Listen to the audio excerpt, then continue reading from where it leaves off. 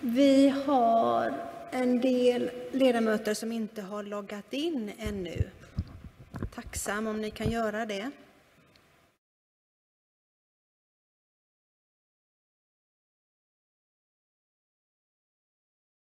Vi har Björn Tidland, har inte loggat in än. Bengt-Åke Harrison. Jag försöker, jag har ingen anslutning på internet, men det kommer, det kommer. Bra. Birgitta Lindgren Karlsson. Hanna Klang. Victoria Tryggvadotter Rolka. Rasmus Ragnarsson. Och Shadi Hadari. Och Berta, Jag har problem, och jag Berta har problem med att lösa det. Ja, det här.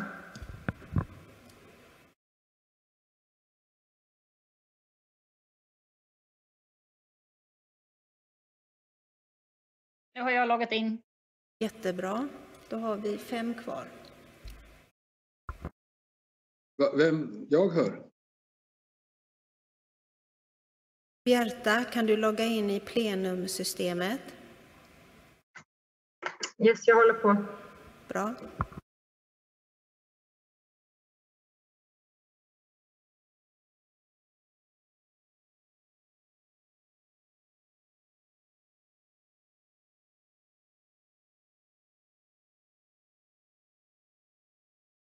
Bengt-Åke Harrison. Hur går det med inloggningen?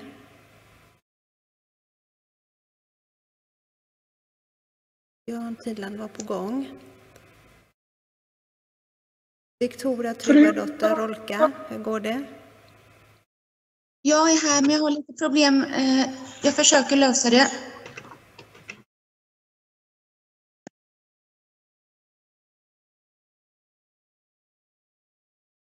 Rasmus Ragnarsson, hur går det med din inloggning? Bengt-Åke Harrison är på G. Rasmus är inte närvarande utan vi kommer ersätta det antagligen Håkan Lösningsskoin. Tack Jörgen.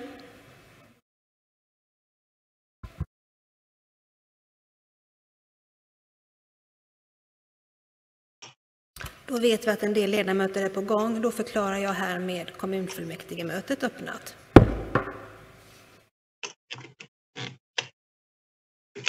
Först börjar vi med en parentation. Den tidigare fullmäktigeledamoten Stefan Kristiansson har lämnat oss.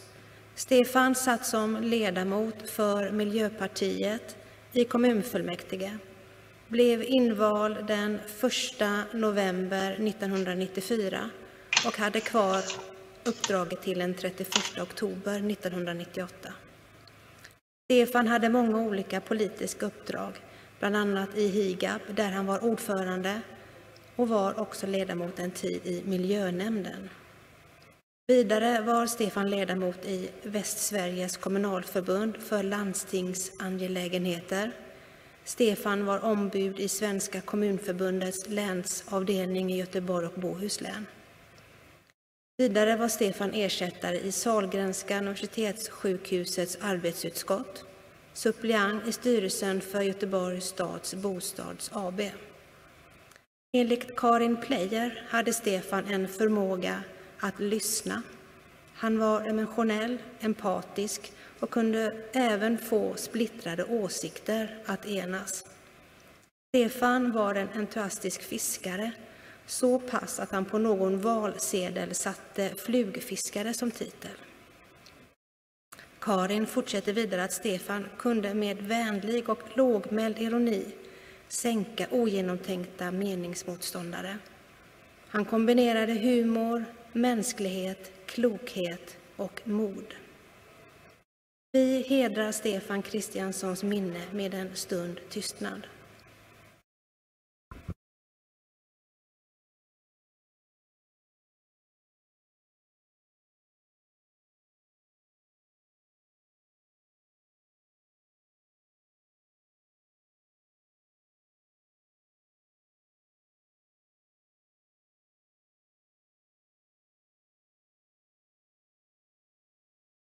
Tack så mycket.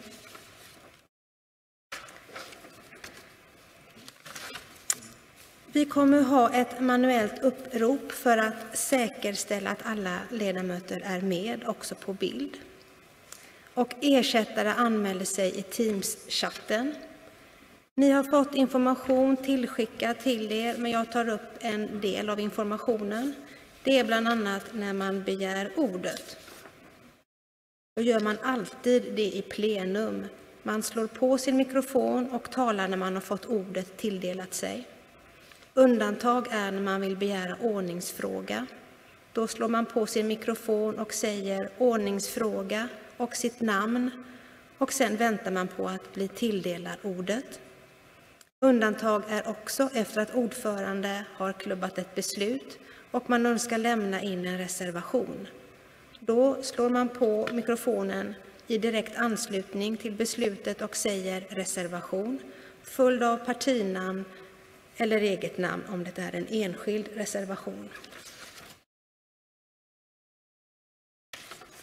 Vi kommer också att visa kommunfullmäktigesalen så att ni också ser att det är inga kommunfullmäktigeledamöter fysiskt på plats. Vi kommer bland annat att uppmana er att ha kameran på under hela kommunfullmäktige, mikrofonen på endast när ni har ordet.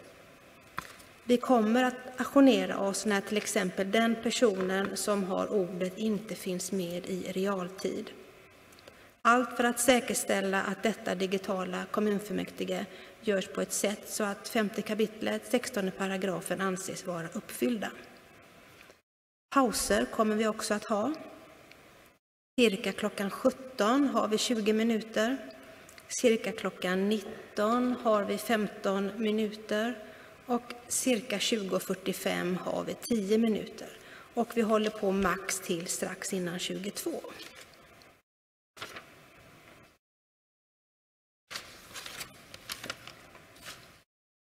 Då har vi ett manuellt upprop, Mattias.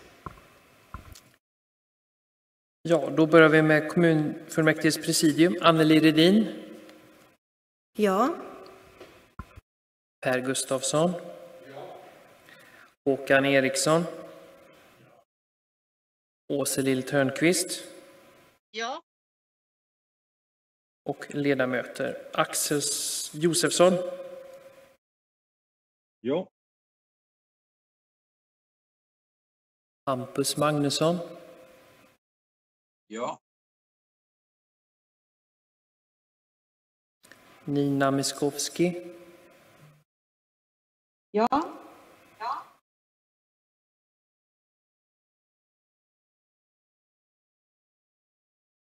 Jag tar lite långsammare så att alla syns i bild också.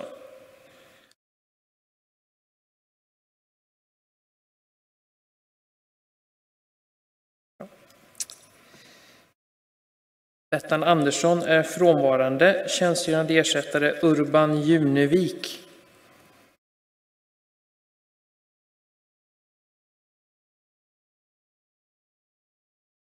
Jenny Broman. Ja. Daniel Bernmar.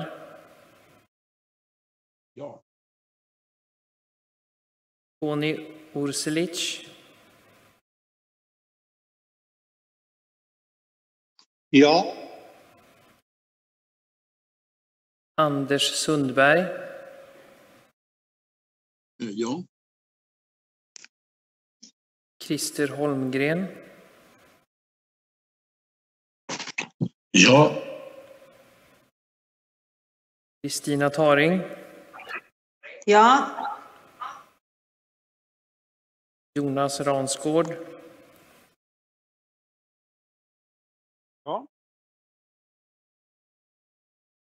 Kristina Bergman Alme är frånvarande. Tjänstgörande ersättare Hanna Linnea Wettermark.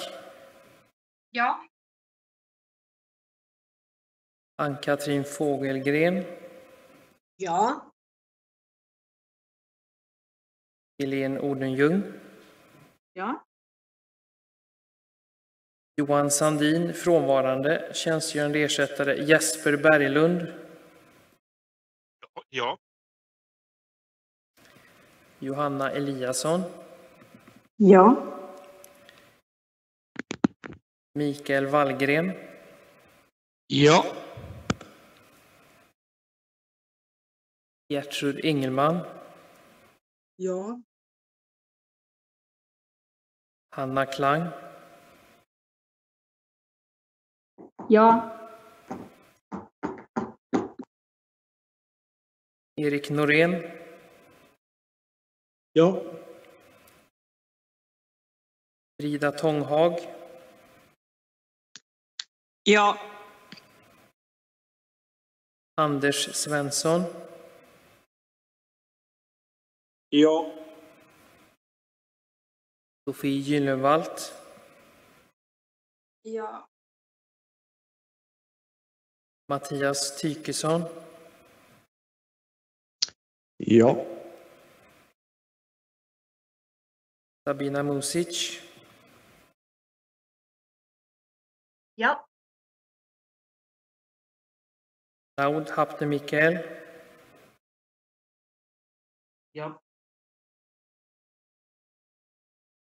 Emelie Bönfors, Ja. Eva Flyborg, Ja. Axel Darvik,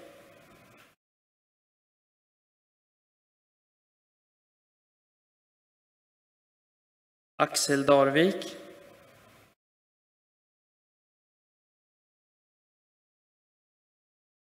återkomma till honom. Carolina Milgrim är frånvarande. Eh, Tjänstgörande ersättare Kristina Norén Lallo. Ordningsfråga där tänkte jag säga. Axel Darvik svarade Axel två Darvik gånger. svarade, Men han hördes inte. Han svarade två gånger. Jag hörde han klart och tydligt. Då testar vi igen med honom här då. Axel Darvik.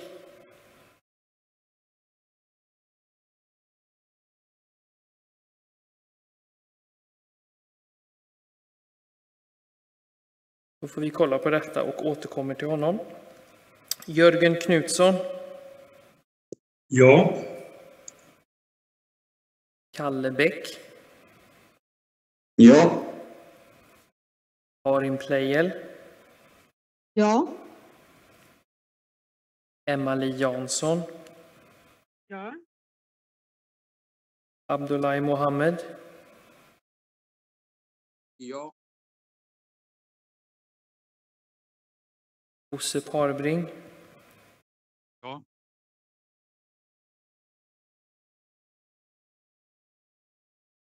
En del av er har väldigt låg volym på, så att går det så får ni gärna skruva upp. Martin Nilsson frånvarande, tjänstgörande ersättare Ulf Karlsson, Ja. Tina Svensson, Ja. Daisy Subi är frånvarande, tjänstgörande ersättare Masoud Vatanka, Ja. Roshan Yigit, Ja. Camilla Widman frånvarande, tjänstgörande ersättare Anneli Eriksson, Ja. Sofie Bringsonio, Ja. Karin Lindberg frånvarande, tjänstgörande ersättare Eva Jonsson, Ja. Irene Sjöberg Lundin, Ja. Ulf Boström frånvarande, tjänstgörande ersättare Karin Alfredsson, Ja. Veronica Öjeskär, Ja. Mariette Risberg frånvarande, tjänstgörande ersättare Thomas Lingefjärd, Thomas Lingefjärd. ja. Anna-Karin Hammarstrand, Jag är här. Henrik Munk, Jajamän. Jessica Blixt, Ja. Martin Wannholt. Ja. Hallå, Lillemor Williamson här. Jag trodde att jag hade loggat in på Birgitta Lindgren Karlstad där jag skulle vara, men där, där svarade Eva nu. Ja. Kan någon hjälpa mig med detta? Lillemor inloggad på Birgitta Lindgren Karlsson här i systemet. Ja. Lillemor ska vara inloggad. Men jag tyckte ni ropade upp Eva. Ja. Eva Jonsson ska vara inloggad på Karin Lindbergs plats. ja.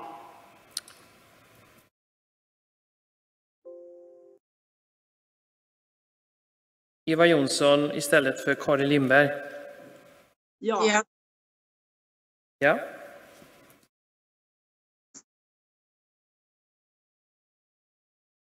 Vi ser. Jonas Attenius. Vad är det? Marina Johansson. Ja, jag med. Victoria Tryggvadottir Rolka. Jag är med. Och min men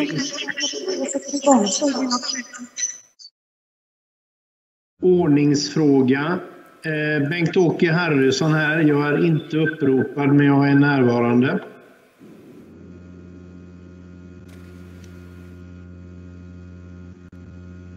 Vi kommer till dig Bengt-Åke. Ja, förlåt. Maria Vojvodova. Ja. Aslan Akbas. Ja. Ingrid André. Ja. Admir Ramadanovic är frånvarande. Tjänstgörande ersättare Anders Moberg. Jag är här. Håkan Hallengren. Jag är här. Torkel Bergström. Ja. Svagt ja, hörde jag. Birgitta Lindgren Karlsson är frånvarande. Tjänstgörande ersättare Lillemor Williamson. Ja. Peter Danielsson. Ja. Bengt-Åke Harrison. Ja. Yvonne Staffrén.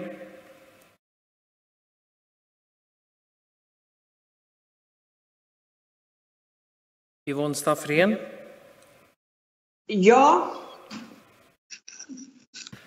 Pernilla, Pernilla Börjesson.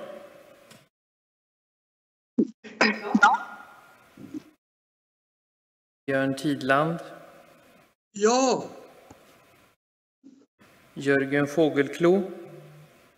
Ja. Agneta Kärrbäck. Ja. Krista Femrell. Ja. Rasmus Ragnarsson frånvarande. Tjänstgörande ersättare Håkan Lösnitz. Ja. Shadiye Heidari. Jag är här. Reger Shafik frånvarande. Tjänstgörande ersättare Joakim Hagberg. Jag är här. Lena Landén Olsson. Jag är med. Susanne Sillberg Ligander. Jag är här. Amalia Rud Pedersen. Ja. Och så går vi då tillbaka till Axel Darvik. ja, jag hörs. Ja, det är Per-Anders Örtendahl. Ordningsfråga. Ordningsfråga. Ja, Örtendahl, du har inte ropat upp mig.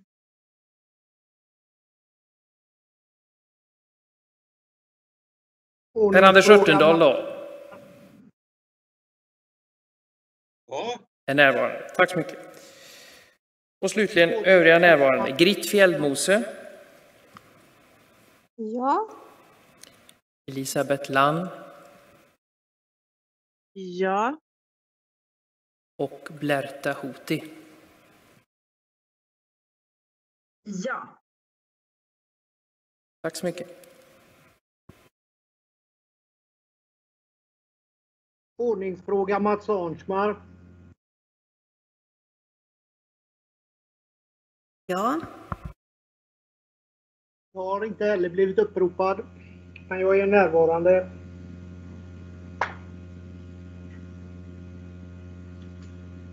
Vi fick Mattias med.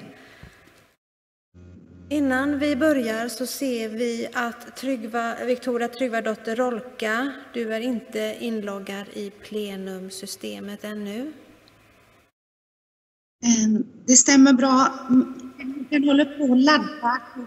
Jag sätta igång sig. Det borde bara vara någon minut till. Jag ber jättemycket om ursäkt för detta, men den borde komma igång när som helst. Det är lugnt, jag har lite mer information att ge innan vi börjar med kommunfullmäktigemötet. Gör era bakgrunder oskarpa. Det är en del som inte har det och då går ni in på Teams med de här tre prickarna längst ner. Tryck där och tryck på bakgrund oskarp. Sedan, ni som inte har kameran på, den ska vara på under kommunfullmäktige. Men mikrofonen ska vara av och mikrofonen ska bara vara på när ni får ordet. Så kamera på, mikrofon av. Sedan så sa jag också att det är inga kommunfullmäktigeledamöter fysiskt på plats. Men jag glömde ju såklart oss i presidiet. Vi sitter ju här. Och vi som är på plats, det är tre då från kommunfullmäktige presidiet, det är tre från sekretariatet och två tekniker. Så vet ni det. Har jag glömt något, Per och Håkan? Ska vi köra igång? Då kör vi igång med ärende 1. Nu kommer jag titta mycket på skärmen där som ni kommer kanske märka det på grund av att min skärm har slutat fungera. Så att det kommer ta kanske ibland lite längre tid. Jag hoppas att ni har förståelse för det. Bestämmande av tid för justering. Förslag på dag för justering är måndagen den 8 februari 2021 klockan 14. Kan justeringstiden godkännas? Ja. Finner så. Då har vi revisionsrapporter. Vi har Statsrevisionens rapportsammandrag Hantering av skyddande personuppgifter. Statsrevisionen har inkommit med rapportsammandraget Hantering av skyddade personuppgifter. Jag lämnar ordet till ordförande i Statsrevisionen, Bengt-Arne Bivall. Varsågod. Tack så mycket för det. Jag hoppas att jag hörs. De här båda rapporterna som kommer efter varandra rör eh, människor som av olika anledningar behöver skydd. Och jag börjar då med just skyddade personuppgifter. Uppgifter om folkbokföringen är i regel offentliga som ni vet, men i vissa fall kan ändå skada en enskild person eller närstående om personuppgifter röjs, det vill säga lämnas ut. Det kan vara frågan om någon riskerar att utsättas för hot, förföljelse, allvarliga trakasserier eller någon annan typ av brott. På ansökan av en enskild människa kan då Skatteverket föra in en sekretessmarkering i folkbokföringsdatabasen för den berörda personen. Och det här eh, aviseras också. Eh, olika myndigheter går in i Preserva till exempel i Göteborg. Det är självklart viktigt att skyddade personuppgifter behandlas med stor försiktighet. Konsekvensen av att handskas mindre noggrant med sådana uppgifter kan lätt inses. Sedan år 2012 finns råd utfärdade i Göteborgs stad om hur myndigheterna eh, bör hantera skyddade personuppgifter. Där anges hur man i det dagliga arbetet ska agera för att minska risken för att personuppgifter lämnas ut oavsiktligt.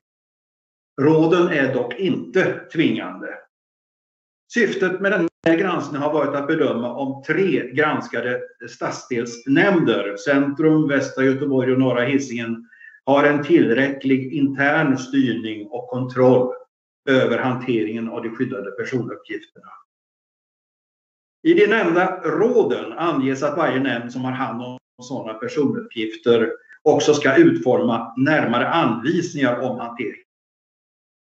Där bör ingå hur uppgifterna förvaras, vilka som får ta del av dem och hur nämnden i efterhand ska kunna kontrollera vem som tagit del av uppgifterna. Av de här nämnderna som vi har granskat har ingen utfärdat lokala anvisningar på det sätt som råden rekommenderar. Där anvisningarna ändå finns så har de tagits fram i enheter längre ut i organisationen, vilket vi anser är en brist. Ingen av nämnderna dokumenterar heller uppgifter som är väsentliga på ett samlat och enhetligt sätt. Intraservice har utfärdat ett dokument som anger att högst tre anställda ska ha åtkomst till ärenden där klienterna har skyddade personuppgifter. I två av nämnderna, Västra Göteborg och Centrum, förekommer mellan fyra och sju handläggare med behörighet i varje ärende. Eh, Norra Hisingen har klarat sig bättre och vi tycker att de har en ändamålsenlig behörighetshantering. I efterhand ska kunna kontrolleras att ingen obehörigt tagit del av skyddade uppgifter. Men ingen av nämnderna har utfört någon sådan kontroll. Statsrevisionens granskning visar på brister och bedömningen är att den interna styrningen och kontrollen över hanteringen av skyddade personuppgifter behöver stärkas. Ja, alla känner ju till att de här stadsdelsnämnderna inte längre existerar. Men eh, vi vill ändå peka på förbättringsområden som det är viktigt att de nya socialnämnderna närmast tar hand om och vidtar åtgärder för att hantera. Vi bör se till att ta fram gemensamma anvisningar, arbetssätt och rutiner för egenkontroll. Detta är en förutsättning, anser vi, för en enhetlig, säker och rationell hantering så att man minskar risken för att skyddade personuppgifter röjs. Tack för det. Tack så mycket, Bengt. Då frågar jag kommunfullmäktigeledamöterna om rapporten kan antecknas. Oh, förlåt mig, vi har en talarlista. Då har vi Jörgen Fågelklo, SD. Varsågod Jörgen. Tack så hemskt mycket för ordet, fru ordförande. Eventuella åhörare och ledamöter. Först vill jag som alltid passa på att tacka revisionen för en bra rapport. Eh, men som rapporten sammanfattar det hela så, är, så kommer man i princip med en rekommendation till de nya nämnderna att eh, se till att gemensamma anvisningar, arbetssätt och rutiner för egenkontroll tas fram. Det är till och med en förutsättning för en säker hantering som reducerar risken för att skyddade uppgifter röjs. Det är faktiskt en ganska allvarlig kritik. Med anledning av detta så la vi ett eget yrkande, ett så kallat initiativyrkande till gårdagens kommunstyrelse. Ett ärende om att kommunstyrelsen skulle få i uppdrag att tillsammans med de berörda nämnderna ta fram gemensamma anvisningar, arbetssätt samt rutiner för egenkontroll vid hantering av just skyddade uppgifter. Tyvärr bordlades det igår. Det är ju ändå Göteborg vi pratar om. Men vi tar för givet att detta bifalles nästa kommunstyrelse, i synnerhet nu när vi har svart på vitt att alla andra partier faktiskt både kan och ibland skriver yrkande ihop med oss Sverigedemokrater. Och ja, vi inkluderar vänstern. Tack för mig. Då var nästa talare Axel Josefsson, M. Varsågod. Tack för ordförande. Eh, fullmäktige göteborgare. Jag vill också passa på att tacka revisionen för den här rapporten och sen vill jag också passa på att eh, lugna Jörgen Fågelklo här. Eh, det är naturligtvis så att den här frågan kommer att hanteras utav de nya nämnderna precis på det sättet som Statsrevisionen påtalade här. Det ingår i den överföring vi gör nu att alla uppdrag som har legat eh, på de gamla stadsdelsnämnderna kommer att eh, per automatik flyttas över till de nya nämnderna. Så att eh, Jörgen kan vara lugn, den här frågan kommer att hanteras. Tack! Då var talarlistan tom. Då frågar jag kommunfullmäktige ledamöter om rapporten. Nej, var det någonting mer? Örtendahl, jag hade begärt ordet, men jag vet inte. Jag har tryckt på lappen här men jag begärde ordet via... Ja, men varsågod Per-Anders. Tack så mycket. Jag vill också tacka för två väldigt välformulerade och bra rapporter. Jag tycker det är viktigt att revisionsrapporterna är skrivna så att de är väldigt tillgängliga för oss som sitter i nämnder och styrelser så att vi kan tillgöra oss dem på ett bra och lättillgängligt sätt. Och det är de här rapporterna väldigt bra, ger väldigt bra uttryck för.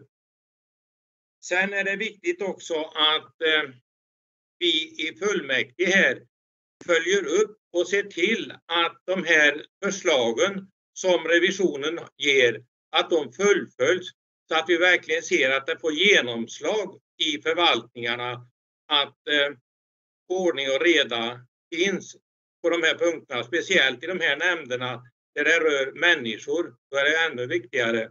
Så jag vill också tacka för det här och tycker att det är bra att vi har en revision som vi kan luta oss emot. Det är ju ändå våra vänner, revisionen. Tack så mycket. Nu ser jag att inte någon fler har satt upp sig på talarlistan. Då frågar jag er igen, kan rapporten antecknas? Ja. Tack så mycket. Då var det ärende 3, Statsrevisionens rapportsammandrag, styrning och uppföljning av insatsen skyddad boende, externa utförare. Statsrevisionen har inkommit med rapportsammandraget, styrning och uppföljning av insatsen skyddat boende, externa utförare. Jag lämnar ordet till ordförande i Statsrevisionen, Bengt Bivall. Varsågod Bengt. Tack för det. Ja, det är ju bekant för alla här eh, att det förekommer våld i nära relationer. Socialtjänsten har då en uppgift och ett ansvar för att ge skydd, stöd och hjälp till den eller de som behöver det. Det kan handla exempelvis då om att ordna en tillfällig bostad som kallas skyddat boende. Göteborgs stad har i viss utsträckning tillgång till ett skyddat boende i stans egen regi. Men det räcker inte utan det finns behov av att köpa insatser också från externa utförare. Först som sist ska sägas att ansvaret för att insatserna är av god kvalitet fortfarande ligger på den nämnd som har beslutat. Revisionen har granskat de fyra stadsdelsnämnderna Angered, Lundby, Västra Hisingen och Örgryte-Härlanda. Syftet med den här granskningen har varit att bedöma om nämnderna har tillräcklig styrning och uppföljning av insatserna som rör skyddat boende hos externa utförare. Hur ska då socialtjänsten agera för att säkerställa kvaliteten? Ett placeringsavtal, det är ett av begreppen, ska alltid upprättas med utföraren av insatsen. Sådana saknas till stor del hos Örgryte, Härlanda och Angered. Det finns dessutom brister i flera av de förekommande avtalen, alltså där det verkligen finns. Det måste exempelvis klargöras hur det ligger till med fysiska skyddet på boende, personalens kompetens och säkerhetsrutiner och om stället är lämpligt för eventuellt medföljande barn. Det ska vidare upprättas uppdragsbeskrivningar, det är ett annat begrepp. Syftet med dessa är att tydliggöra vad utföraren ska göra och varför. Utan en sån beskrivning så riskerar uppdraget att bli mycket oklart förstås. Örgryte Härlanda saknar helt uppdragsbeskrivningar i de granskade ärendena. Enligt Socialstyrelsens allmänna råd bör genomförandeplaner upprättas av utföraren. Det är ett tredje begrepp, genomförandeplaner. De ska förstås utgå från det uppdrag som socialtjänsten har givit. Även om det är ett råd från Socialstyrelsen och inte en föreskrift så bör nämnderna, anser vi, se till att genomförandeplan upprättas. Det är ett viktigt instrument för uppföljningen av det hela. Granskningen visar att samtliga nämnder följer upp ärendena på individnivå, det vill säga att den enskilde får den insats i form av skyddat boende som nämnden har.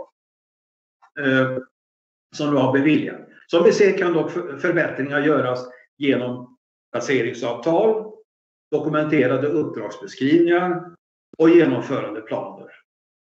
Det finns ett organ i stan som kallas SPINK. Det står för stans gemensamma inköpsfunktion inom individ och familjeomsorgen samt funktionshinder. SPINK hjälper socialtjänsten att vid behov hitta lämpliga boenden och utföra kontroller för, innan de lämnar förslag. Spink har däremot inte ansvar för att följa upp det avtal som rör enskilda personer. Vilket faktiskt är en, på många håll en uppfattning, en missuppfattning det vill säga. Det är respektive nämnds ansvar att systematiskt följa upp placeringsavtalen, vilket enligt vår bedömning ingen av de granskade nämnderna gör. Vad här gäller förstås som i det förra, de nämnder vi har kontrollerat finns inte. Men vi Eh, hoppas nu att de eh, nämnder som efterträder dessa eh, kommer att ta hand om dessa och göra någonting åt de bristerna som vi har sett i vår granskning. Tack! Tack så mycket Bengt. Nu har vi en liten talarlista. Vi börjar med Stina Svensson, Fi och därefter Jörgen Fågelklo, SD.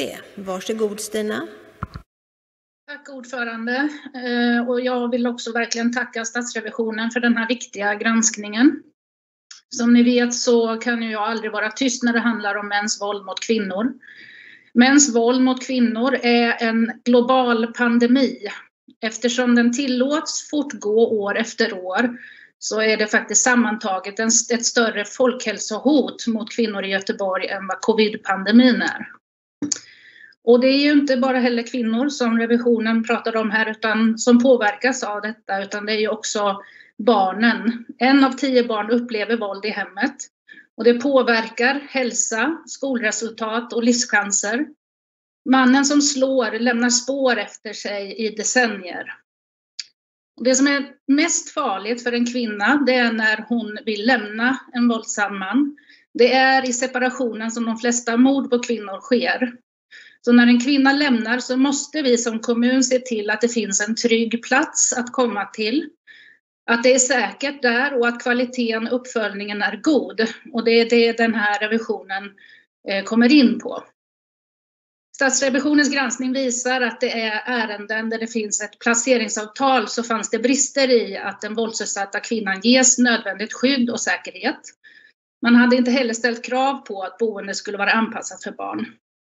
Och jag tror nog att några av er här inne känner till någon som har levt i en relation där kvinnan blivit utsatt för våld och grovt våld. Detta helvete som kvinnan och barnen upplever. Att ständigt leva under den kontroll som mannen utsätter kvinnan för. Att våra stadsdelsnämnder inte har följt upp kvaliteten, det är inte bra. Vi måste kunna säkra de krav som ställs av Socialstyrelsen. Och det inte, att det inte heller görs någon uppföljning i ingångna placeringsavtal och, och eh, som också revisionen i sin ordning påtalar, det är en brist. Eh, men den omorganisation som nu är på plats så kan vi se till att rätta till de här felen och brister så de våldsutsatta kvinnor och barn får en trygg och säker plats att vara på. Vi som kommun har det ansvaret. Men då behövs det mer resurser. Det går inte att skära ner på välfärden. Ja, jag menar faktiskt att frihet från våld är en del av välfärden och ska ingå i den. För det handlar om så mycket mer. Kan vi exempelvis föreställa oss behovet av skyddade boenden efter att pandemin klingat ut? Har vi då tillräckligt säkerhet med uppföljning och krav i våra avtal? Sex kvinnojourer har gått samman och vill sluta i ett sånt här IOP med staden för att säkra en långsiktig förutsättning för sin verksamhet. Jag anser att eh, vi ska hörsamma detta och jag kommer att verka för det. Så tack för ordet. Tack Stina. Då var nästa talare Jörgen Fågelklo, SD. Varsågod. Tack för ordet, fru ordförande ja, och eventuella åhörare och andra ledamöter. Eh, med risk då för att upprepa mig här lite grann. Eh, först vill jag återigen tacka revisionen för en mycket bra och eh, lättläst rapport. Sammantaget bedömer ju Statsrevisionen att de nya nämnderna behöver åtgärda identifierade brister för att i framtiden kunna säkerställa en tillräcklig styrning och uppföljning. Med anledning av detta så la vi ett yrkande, ett så kallat initiativärende till gårdagens kommunstyrelse. Ett ärende som om kommunstyrelsen bistår de nya socialnämnderna i arbetet med att gemensamt utveckla en styrning och uppföljning av insatser skyddat boende som utförs av just externa utförande ska inte gå in mer på exakt vad vi tog upp, men vi tog upp det här som, som revisionen faktiskt påtalade. Då. Tyvärr då så bordlades det igår, det är ju ändå Göteborg vi pratar om. Men vi tar för givet att detta bifalles nästa KS, i synnerhet nu när vi har svart på vitt att alla andra partier faktiskt både stödjer och kan skriva yrkanden ihop med oss Sverigedemokrater. Tack! Då var talarlistan tom. Kan rapporten antecknas? Ja. Tack så mycket, Bengt Bivar.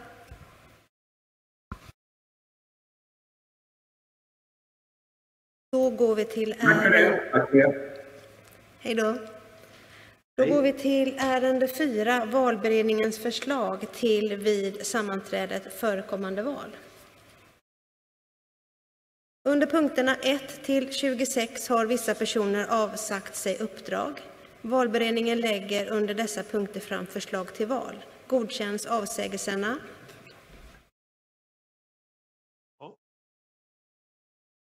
Kan valberedningens förslag bifallas? Ja. Innan jag klubbar, det är någon som försöker ha... Björn Tidland, försöker du eh, begära ordet?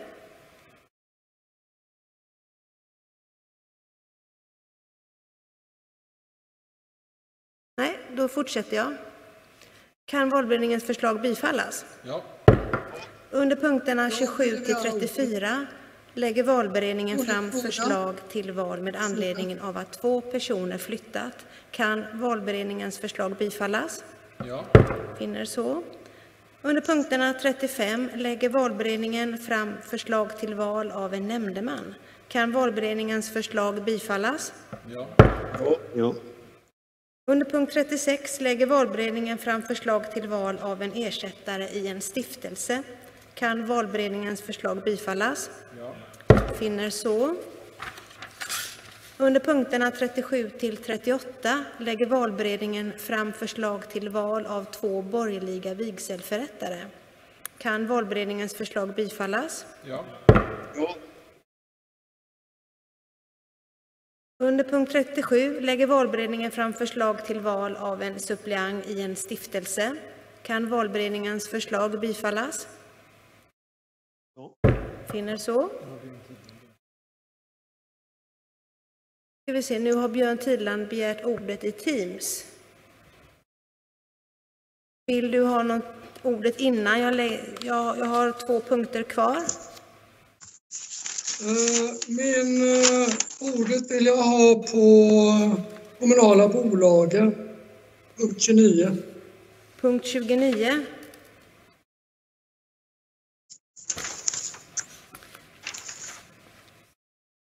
Ja, varsågod Björn, vad vill du säga? Ja. ja, tack för ordet. Eh, det var lite segt där med plenumex för mig. Eh, som sagt var på... Jag sitter ju i valberedningen och på, val, eh, på valberedningsmötet i måndag så yrkade jag på att vi skulle ha en representant i Göteborgs stadshus AB. Det har vi även gjort 2019 och 2020. Och jag reserverade mig vid den punkten också då. Så jag vill bara framföra det. Jag har alltså en valsedel här, giltig, men vi kommer inte begära votering och inte yrka på det. Men jag vill framföra det att jag hade nominerat Jörgen Fågelkro till Stadshus AB, men det bifölls inte av valberedningen. Tack för ordet. Då har vi hört det Björn, tack så mycket. Då fortsätter jag. Jag tar om eh, den meningen jag tog innan. Under punkterna 40 till 42 lägger valberedningen fram förslag till val av ledamöter, suppleanter, leda, lekmannarevisorer i de kommunala bolagen samt inträdesordning för suppleanterna. Kan valberedningens förslag bifallas? Ja. Under punkt 43 lägger valberedningen fram förslag till val av ledamöter, suppleanter och lekmannarevisorer för regionala bolag. Kan valberedningens förslag bifallas? Ja. Tack så mycket. Det var valärenden. Då går vi raskt på ärende 5. Avsägelser av Naud Hapte C från uppdraget som ledamot i kommunfullmäktige. Naud Hapte C har avsagt sig uppdraget som ledamot i kommunfullmäktige. Och jag ser att Naud Haptemichael C har begärt ordet. Varsågod. Tack ordförande. Jag vill framförallt eh, tacka för den här tiden. Det har varit en eh, ära att få representera göteborgarna i, i stans högst beslutande organ. Och det har varit eh, väldigt givande och lärorikt och eh, trots att en hel del förslag i respektive eh, skuggbudget fått en att höja på ögonbrynen så, så vet man att alla drivs av viljan att förbättra stan och att se till att varje göteborgare uppnår sin fulla potential. Så se till att eh, ni inte förlorar den här eh, ideologiska skärpan så ska jag se till att följa debatten från läktaren framöver. Så tack för mig. Tack så mycket Naud. Vi kommer sakna dig. Kan avsägelsen godkännas? Ja. Anmälan om avsägelse ska ske till Länsstyrelsen. Då går vi till ärende 6. Val av ledamot i förbundsfullmäktige i Göteborgsregionens kommunalförbund istället för Naud Michael C. Ordet har begärt av Emelie Börnfors C. Varsågod. Ordet ordförande Centerpartiet vill anmäla Sabina Music till annan detta uppdrag. Då frågar jag om vi kan bifalla namnförslaget. Ja. Tack så mycket. Ärende 7. Val av ledamot i kommunfullmäktiges valberedning istället för Naud Michael C. Som avsagt sig. Där har vi Emelie Börnfors C som har begärt ordet. Varsågod Emelie. Tack för ordet. Här vill Centerpartiet nominera Aizela Bruncevic. Tack. Då frågar jag om vi kan bifalla namnförslaget och utse som ny ledamot i kommunfullmäktiges valberedning istället för Naud Michael. Ja. Tack så mycket.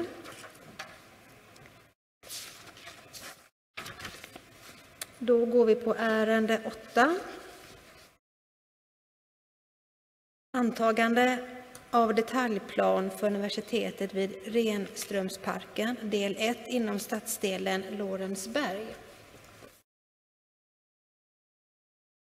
Kommunstyrelsen föreslår att detaljplan för universitetet vid Renströmsparken del 1 inom stadsdelen Lorensberg antas. Vi har en talarlista. Vi börjar med Hampus Magnusson, M och därefter Jonas Attenius, S. Varsågod Hampus. Tack ordförande, hörs jag? Hörs jag? Ja, du hörs.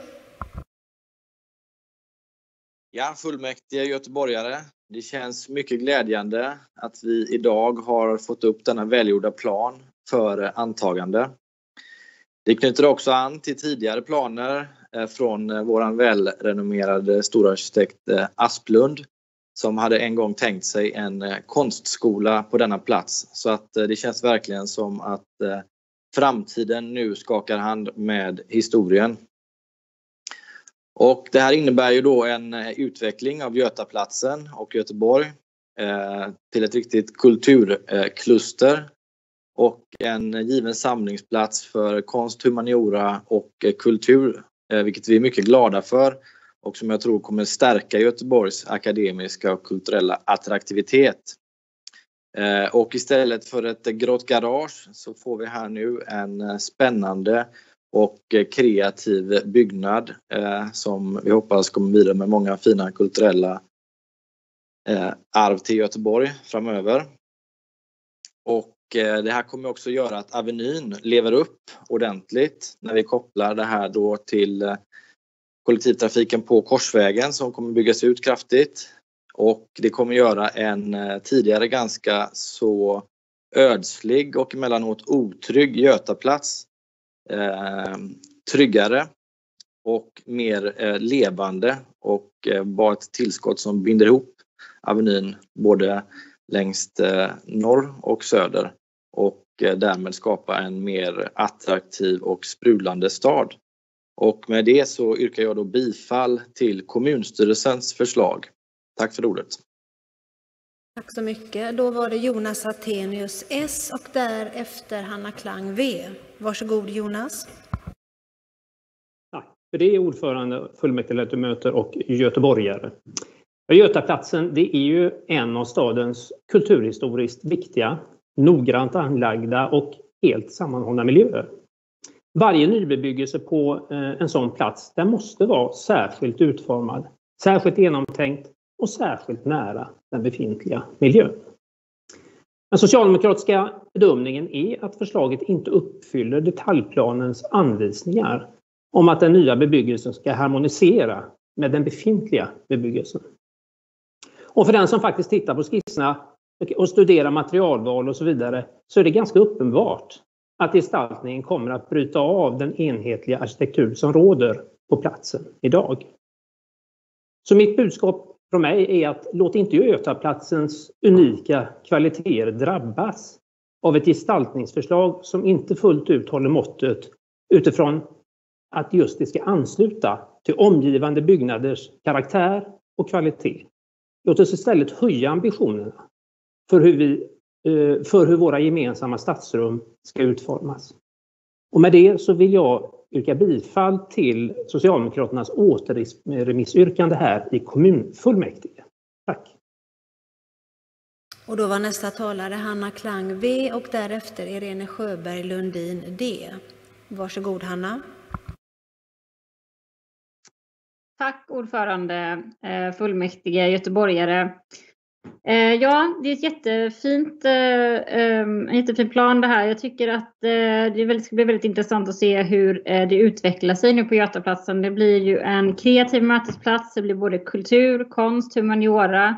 Eh, man samlar för Göteborgs universitets del då både HDK, Akademin Valand och Högskolan för scen och musik på samma plats och skapar också de här ehm, eh, utrymmena för alltså, mer människor som rör sig i området och så vidare som kommer skapa mer trygghet, precis som Hampus var inne på där också. Eh, plus den här uppgången då på, för Korsvägen som eh, ligger i samma plan här. Eh, så att eh, vi ser jättepositivt på detta och tycker att eh, vi ska gå på, eh, yrka bifall till kommunstyrelsens förslag. Tack så mycket. Då var det Irene Sjöberg Lundin D och därefter Ann-Katrin Fågelgren L. Varsågod Irene. Tack ordförande, ledamöter och eventuellt göteborgare som tittar på oss idag. Med ögon känsliga för grönt. En liten textrad av vispoeten Barbro Hörberg och det är väl egentligen en kärleksvisa men också kärleken till en stad, till en vacker stad. Den här lilla raden med ögon känsliga för grönt. Det ligger som en klangbotten när jag läser in mig på, här, på det här ärendet. Jag tror ingen här har missat att Demokraterna önskar och har motionerat för ett skönhetsråd i Göteborg. Tyvärr så röstades det ju ned.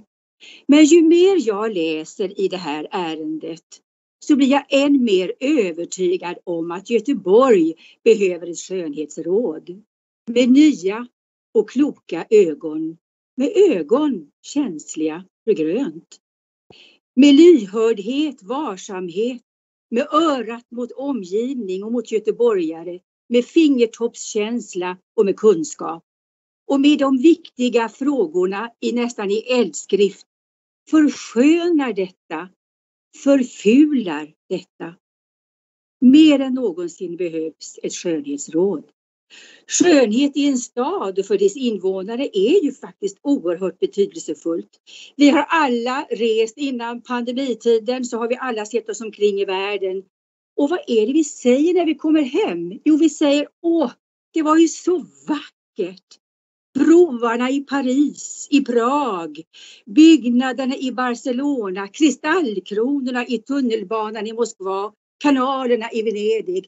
Det var så vackert. Det är det vi kommer hem med inom oss. Det var så vackert. För att rädda vår stad från förfulning, förstörelse, onödiga rivningar, olika konstigheter. Det behövs ett skönhetsråd med ögon känsliga för grönt. Tack Irene. Då var nästa talare Ann-Katrin Fågelgren L, därefter Jörgen Fågelklo SD. Varsågod Ann-Katrin. Tack så mycket ordförande, ledamöter, åhörare. Det är nu fantastiskt att få yrka bifall till denna detaljplan som kommer att lyfta inte bara Götaplatsen utan ge staden ett unikt område med humaniora och kultur genom den konstnärliga fakultetens nya placering. Nu kan vi äntligen bli av med parkeringsgaraget och få möjlighet att uppföra en byggnad av hög klass i nutida arkitektur. En byggnad som öppnar upp med sina stora fönsterpartier och som blir en levande och spännande kontrast till ett strama och tillstängda konstmuseet. Tidstypiskt när det byggdes, precis som den här nya byggnaden blir. Fönsterpartierna har också ett syfte. Det ska ge ljus till de olika konstnärliga verksamheterna som ska husera i huset. Och genom det gula teglet sammanbinds byggnaderna och bildar en tidsring över utvecklingen genom åren på Götaplatsen. Och byggnadens stora fönster blir också en blinkning till konsthus, eh, konst, Konserthusets stora fönsterparti tvärs över Götaplatsen. Här kommer vi nu få se byggnader från olika tidsepoker. Vi har Konstmuseet från 1920-talet, Stadsteatern och Konserthuset från 30-talet. Men så också Stadsbiblioteket från 1967 och ombyggt 2012. Samtliga formade av sin tid och då också ifrågasatta som all, eh, alla byggnader av liknande slag ofta blir. Men den här byggnadens utformning kommer att bli ytterligare en ikonbyggnad och vid Götaplatsen som bildar ett kluster som kommer att berika varandra och, staden, och öka stadens attraktivitet. Planen uppfyller de tre mål som finns i det aktuella stadsutvecklingsprogrammet, nämligen ska vara en plats för lärande, upplevelser, möten och tillmötesgå universitetets behov av nya och ändamålsenliga lokaler för en ny samlad konstnärlig fakultet. Länsstyrelsen uttrycker också i sitt granskningsyttrande sig positiva till hur synpunkterna från samrådet har tillgodosetts och kommer inte heller att pröva planen om den antas. Eh, och vi i byggnadsnämnden kommer att fortsätta de här planerna på huset och stämma av bygglovet för att säkra den gestaltning som eh, är, tänkt att utformas och att den väl smälter in med den miljö som eh, intilliggande byggnader har. Det kommer att vara unikt för en universitetsstad att ha dessa verksamheter samlade och att tillsammans med våra övriga kulturinstitutioner skapa ett kulturellt centrum av detta slag kommer att bli extraordinärt. Särskilt i dessa tider då humaniora och den konstnärliga friheten ifrågasätts behöver, detta, behöver dessa en väl framskjuten plats, vilket staden med denna plan tydligt visar. Yrkar bifall till kommunstyrelsens förslag. Tack. Då var nästa talare Jörgen Fågelklo, SD och därefter Emelie Jansson, MP. Varsågod Jörgen. Tack för ordet, för ordförande, åhörare och ledamöter. Ibland undrar jag hur människor tänker. Ibland undrar jag om de har otur när de tänker och ibland undrar jag om de tänker överhuvudtaget. Funderar man överhuvudtaget på vilken stad och vilket samhälle, vilken gemensam eh, gemenskap, gemenskap de strävar mot? Har de några långsiktiga mål, högt ställda krav, en vision om att det kan bättre än det som redan är gjort? Har man funderat på vilken stad man vill bygga? Funderat på vad människor som bor i samma stad faktiskt tycker och hur de mår. Jag ställer mig återigen frågan, hur många timmar så förfular vi stadsbilden finns det på dagens svenska arkitektutbildningar? Det går och vi måste börja bygga estetiskt och harmoniskt. Det finns många goda exempel runt om i Europa där man nu river de anskrämliga fyrkantiga lådorna som poppat upp som svampar ur jorden. Lådor som vi bor, arbetar i, rör oss i och omkring. Vi måste sluta uppföra dessa styggelser. Och det är ni, inte alla, men det är ni och vi politiker som har ett kollektivt ansvar som möjliggör detta, att det tillåts ske. Ni som ska vara de kloka, ni som ska föra folkets talan. Det är ni som har ansvaret för det offentliga rummet. Speciellt Götaplatsen, hjärtat av Göteborg. För jag hävdar å det bestämdaste att det är faktiskt vi politiker som är ytterst ansvariga för hur våra gemensamma ytor gestaltas. Det är vårt ansvar att sätta ner foten när människor vill sätta något på den göteborgska kartan som en fyraåring som leker med Minecraft kunde gjort bättre och istället börja ställa krav på de byggnader vi uppför ska vara av den karaktär som människor uppskattar, som vi mår bra av att se och bo och verka i. Därför yrkar jag starkt bifall på Sverigedemokraternas yrkande i kommunstyrelsen men, och med det även avslag på den moderna barbarismen. Nu har det inkommit ett åter, ett, ett, en återremiss från S som tar upp precis det vi yrkar på, vilket naturligtvis är mycket glädjande. Jag hade önskat att S hade kontaktat mig innan detta. Så jag skulle innan vi går till votering begära en auktionering för att jag vill överlägga med min grupp. Tack för ordet. Då var nästa talare Emma-Li Jansson, MP och därefter Björn Tidland, SD. Varsågod Emma-Li. Det är katastrof. Olyckligt och fruktansvärt. Det mest tragiska i Göteborgs senare historia.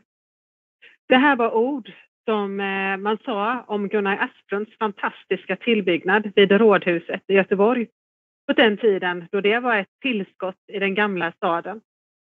Och det är precis som eh, Ann-Katrin Fågelgren nämner, att eh, staden är dynamisk.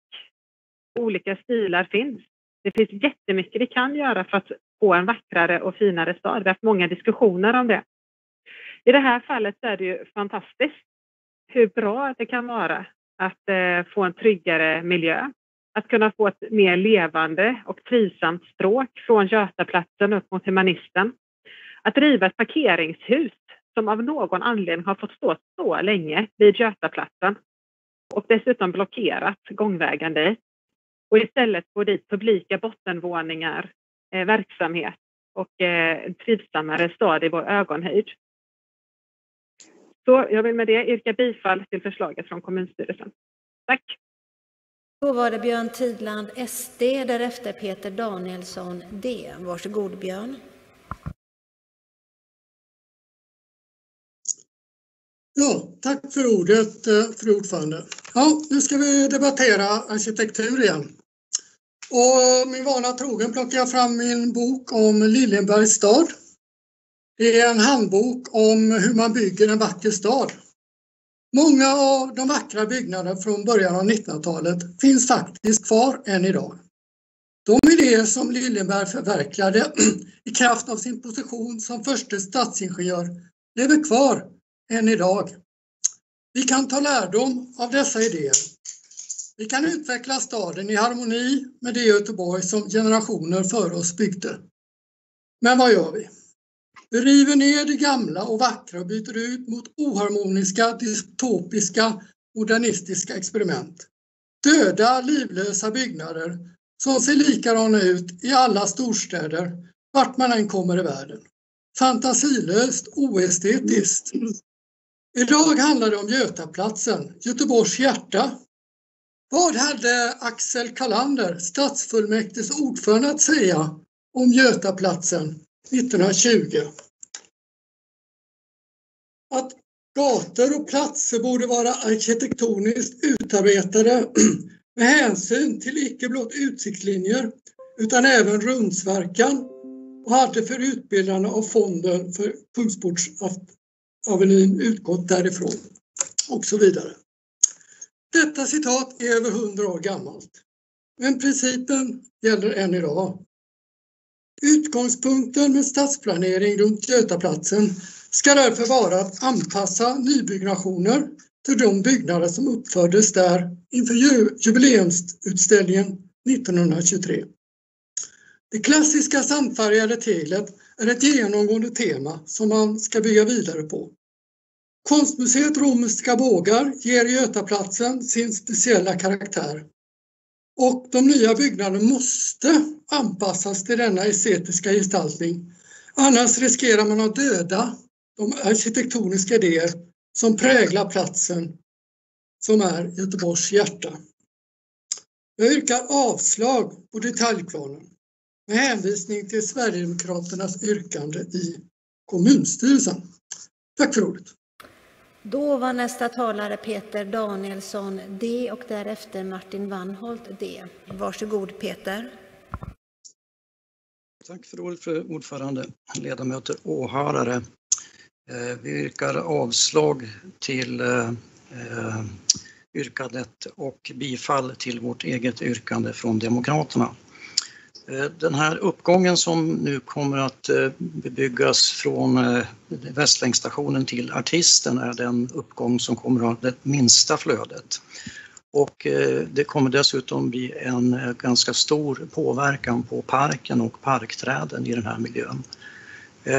Vi tycker istället att vi ska ha en uppgång som förläggs direkt anslutning till stationen så att den riktas mot Johanneberg och universitetsbiblioteket. Eh, därför att man kommer inte att gå från ovan jord ner till Västlänkstationen och efter perrongerna och upp eh, den vägen om man befinner sig ovan jord och det är ju huvuddelen av alla resenärer kommer att göra detta. Det är också så att bara 8% av resenärerna som åker med Västlänken kommer att begagna sig av Korsvägsstationen. Så att av totalen så är det väl en rännil som kommer att använda den här uppgången. Det andra som är lite komprometterande är att eh, Eh, den uppgång som verkligen skulle behövas, det är ju den som ska gå mot eh, evenemangstråket och Svenska Mässan, givet också de investeringar som vi ska göra där framgent. Men den uppgången är inte ens beslutad. Så eh, med bakgrund av detta så yrkar vi bifall till yrkandet från Demokraterna. Tack. Och då var nästa talare Martin Wannholt D och därefter Jörgen Fågelklo SD. Varsågod Martin.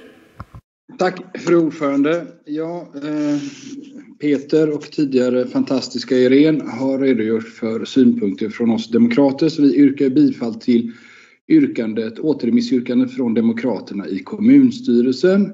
Men det är också på det viset att vi ser inte att vi får majoritet för det så vi kommer också stödja återremissyrkandet från S. Tack! Och då var nästa talare Jörgen Fågelklo SD. Varsågod Jörgen. Tack för ordet, fru ordförande. Eh, ja, vi har hört många eh, av er som eh, pratar ivrigt och, och, och, tycker att det här är en fantastiskt bra plan. Pratar mycket om mer kultur, mer människor, fler, mer trygghet, en ny fakultet. Vi har ingenting emot innehållet, det vill säga insidan. Det är jättebra. Det är utsidan vi diskuterar. Bara så att det är klart med det. Det är ju fantastiskt att vi får en helt ny fakultet och, och fler människor i ett tryggt område. Det är jättebra. Men vi kan faktiskt bygga vackert och harmoniskt. Det är det det handlar om. Jag skulle som sagt vilja ajournera det här eh, och ta en diskussion med min grupp hur vi ska ställa oss med, till S eh, yrkande som har kommit in här. Tack! Då var nästa talare Axel Josefsson M. Varsågod Axel. Ja, tack för det ordförande. Jag skulle väl egentligen bara vilja ha ett förtydligande från sekretariatet när det gäller den, det förslaget på återremiss nu från Socialdemokraterna. Eh, att den ska gå direkt till byggnadsnämnden. Jag antar väl att det borde väl först vara att den går till kommunstyrelsen. Tack. Då tänker jag så här, innan vi går till beslut så eftersom ajournering har begärt så tycker jag att vi börjar med att vi ajournerar oss i fem minuter. Så kommunfullmäktige sammanträdet ajourneras i fem minuter.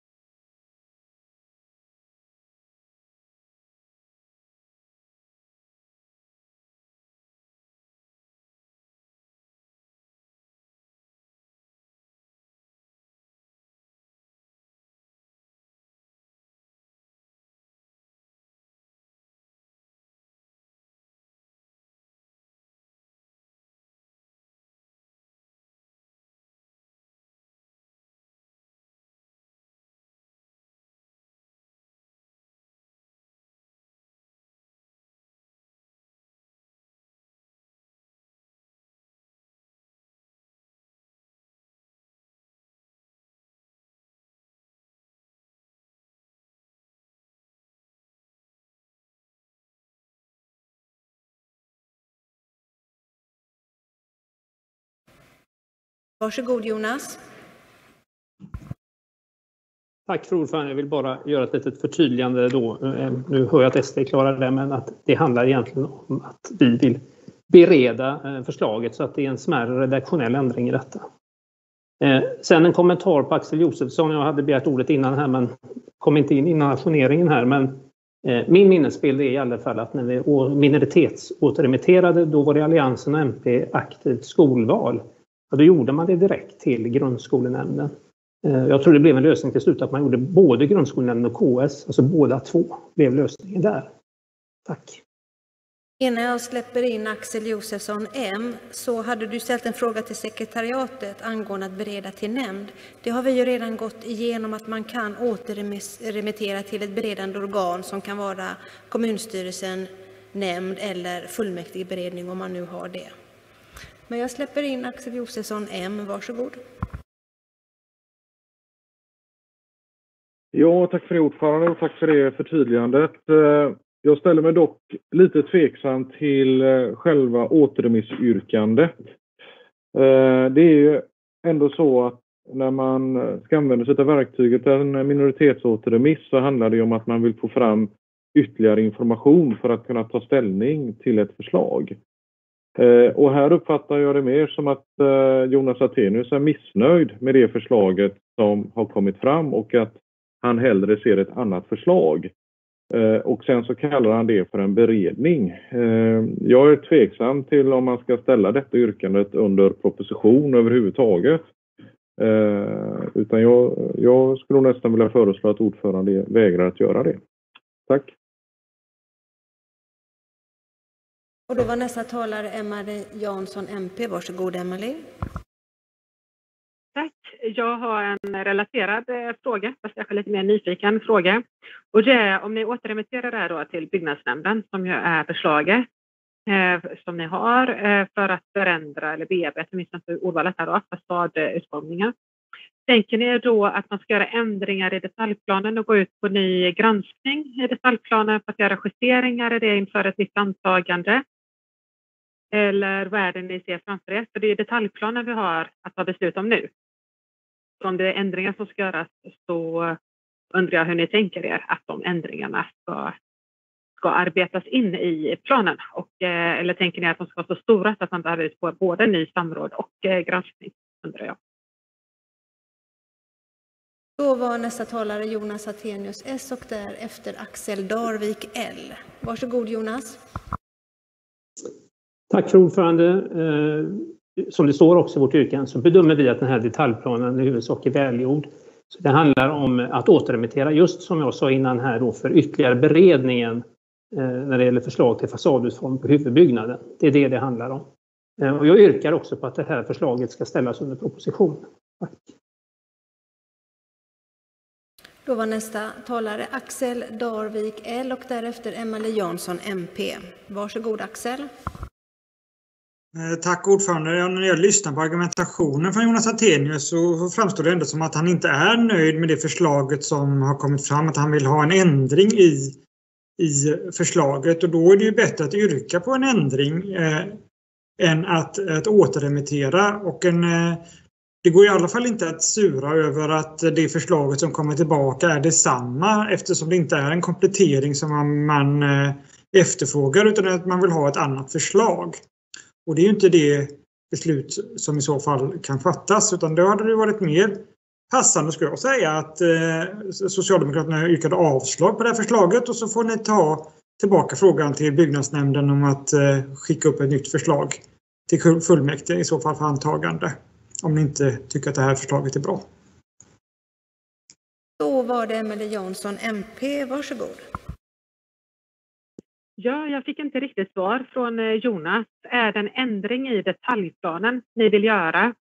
Och tänker ni då att det ska vara en ändring som är så liten så det räcker med att gå på ny granskning eller en mer större ändring i detaljplanen som man behöver göra ny samråd och granskning som ni tänker er? Och då, där Jonas Attenius, S, hade begärt en replik. Varsågod Jonas. Nej, men som jag sa innan, det här är en återremiss eh, som handlar om, om fasadutformningen och en ytterligare beredning. Eh, så att eh, vi i huvudsak tycker att detaljplanen är välgjord. Och jag yrkar bifall till vårt förslag. Tillbaka. På det har Emily Jansson, MP, begärt en motreplik. Varsågod, Emily. Ja, Jonas, du svarar inte på min fråga. I den beredningen som ni vill se, ingår det där att ändra i detaljplanens förslag? I dagsläget ska vi bifalla, anta detaljplanen eller inte anta detaljplanen. Till vissa delar regleras i fasadutformningen av planbestämmelser. Är det det du vill ändra i så att det blir ett annat planförslag? Eller vill du ha andra ändringar i utformningen som fortfarande är i linje med det detaljplanen som vi har på bordet idag? Och eh, i så fall så är, ryms det ju inom den detaljplanen och kan vara en fråga man hanterar i byggnadsnämnden. Tack. Och det har Jonas Attenius, S, begärt en replik. Varsågod, Jonas. Nej, men alltså, vi vill inte ha, precis som jag sa innan här, vi vill inte ha någon förändring i detaljplanen utan det handlar om fasadutformningen. Det är därför också vi vill just att byggnadsnämnden ska bereda det här ärendet vidare. Tack. Emily Jansson, MP, har du begärt en replik? Ja, varsågod, får du den? Ja, tack. Om ni inte vill ha någon ändring i detaljplanen, varför inte anta detaljplanen nu då?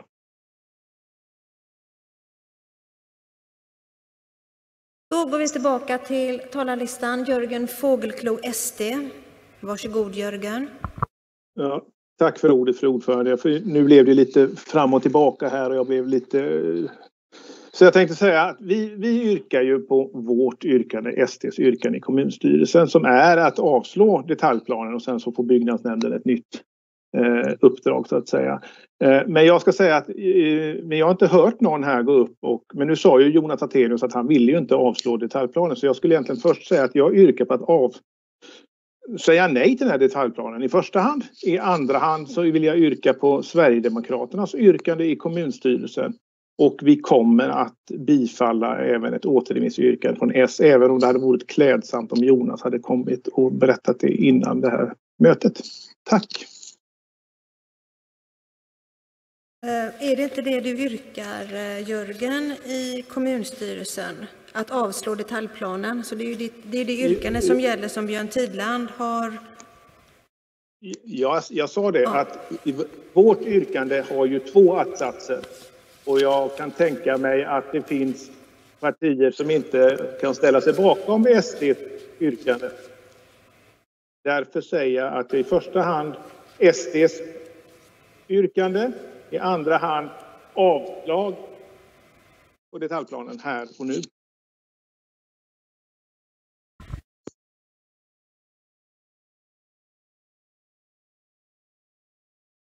Förlåt, talarlistan är tom. Vi i kommun, angående då återremissyrkandet, så vi i kommunfullmäktiges presidie finner att återremissyrkandet är korrekt. Att ärendet återremitteras till byggnadsnämnden för ytterligare beredning. Och sen är det upp till byggnadsnämnden att avgöra hur man bereder ärendet.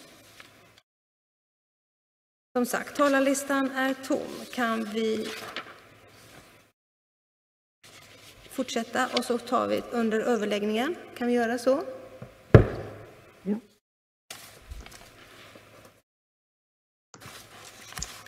Och jag kommer ta det sakta så att vi hinner med all, alla yrkanden. Under överläggningen yrkar Jonas Attenius återremiss till byggnadsnämnden i enlighet med yrkandet från S från den 28 januari 2021. Hampus Magnusson, Hanna Klang, Ann-Katrin Fågelgren, Emily Jansson bifall till kommunstyrelsens förslag. Björn Tidland att fullmäktige beslutar bifalla förslaget från SD i kommunstyrelsen. Jörgen Fågelklo bifall till eh, förslaget från SD i kommunstyrelsen i första hand och andra hand avslag på detaljplanen. Peter Danielsson att fullmäktige beslutar bifalla förslaget från D i kommunstyrelsen. Jag ställer först proposition på dels återremiss och dels avgörandet idag. Om den senare bifalles ställer jag proposition på kommunstyrelsens förslag och de återstående förslagen. Fru ordförande. Fru ordförande. Ja, vem är det som pratar?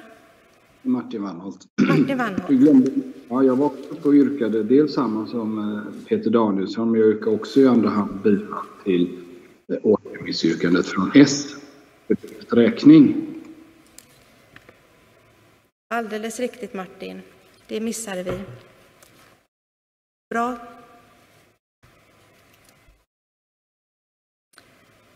Då fortsätter jag. Enligt kommunallagen kan ett ärende återremitteras om det begärs av minst en tredjedel av de närvarande ledamöterna, det vill säga 27 ledamöter, om detta inte har gjorts tidigare. Godkännes denna propositionsordning? Finner så. Beslutar fullmäktige att återremittera ärendet? Ja. Ja. Att avgöra ärendet idag? Ja. Ja. Jag finner att fullmäktige har beslutat att avgöra ärendet idag. Votering. Votering är begärd och ska verkställas. Då är det ja för avgörande idag, nej för återremiss. Ja för att avgöra idag, nej för återremiss. Klart för omröstning.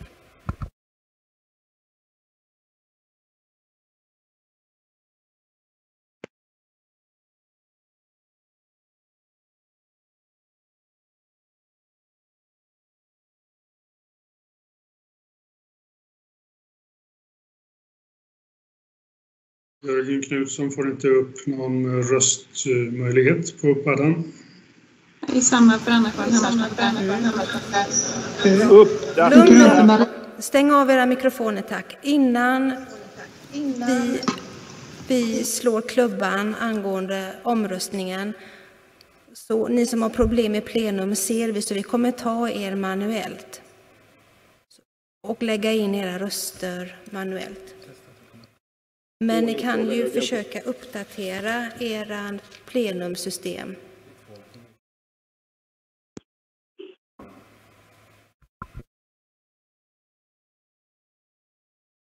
Nu ser vi att det är några som inte har röstat. Då börjar vi med, trycker du på den Per? Jörgen Knutsson, KD. Har in, jo. Nej. Du har inte röstat. Om du tar det manuellt så lägger sekretariatet in din röst. Sätt på mikrofonen Jörgen och talar om om du säger ja eller nej. Jag säger ja. Du säger ja för att avgöra ärendet idag. Ja. Tack. Då har vi nästa person. Och nummer 35, Mattias.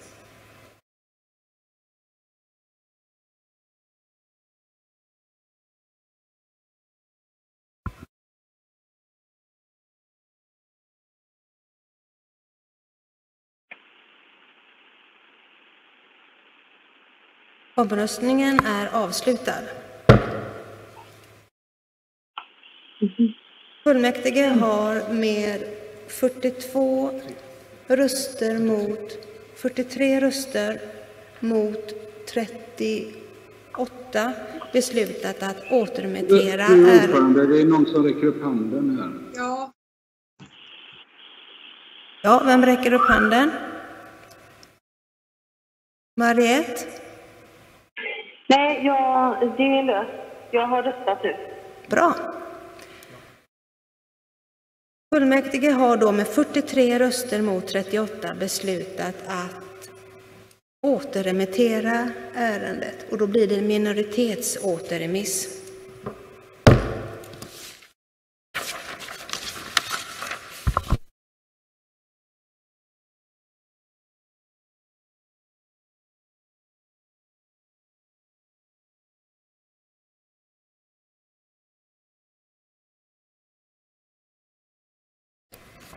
Då fortsätter vi på ärende 9.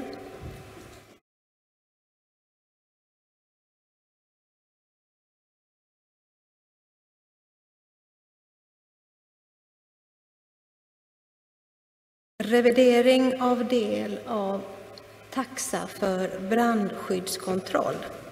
Kommunstyrelsen föreslår att Räddningstjänstförbundet Storgöteborgs förslag till förändrad formulering i taxan för brandskyddskontroll, avgift för ombokning godkänns. Talarlistan är tom. Kan vi anse att överläggningen är avslutad?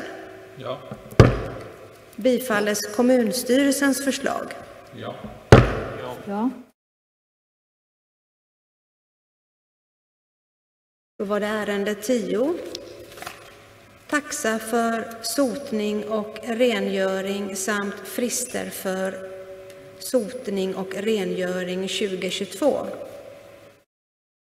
Kommunstyrelsen föreslår att taxa, sotning och rengöring och frister, sotning och rengöring antas. Vidare föreslås att taxan med den justering som sker enligt beslutspunkt 6 samt fristerna gäller från och med den 1 januari 2022. Taxans basår är 2019. Slutligen föreslås att Räddningstjänstförbundet Storgöteborg ska för varje avgiftsår justera taxan i beslutspunkt 1 enligt följande.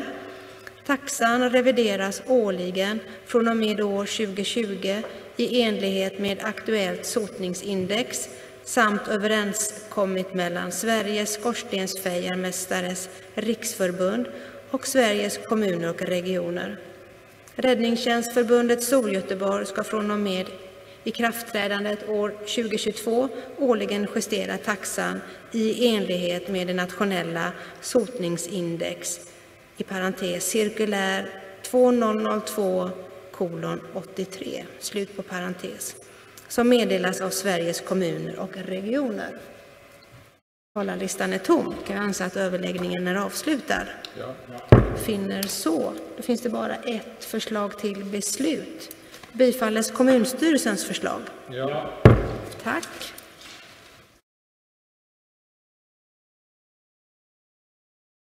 Då går vi till ärende 12.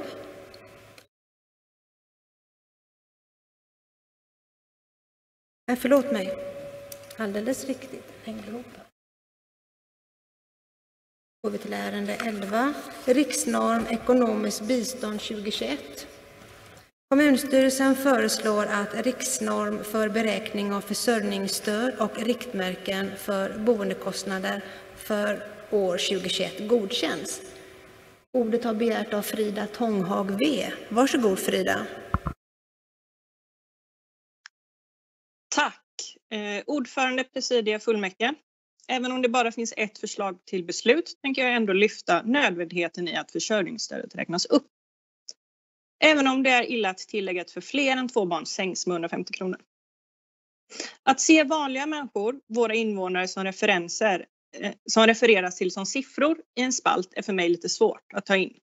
Även om jag förstår varför det ser ut så i just detta dokumentet. Oavsett om vi vill se siffror, procent eller vanliga människor så är sanningen att klyftorna ökar och många fler kommer hamna i utanförskap och kommer då behöva stadens hjälp. Detta är en negativ utveckling som pandemin för med sig och även, om, och även ojämlikheter som den styrande politiken spär på. Detta ser vi inte minst i den, o- i den ovilja att åtgärda och agera mot den sneda fördelningen av pengarna till de nystartade socialnämnderna. Vi behöver en välfungerande social välfärd och ett skyddsnät ska fungera, speciellt nu när vi befinner oss i en pandemi, som också är början till en lågkonjunktur som följd. Tack så mycket. Tack så mycket Frida. Sen var det Lena Landén Olsson S. Varsågod Lena. Tack ordförande fullmäktige. Jag vill yrka bifall, Socialdemokraterna yrkar bifall till kommunstyrelsens förslag. Tack. Talarlistan är tom. Kan vi anse att överläggningen är avslutad? Då föreligger endast... ska vi se, jag hade Då föreligger endast ett förslag och då är det bifalles, frågar jag om bifalles kommunstyrelsens förslag. Ja. Tack.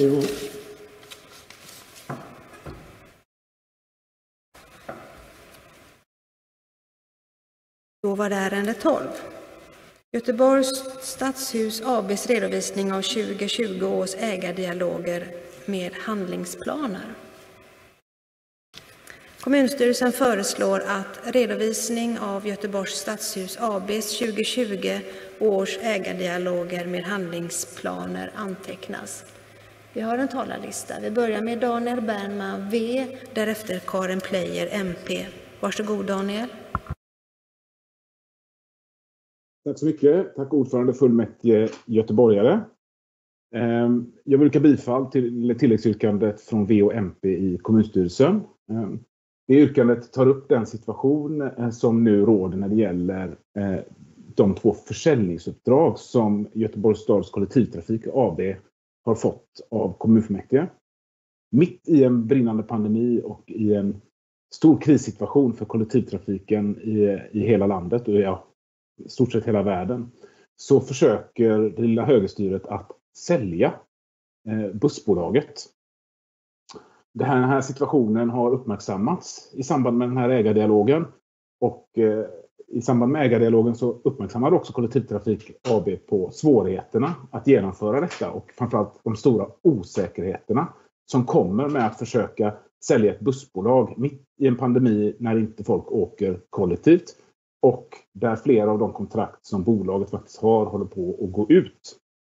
Eh, så därför har vi lagt ett förslag på att avbryta eller på att inleda arbetet med att avbryta de här försäljningsuppdragen tills dess eh, att pandemin är över och kanske förhoppningsvis för alltid. För Vänsterpartiets räkning så ser vi det som viktigt att vi fortsätter ha en kollektivtrafikbolag med alla trafikslag i egen eh, regi. Men eh, ja, så bifall eh, kommunstyrelsens förslag men bifall också tilläggsyrkandet från V och MP i kommunstyrelsen. Tack.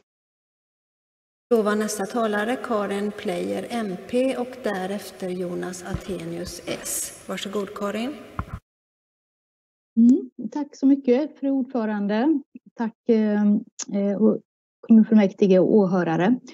Eh, ja, jag vill instämma med det som Daniel Bernmar sa och yrka bifall till eh, det yrkandet som är från V och MP i kommunstyrelsen. Eh, det är ju så att GS Buss är ett eh, välskött bolag. Det har gått positivt när det gäller det ekonomiska och det är nöjda resenärer och underhållet är också eh, välskött om man jämför med många andra bolag. Det är en trygg arbetsplats och vi ser inte vitsen med att sälja varken GS Buss eller trafikantservice i det läget som är nu. Tack! Då var nästa talare Jonas Attenius S och därefter Axel Josefsson M. Varsågod Jonas. Tack ordförande, fullmäktigeledamöter. Från Socialdemokraternas sida så yrkar vi också bifall till kommunstyrelsens förslag men också till det tilläggsyrkande som eh, både Daniel och Karin redogjort för här eh, som vi stöttar. Och så bifall också till tilläggsyrkandet från Vänsterpartiet och Miljöpartiet eh, i kommunstyrelsen. Tack! Och då var nästa talare Axel Josefsson M. Varsågod Axel. Tack ordförande, fullmäktige göteborgare. Det här är ju en fråga som har debatterats många gånger i fullmäktige om Göteborgs stad ska äga och driva ett eh, bussbolag och eh, här har ju tidigare fullmäktige fattat beslut om att vi ska avveckla det bolaget. Eh, och jag yrkar därför bifall till kommunstyrelsens förslag och avslag på det tilläggsyrkandet som SVMP har lagt fram. Tack! Då var nästa talare Stina Svensson Fi och därefter Axel Darvik L. Varsågod Stina. Tack för ordet ordförande. Jag, eh, jag vill yrka bifall till eh, rödgrönrosa tilläggsyrkande. Tack. Och då var det Axel Darvik L. Varsågod Axel. Tack ordförande. Ja, jag vill bara understryka till fullmäktige att det är en klok idé att eh, genomföra den här eh, försäljningsprocessen. Eh, ett bussbolag måste kunna agera på hela kollektivtrafikmarknaden om den ska ha chans att ha konkurrensmässiga villkor. Men GS Buss är förhindrad till det eftersom man är ett kommunalt bolag och ska verka inom kommunen. Den har inte någon tilldelad verksamhet utan de ska slåss på marknaden som alla andra. Och då är det väldigt begränsande att man bara får lämna anbud i, inom den kommunen eh, som är Göteborgs kommun. Eh, det är naturligtvis så att om man då misslyckas att vinna ett uppdrag här så skulle man ju, om man hade varit ett kommersiellt bussbolag, försöka vinna ett kontrakt i någon annan kommun eller någon annan del i, utav landet och rulla iväg sina bussar dit och köra verksamheten där istället. Den möjligheten har inte GS Buss. Den saknar en, en mycket väsentlig del i för att kunna vara ett fungerande bussbolag på den här eh, avreglerade marknaden som vi har. Och så länge som vi har det så bör inte vi ha heller eh, det här bussbolaget. Spårvagnsbolaget alltså är någonting annat eftersom det är en tilldelad monopolverksamhet som man har eh, och det, den möjligheten finns enligt, enligt kollektivtrafiklagen att göra på det sättet. Men GS Buss bör inte ägas av en kommun. Tack. På detta anförandet har Daniel Bär V begärt en replik. Varsågod Daniel. Tack ordförande fullmäktige göteborgare. Ja, Axel Davik får det att låta som att eh, de här förutsättningarna är av Gud givna. Eh, det är de ju inte, utan de är ju givna av Axel Darviks egna partikamrater och en politik som han själv står för. Nämligen att man inte ska tilldela och inte ha möjlighet att kontrollera kollektivtrafik och annan viktig infrastruktur eh, via, via demokratin. Eh, det, är, det är vad Axel Davik egentligen driver för linje och hans parti driver för linje i alla delar. Och det är naturligtvis tråkigt, men Axel Davik har fel på flera punkter. För föreställer Göteborgs stad eh, som marknad är större än hela Norrlands kollektivtrafik med buss. Eh, så jag tror att det finns en tillräckligt stor marknad i Göteborg och det har ju GS Buss också visat. GS Buss har ju visat att man har kunnat ta kontrakt på den så kallade marknaden eh, och, och, och lyckats väl och varit lönsam under lång tid. Så det finns väl all anledning att fortsätta ha den kompetens och den förmåga och säkerställa goda arbetsvillkor för busschaufförerna som vi gör idag, även fortsättningsvis. Tack så mycket Daniel. På det har Axel Darvik L begärt en kontrareplik. Varsågod Axel. Ja, ordförande, jag tror att eh, Gud har haft en ganska så liten inblandning i just den här marknadsförutsättningarna för kollektivtrafiken i Göteborg. Däremot så har ju Västra Götalandsregionen beslutat om eh, att eh, det är på detta sätt det ser ut. Och det är ju något som vi behöver förhålla oss till i Göteborgs kommunfullmäktige. Och jag vidhåller att eh, de argumenten jag har att eh, det finns fyra kollektivtrafikområden. Skulle det nu bli så att GS Buss tappar sitt sista område som man fortfarande har kvar, ja då, då får man ju vänta ett antal år innan det, någon av de andra alltså områdena kommer ut på upphandling. Och det skulle betyda stora förluster för det bolaget. Eh, hade det varit ett kommersiellt bolag hade man kunnat lämna anbud på något annat område som finns i regionen eller till och med i någon annan region. Eh, men det går inte för GS Buss och därför så är det en olämplig eh, ägare att ha Göteborgs Tack kommun. Axel, tack. Jag tror inte att ni ser vad tiden är, så jag tänker när ni har en replik så knackar jag försiktigt när det är 10 sekunder kvar och när ni har ordet och då knackar jag försiktigt när ni har 30 sekunder kvar. Då har Daniel Bergman V begärt en replik. Varsågod Daniel.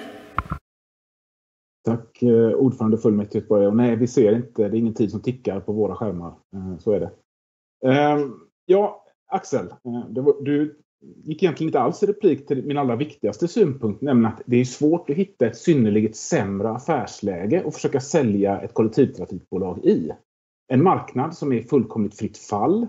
Eh, flera av de viktiga kontrakten som du pratar om, som ändå är den så kallade marknaden, eh, är just nu ute på upphandling. Det är svårt att föreställa sig ett sämre läge att försöka sälja det här bolaget.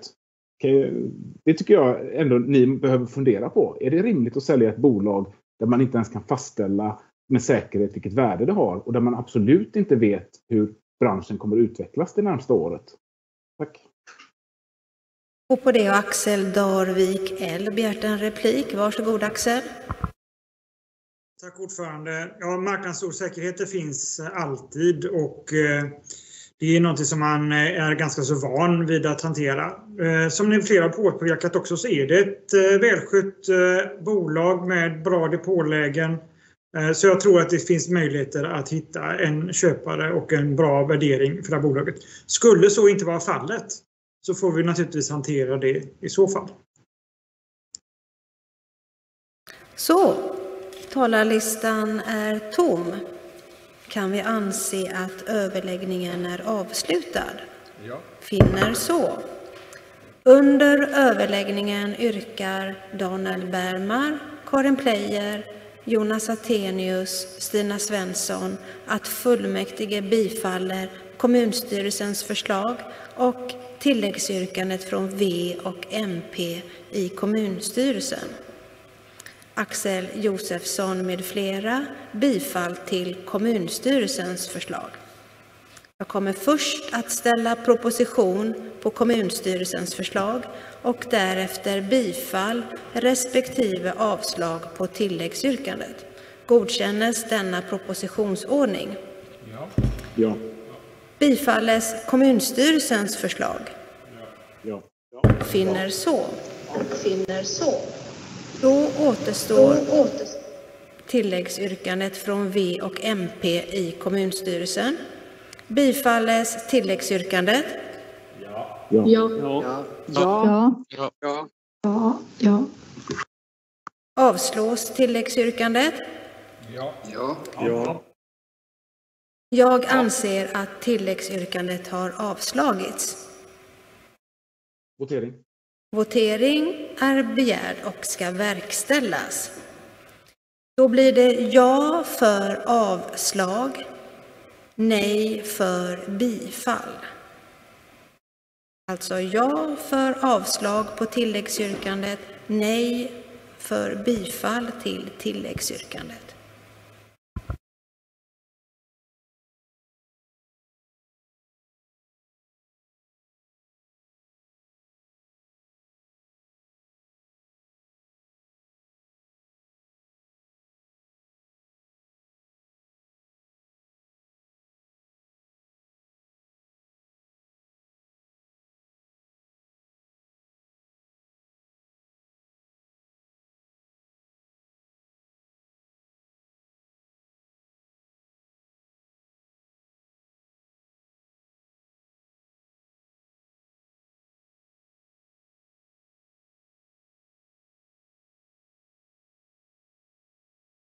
Och Jörgen Knutsson har fortfarande problem att få paddan att fungera.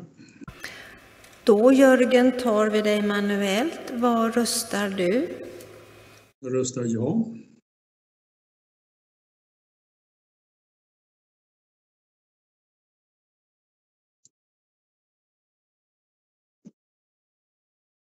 Fru ordförande, jag har problem också. Japp. Shadej Heidari. Ja, då blir det nej för mig också. Ja.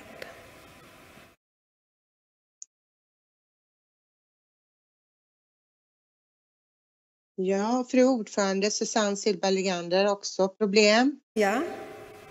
Och jag röstar också nej. Mm. Då har vi fått med oss det. Då stoppar vi omröstningen. Nej, vad sa du Per?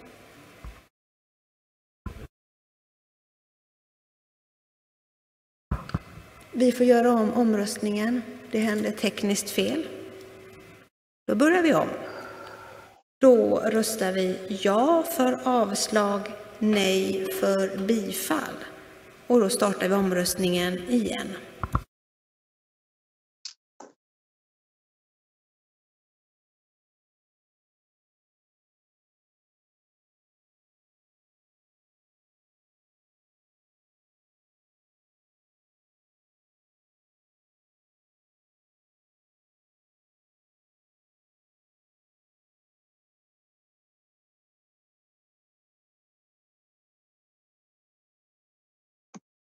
Fru ordförande, jag har fortfarande problem, så mitt svar är nej. Japp, jag har noterat det. Ja, och Susanne Silberg Legander eh, röstar också nej. Yes. Jag menar ja, eller jag, jag har Jörgen noterat det. Jörgen Knutsson röstar ja. Det är noterat Jörgen. Sen hade vi Och det gör Jonas Jonas Ransgård också. Mm. Ransgård röstar ja. Det är noterat Jonas. Då har vi fått med alla, då stoppar vi. Då ska vi se, 43, 44. 6 var det va? Då har fullmäktige med 45 röster mot 36 röster avslagit tilläggsyrkandet.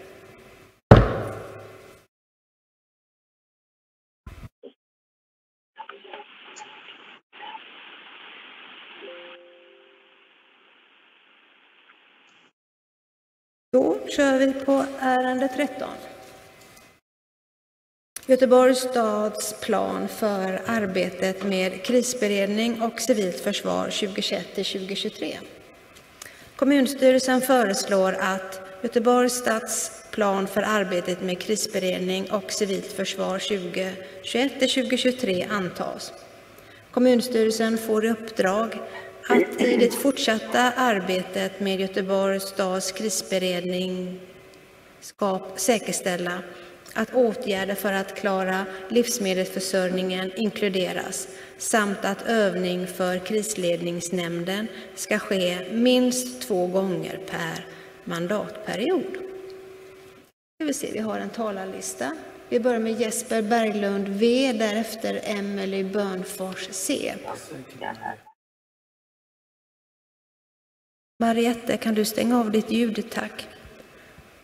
Varsågod Jesper. Tack så mycket, ordförande Göteborgare. Jag yrkar å VS vägnar bifall till KS förslag i ärendet, alltså statsledningskontorets förslag med tillägg av förslaget från MP, V och S. Tack så mycket. Tack Jesper. Då var nästa talare Emelie Börnfors C, därefter Abdullah Mohammed MP. Varsågod Emelie. Tack ordförande för ordet. Jag vill yrka bifall till stadsledningskontorets tjänsteutlåtande i kommunstyrelsen och avslag på yrkandet från MP, S och V. Och jag vill också passa på att ställa en fråga till de som har lagt tilläggsyrkandet. Eh, där anger ni att ni vill ha fler övningar än det som är överenskommet. Jag undrar vad är skälet till det? Och jag vill också ställa en fråga angående om ni kan ge något exempel på vad för livsmedelsförsörjningsåtgärd som ni skulle vilja se i den här planen i och med ert tillägg. Tack. Då, då var det nästa Abdullah Mohammed MP, därefter Jonas Attenius S. Varsågod Abdullah. Tack för ordförande, ledamöter i Göteborg.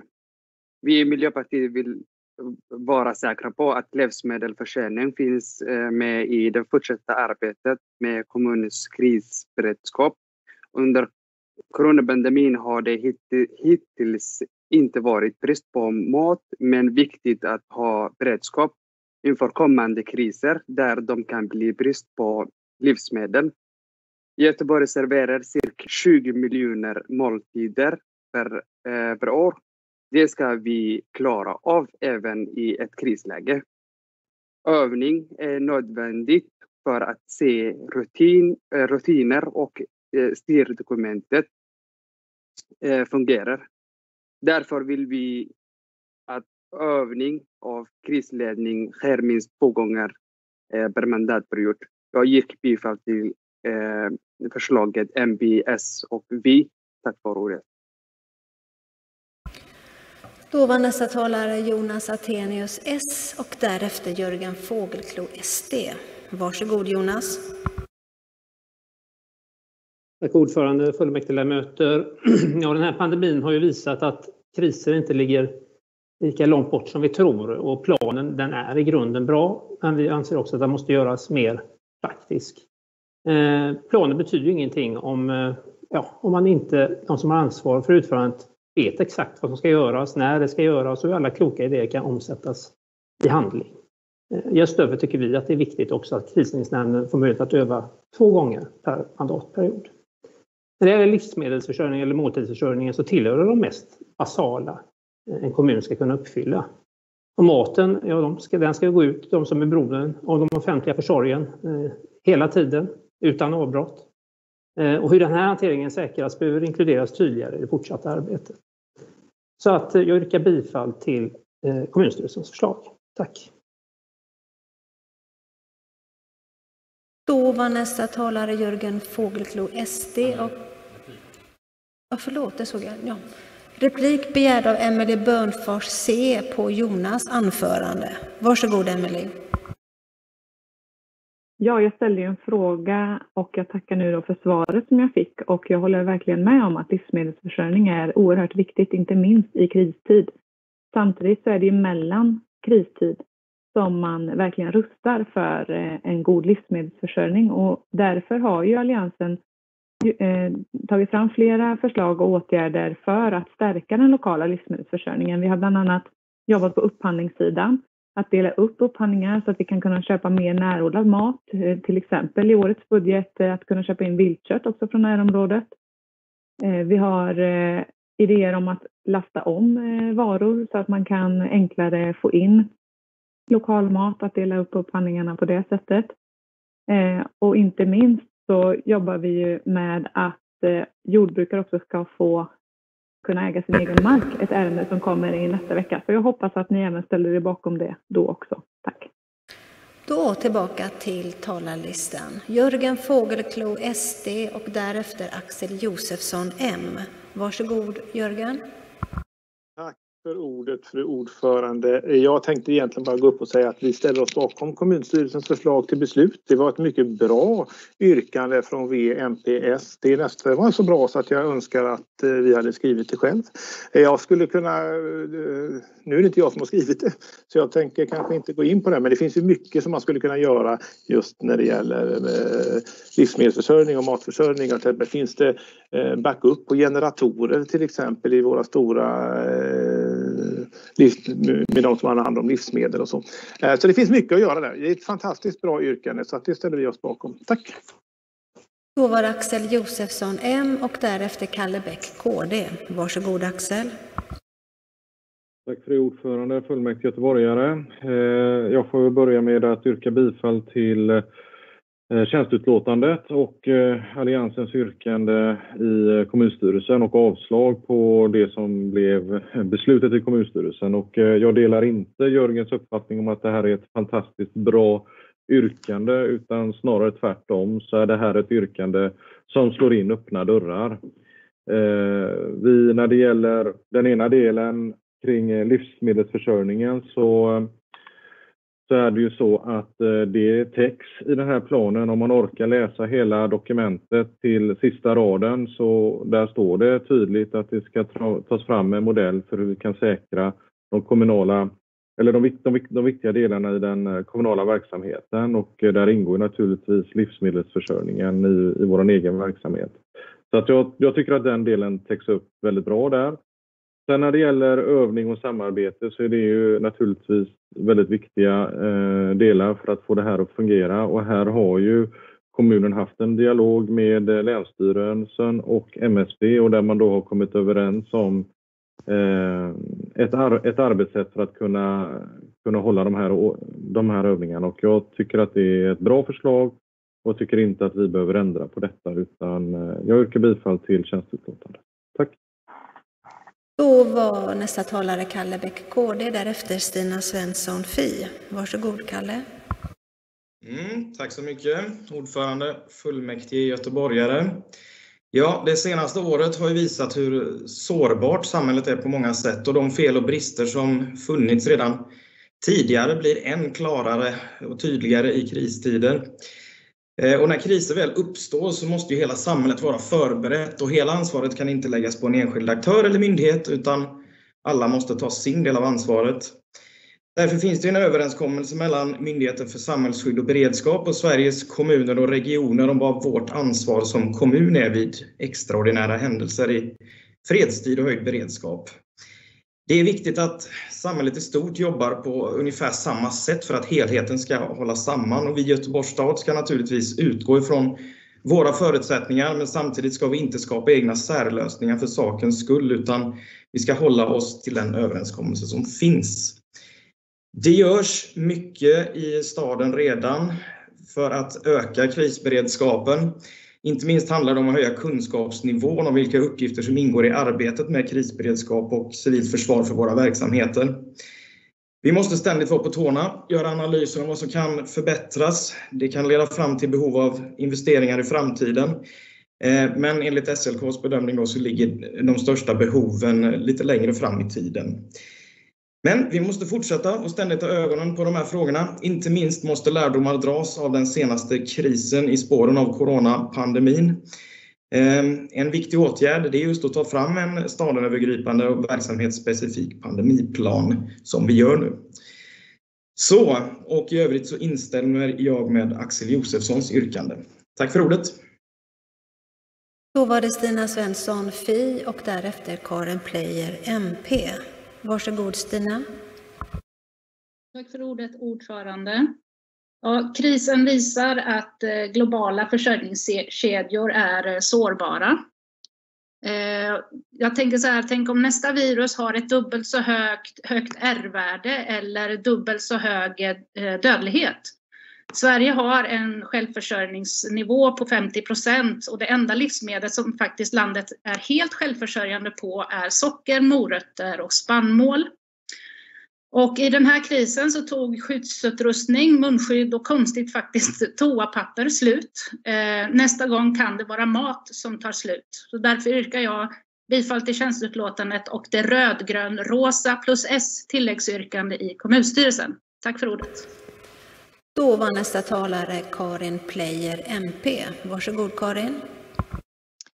Ja, tack. Och jag vill också eh, yrka bifall till kommunstyrelsens förslag som ju faktiskt gick igenom och eh, håller med mycket av det som Tina Svensson sa. Att eh, det har ju blivit uppenbart i den här krisen att sårbarheten när det gäller matförsörjning är en, en svår fråga och där behöver vi vara beredda. Vi vet att eh, Eh, staden har ansvar för detta men eh, det, om det vi ville trycka på det. Vi tyckte att det var viktigt att trycka på det därför att det är en speciell sårbarhet kring, kring matförsörjningen och därför är vi glada att kommunstyrelsen ställer sig bakom det här. Eh, man kan väl säga, många brukar säga att Sverige är ett fredsskadat folk och kanske har den beteckningen fått sig en törn nu för vi har förstått att det kan vara allvar, det kan vara kris precis som, vi, som det är nu med pandemin. Och vi vet inte vad nästa kris är och vi vet inte när den kommer. Och därför tycker vi att det är rimligt att ha två gånger per mandatperiod en övning. Det man övar på, då blir man bättre när det faktiskt är skarpt läge. Och det finns inte någon som helst konflikt i överenskommelsen med SKR där det står att det här utgör en miniminivå. Göteborg är en stor organisation, det är mycket som ska klaffa. Därför är det rimligt att vi också övar två gånger per mandatperiod. Tack! På detta anförandet har Jörgen Fågelklo, SD, begärt en replik. Varsågod Jörgen. Tack för ordförande. Ja, Karin Plejer, hon, eh, jag håller med mycket om det hon sa, absolut. Och hon sa hon tackade kommunstyrelsen så mycket att hon ställde sig bakom. Jag tänkte bara säga varsågod. Då är talarlistan tom. Kan vi an... Nej, vi har en till talare. Det är Eva Flyborg L. Varsågod Eva. Tack för ordförande. Eh, mycket klokt är sagt redan eh, och det är ett bra och ett stort engagemang och jag tror att det är just som, jag tror att det var Karin Pleijel som sa det att den här coronakrisen sätter ju också ljuset på många frågor som annars kanske inte får så mycket uppmärksamhet. Eh, jag vill dock bara säga det att en hel del av det som vi nu måste göra om i Sverige inför kommande tider, det är en ny beredskapslagstiftning överhuvudtaget och att man ser över just den här alltså landets beredskap för att klara sig i svåra situationer. Och det gäller väldigt många områden. Eh, men det är dock riksdagen som gör detta. Så att eh, det kan vi väl skicka med eh, våra representanter i, i riksdagen att de får se över detta och återkomma med kloka förslag. Tack. Då, talarlistan är tom, kan vi anse att överläggningen är avslutad? Ja. Ja. Under överläggningen yrkar Emelie Börnfors, Axel Josefsson, Kalle Bäck att fullmäktige bifaller förslaget från MLC i kommunstyrelsen om att enbart bifalla stadsledningskontorets förslag. Jesper Berglund, Abdullah Mohammed, Jonas Attenius, Jörgen Fågelklo, Stina Svensson, Karin Pleyer bifall till kommunstyrelsens förslag. Då frågar jag er, bifalles kommunstyrelsens förslag? Ja. Ja. Ja. Ja. Ja. Jag ska klicka där först eller? Bifalles förslaget från Emelie Börnfors med flera? Ja. Ja. ja. Ja. Jag anser att kommunstyrelsens förslag har bifallits. Votering. Votering har begärt och ska verkställas. Då är det ja för kommunstyrelsens förslag, nej för förslaget från Emelie Börnfors med flera. Godkännes denna voteringsproposition? Tack. Klart för omröstning.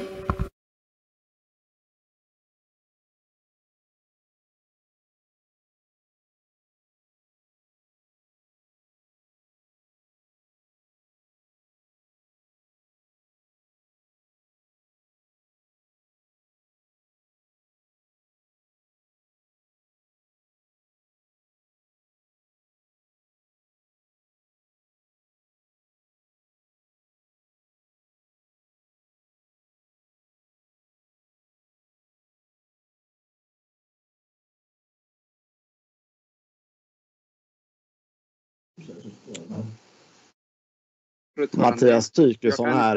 eh, Jag har problem med att rösta. Jag får eh, rösta manuellt. Vi tar er i tur och ordning sen när vi ser att inte rösterna har gått igenom. Vi väntar någon sekund till. Har du Teams-appen i den här? Ja. Då ser vi att Ann-Katrin Fågelgren L inte har röstat i plenum än. Vad röstar du Ann-Katrin? Jag röstar nej. Då tar vi nästa i ordning. Mattias Tykesson M. Vad röstar du? Jag får rösta nej. Och Irene Sjöberg Lundin, det blev något fel. Jag har inte tryckt på den här. Det ska vara ett ja där. Förlåt, det ska vara ett nej. Röd prick. Det blir fel här. Vi tar Jörgen först. Jörgen Knutsson, vad röstar du? Jag röstar nej.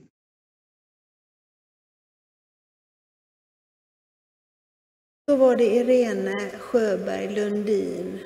Du, du ska vara nej på dig menar du? Jajamän. Ja. Hallå, och sen var det för Anders Det var Örtendal. Nummer 48.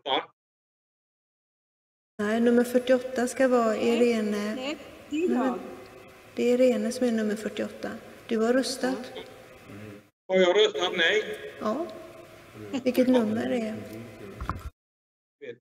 Jag ser inte riktigt här. Nej.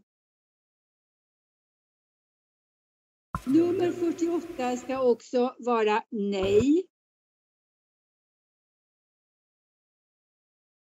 Ja, Jörgen, där fick din röstning igenom ser vi nu. Så då tar vi inte med dig manuellt. Då är det kvar eh, Mattias Tykesson, Ann-Katrin och Irene. Då är det tre som vi ska lägga till som har röstat nej. Då stoppar vi omröstningen. Omröstningen är avslutad.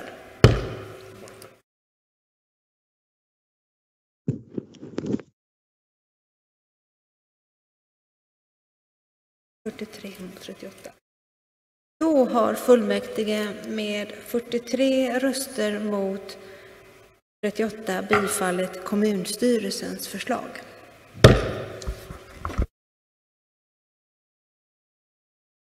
Nu är klockan 17 och 10 så nu ajournerar vi kommunfullmäktige i 20 minuter till 17.30. Välkomna då!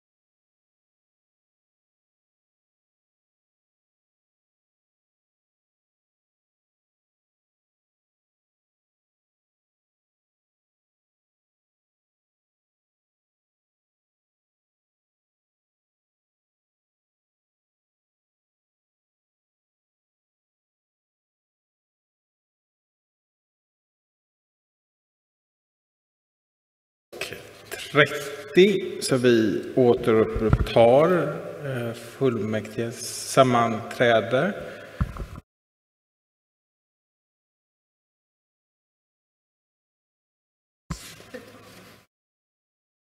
Och vi är på ärende 14.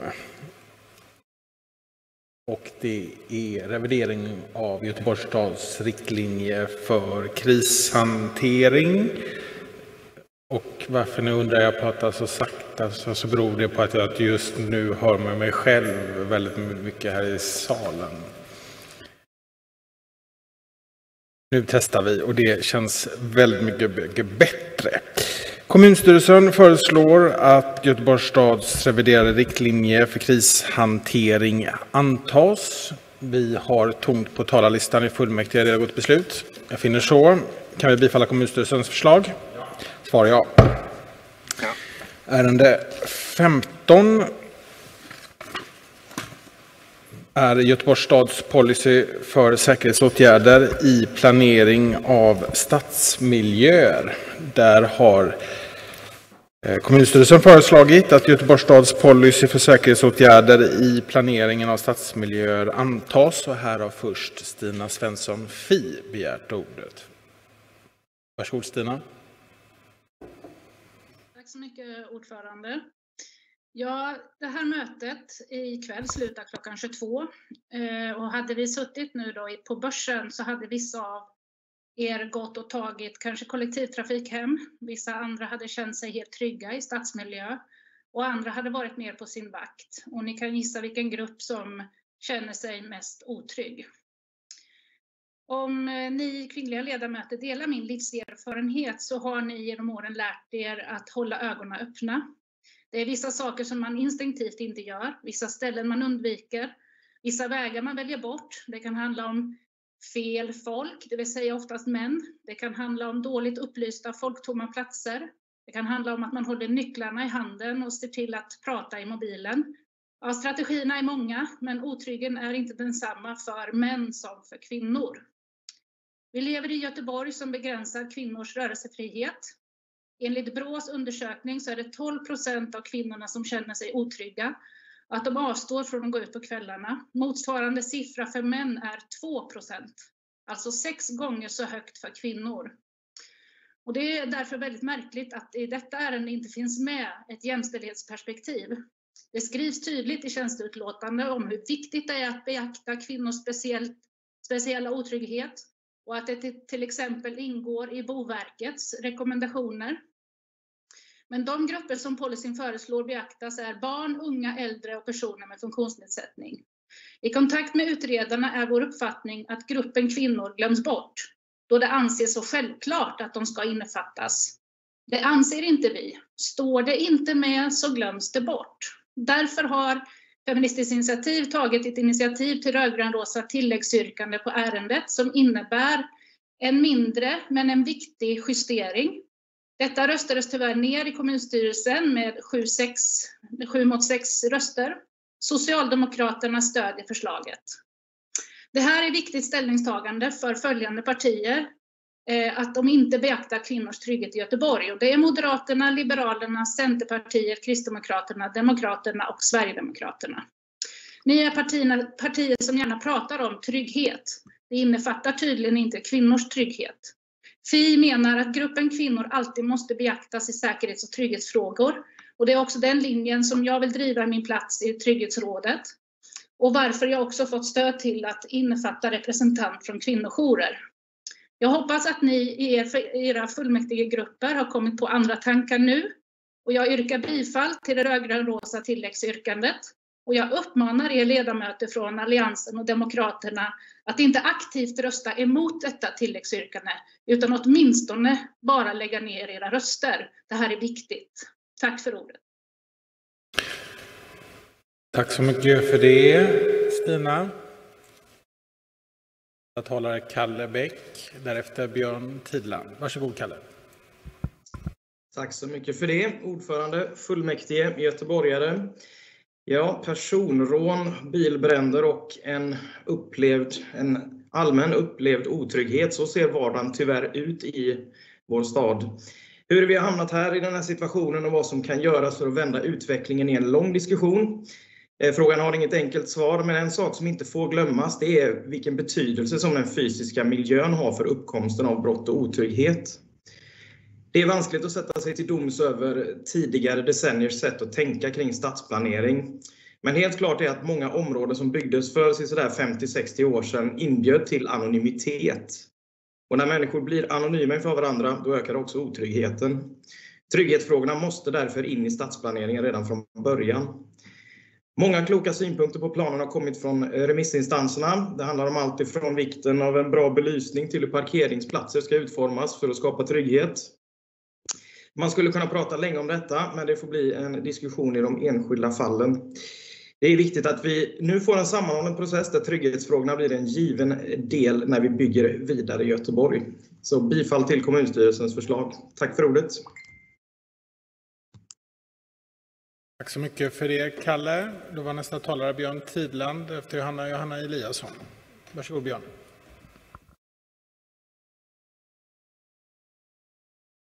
Tack för ordet, herr ordförande. Detta ärende handlar även om hur vi ska skydda stadens invånare från fordonsburna terroristattacker.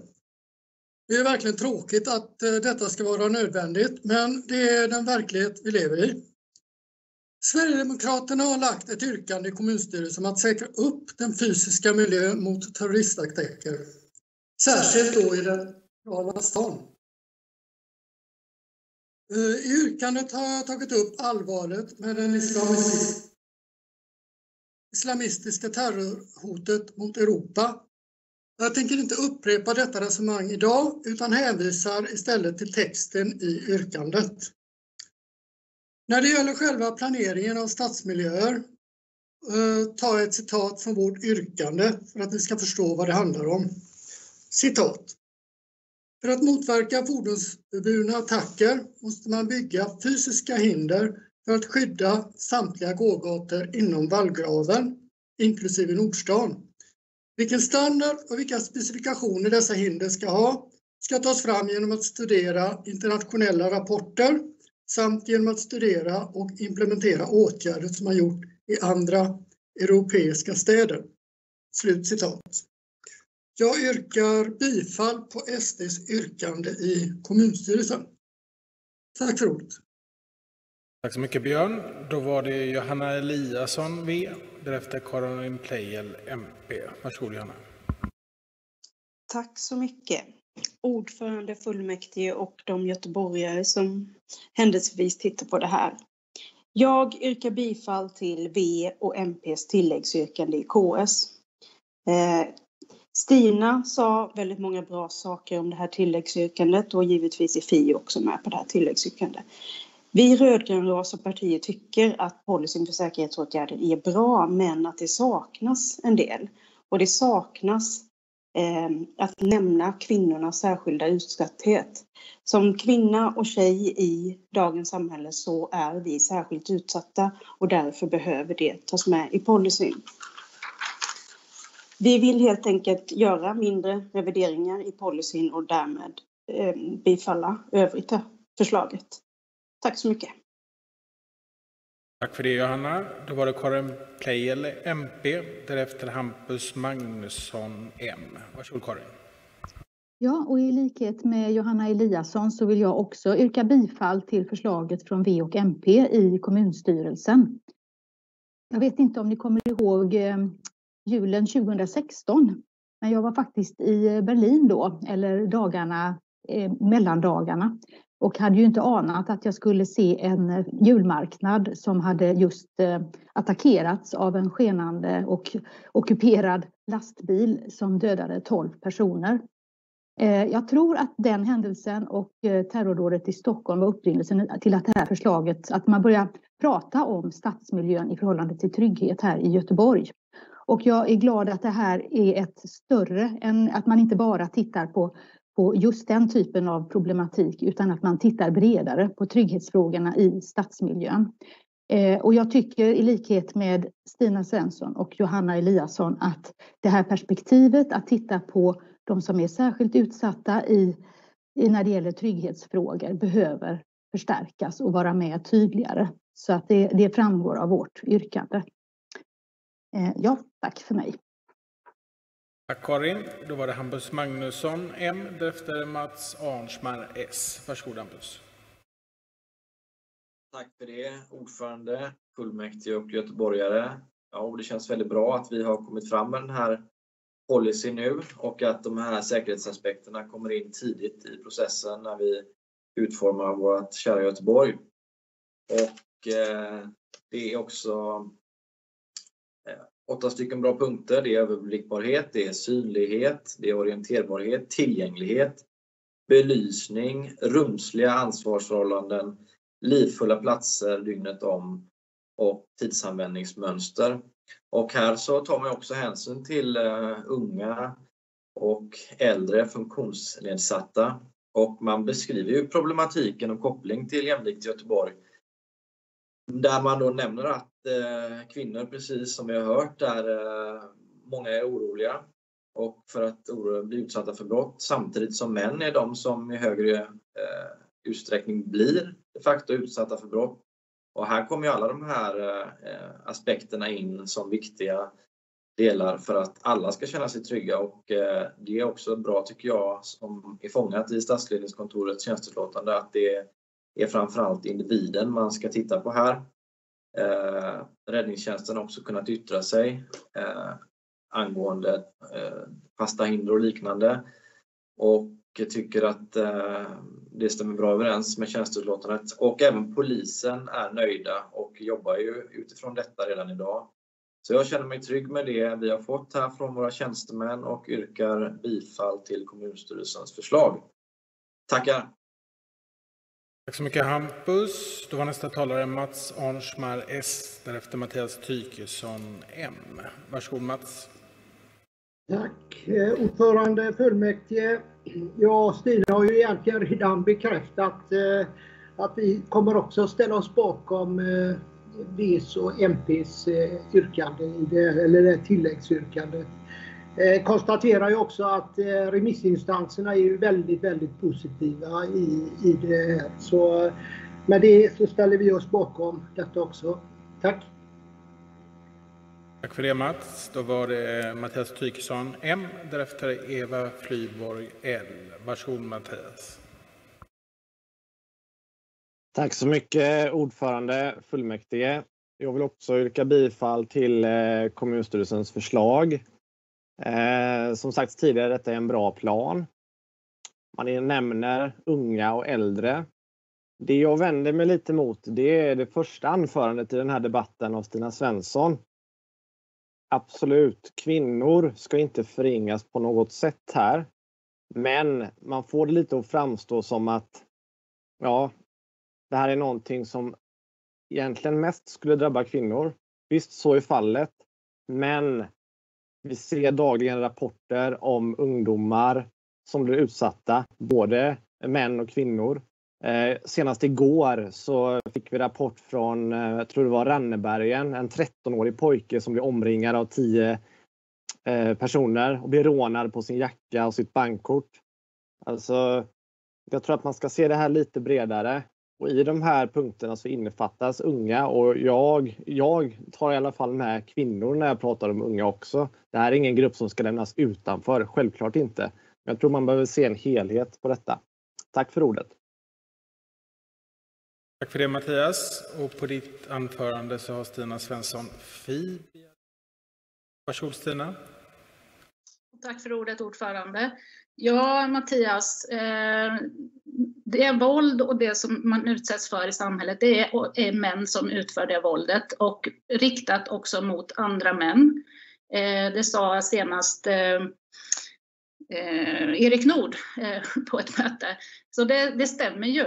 Eh, men det är just den här saken du säger, ja, men jag tar alltid med kvinnor, när jag ser unga så tänker jag på kvinnor också. Um, och det är ju fint, uh, men det kan oftast, väldigt oftast glömmas bort. Och jag förstår inte då varför ni är emot det här tilläggsyrkandet då, att man ska ha, kunna koppla det till ett starkare jämställdhetsperspektiv och att kvinnor tas med som den gruppen som känner sig mest otrygga. Eh, om du lyssnar på vad jag sa så sa jag att kvinnor, 12 procent av kvinnor känner sig otrygga i offentlig miljö. Bara 2 procent män känner sig otrygga. Eh, så om du då tycker att kvinnor så ska vara mycket. med och ska Stina, det, då var din så tid ja. slut. Och vi återgår till talarlistan och där har vi Eva Flyborg, L. Varsågod. Tack herr ordförande. Eh, jag skulle vilja säga att eh, kvinnor är utsatta i samhället eh, och det tycker vi nog alla. Och otryggheten har ökat med ökad brottslighet och så vidare. Så där tror jag vi alla kan instämma i detta. När jag läser tjänsteutlåtandet så tycker jag ändå att man har på ett bra sätt tagit med både det som Sverigedemokraterna tog upp med terroristattacker och flera tog upp det. Eh, men också Stina Svenssons eh, önskan att ha med eh, just ordet kvinna. Jag tycker att man i sitt resonemang har täckt in väl perspektiven både för kvinnor och män och hela befolkningen. Så att jag känner kanske inte att man måste stoppa in det ordet just här och just nu utan är nöjd med det tjänsteutlåtandet. Eh, sen när det gäller just sådana här eh, terroristattacker som vi har sett runt om och som eh, Karin hänvisade till just i julmarknaden i Tyskland. Förfärliga attacker och bland annat den vi hade här i Sverige inte minst.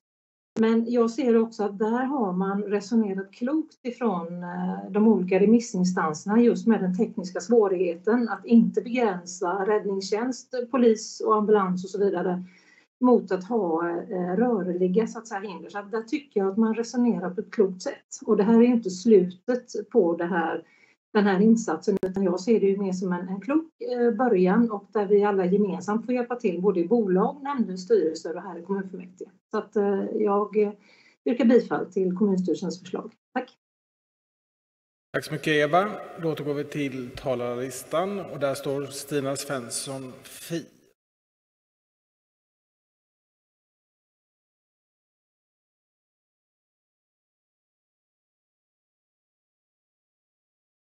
Nu fungerar det.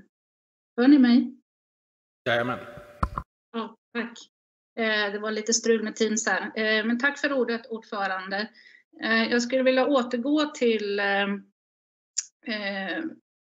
Mattias Tykessons inlägg om Eh, det som händer på i offentlig miljö. Eh, jag antar att ni också är eh, belästa att Brå kom ut med en ny rapport, en statistik om hur brottsutsattheten ser ut. Den kom förra veckan. Och då visar det att misshandel mot män sjunker medan misshandel mot kvinnor ökar. Det finns statistik på det och det är samma som förra året. Och de här målen som vi pratar om, den, de här målen finns också i jämställdhetsplanen som vi har antagit här i kommunfullmäktige. Så jag tycker åtminstone att man ska kunna referera till den planen i den här handlingen. Eh, jag tycker vi missar eh, möjligheten till det och jag beklagar att inte allianspartierna vill vara med på det här.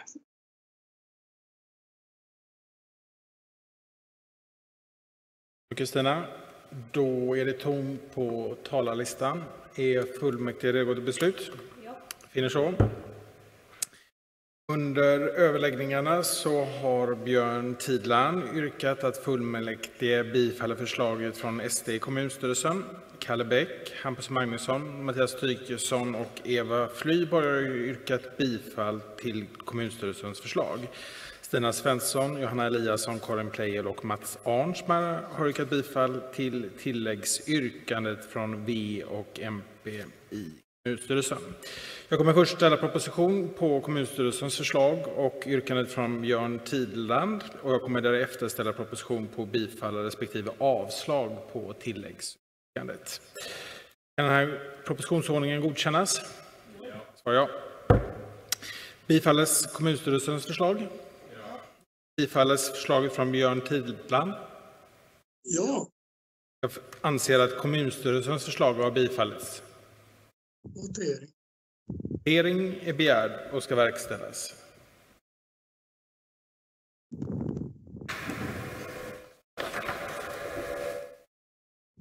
Då är det ja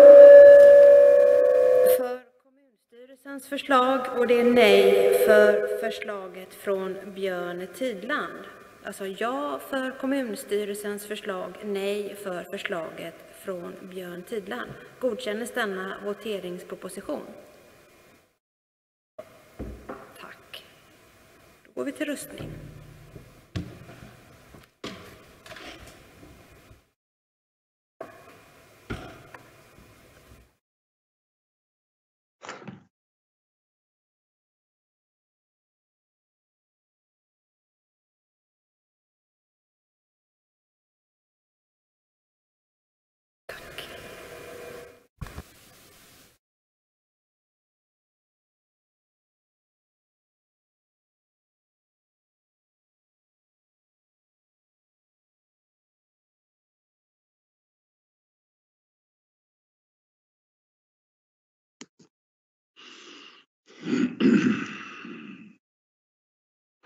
Ordförande Regel Shafik här. Jag kan inte rösta, men eh, jag röstar ja.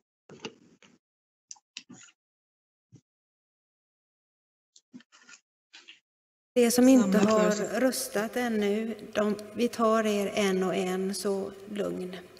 Men vi kan börja med nummer 46.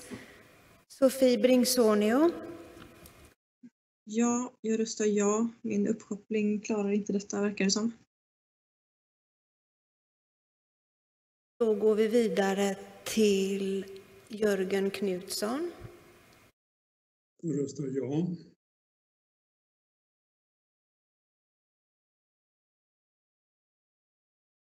Ja, alla.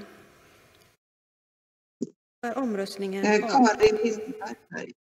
Jag har inte fått rösta för jag kommer inte in i plenum. Vilket nummer har du för att jag ser det inte här? 47. Jaha, 47. Där. Karin röstar ja. Lindberg D. Du röstar ja. Bra. Har vi någon mer som jag har missat? Då är omröstningen avslutad.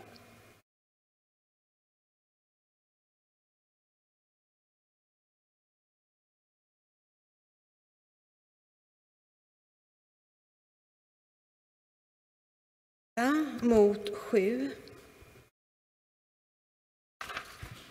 Bifallet kommunstyrelsens förslag.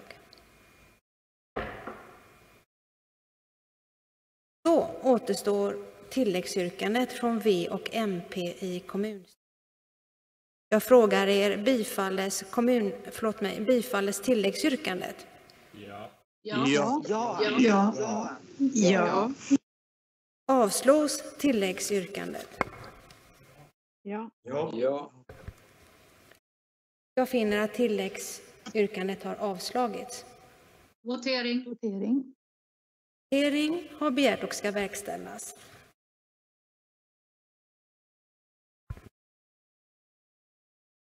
Då är det ja för avslag, nej för bifall. Alltså ja för avslag på tilläggsyrkandet från V och MP, nej om man tycker att det ska bifallas, tilläggsyrkandet. Till votering.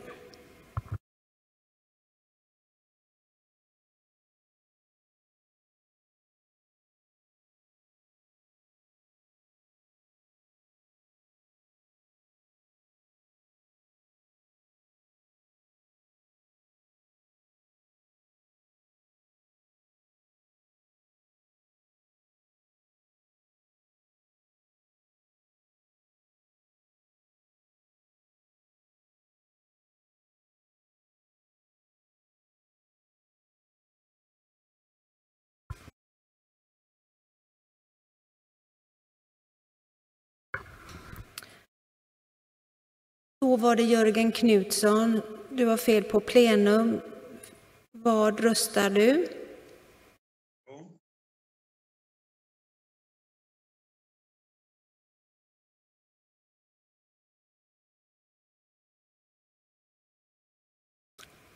Jörgen Knutsson. Jag svarade nyss, jag röstar ja. Nu hörde jag dig. Tack Jörgen. Och då var det Karin Lindberg D. Vad röstar du? Jag röstar, jag röstar ja. Mycket. för de som var kvar. Då är eh, omröstningen avslutad.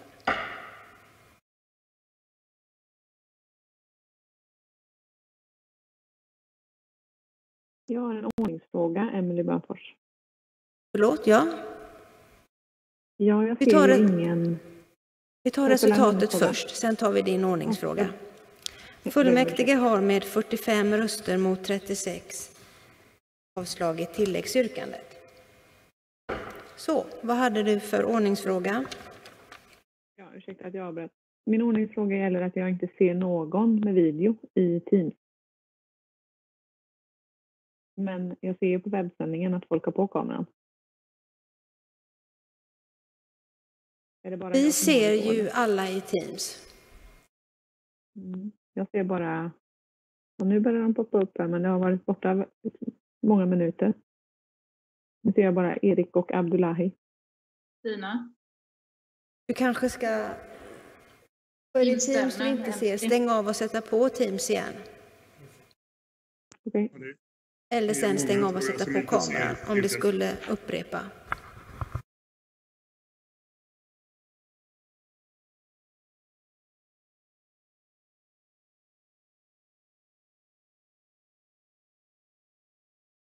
Kan informera fullmäktige att vi sitter och tittar på er och ser just nu alla. Men skulle det vara så att vi någon får ordet och talar och inte syns, då kommer vi att invänta tills dess att vi ser eh, bild.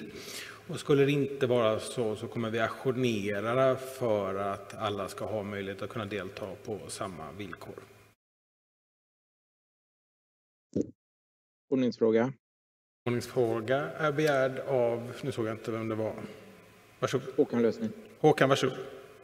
Ja, precis som eh, eh, sagt här tidigare så händer detta kan man säga konstant att eh, bilder försvinner. Eh, ja, flera gånger där vi varit olika talare har de, när det varit på helbild, har försvunnit, varit eh, svart eller bara står initialerna. Så det är ju liksom eh, det, alltså det, det är hänt en princip från hela, hela, under hela mötet. Så hur ska vi agera när vi inte får en bild? Frågetecken. Tack.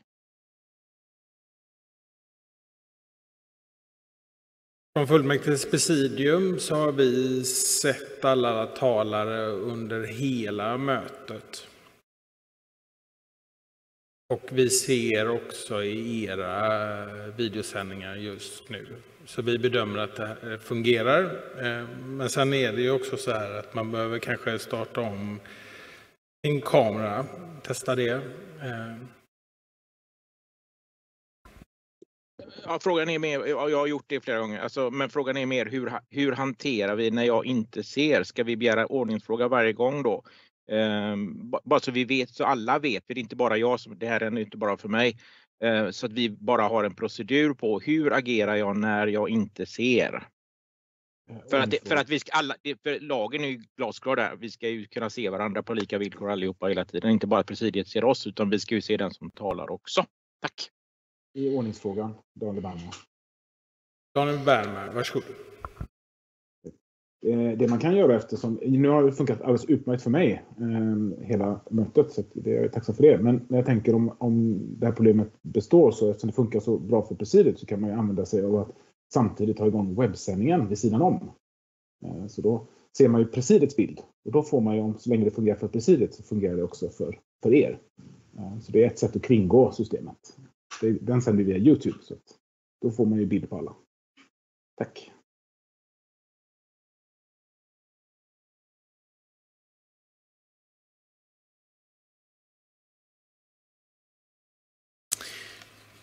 Fortsatt i ordningsfrågan så får man kanske vända sig också till den digitala supporten som vi har så kanske de kan hjälpa er.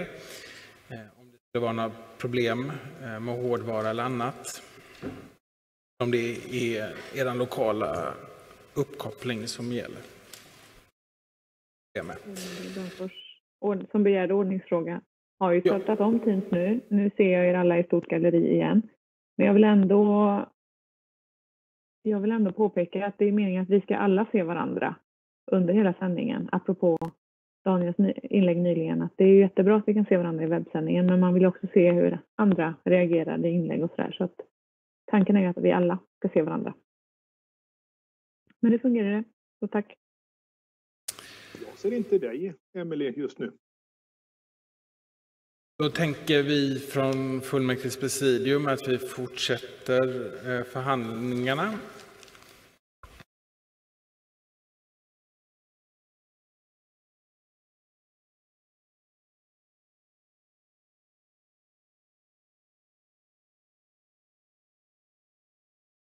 Vi är på ärende 16 eh, och det ärendet utgår eftersom kommunstyrelsen på sitt sammanträde den 27 januari 2021 återremitterade ärendet, till statsledningskontoret, vilket innebär att ärendet utgår från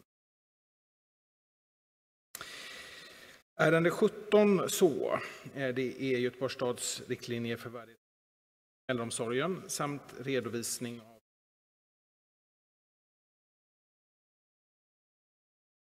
Kommunstyrelsen föreslår att redovisningen av uppdragna, uppdrag givna i budget 2019 att avveckla värdighetsgarantier även för äldreboende samt utreda kompensationssystem när det brister antecknas.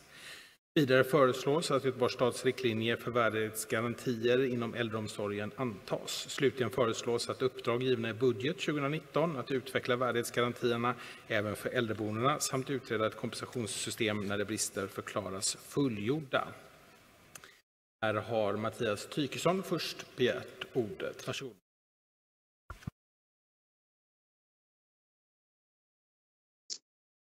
Tack så mycket ordförande, fullmäktige. Eh, jag vill för eh, Alliansens räkning yrka bifall till eh, kommunstyrelsens förslag. Och de här värdegarantierna, de är särskilt viktiga. Jag tycker det är gott att se och jag hoppas verkligen att vi nu Eh, i staden kan leva upp till detta så att de äldre får en värdig äldreomsorg på bästa sätt. Eh, och bemötandet eh, och även då miljön och framförallt maten som jag tänker på. Som ju faktiskt varierar. Så det här är bra. Bifall. Tack. Tack för det Mattias. Då var nästa talare Daniel Bernmar V. Varsågod. Tack ordförande fullmäktige göteborgare. Jag tycker Mattias sammanfattade kanske problemet med det här eh, ärendet ganska bra. Eh, värdighetsgarantier är ju en eh, uppfinning av den borgerliga regeringen för ett antal år sedan. Eh, och det handlar ju om att man ska lova eh, ett antal saker.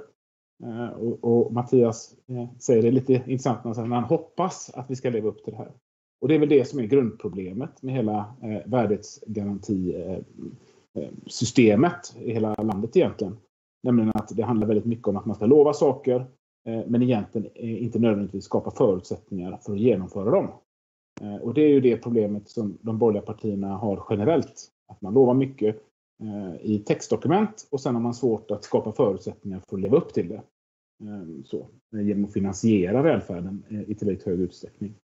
Eh, med det sagt så tycker jag ändå att det är, det är, det är inget fel i att eh, lova saker. Men jag hoppas att Mattias Tykesson och de andra borgerliga eh, i framtiden också kommer vara beredda på att vara med och finansiera den kvalitetshöjningen i form av att skapa förutsättningar för äldreomsorgen att leva upp både till detta, de här värdighetsgarantierna och andra viktiga kvalitetsmål i äldreomsorgen i framtiden. För där har vi en ganska lång väg att vandra. Men jag yrkar bifall till kommunstyrelsens förslag till beslut. Tack så mycket.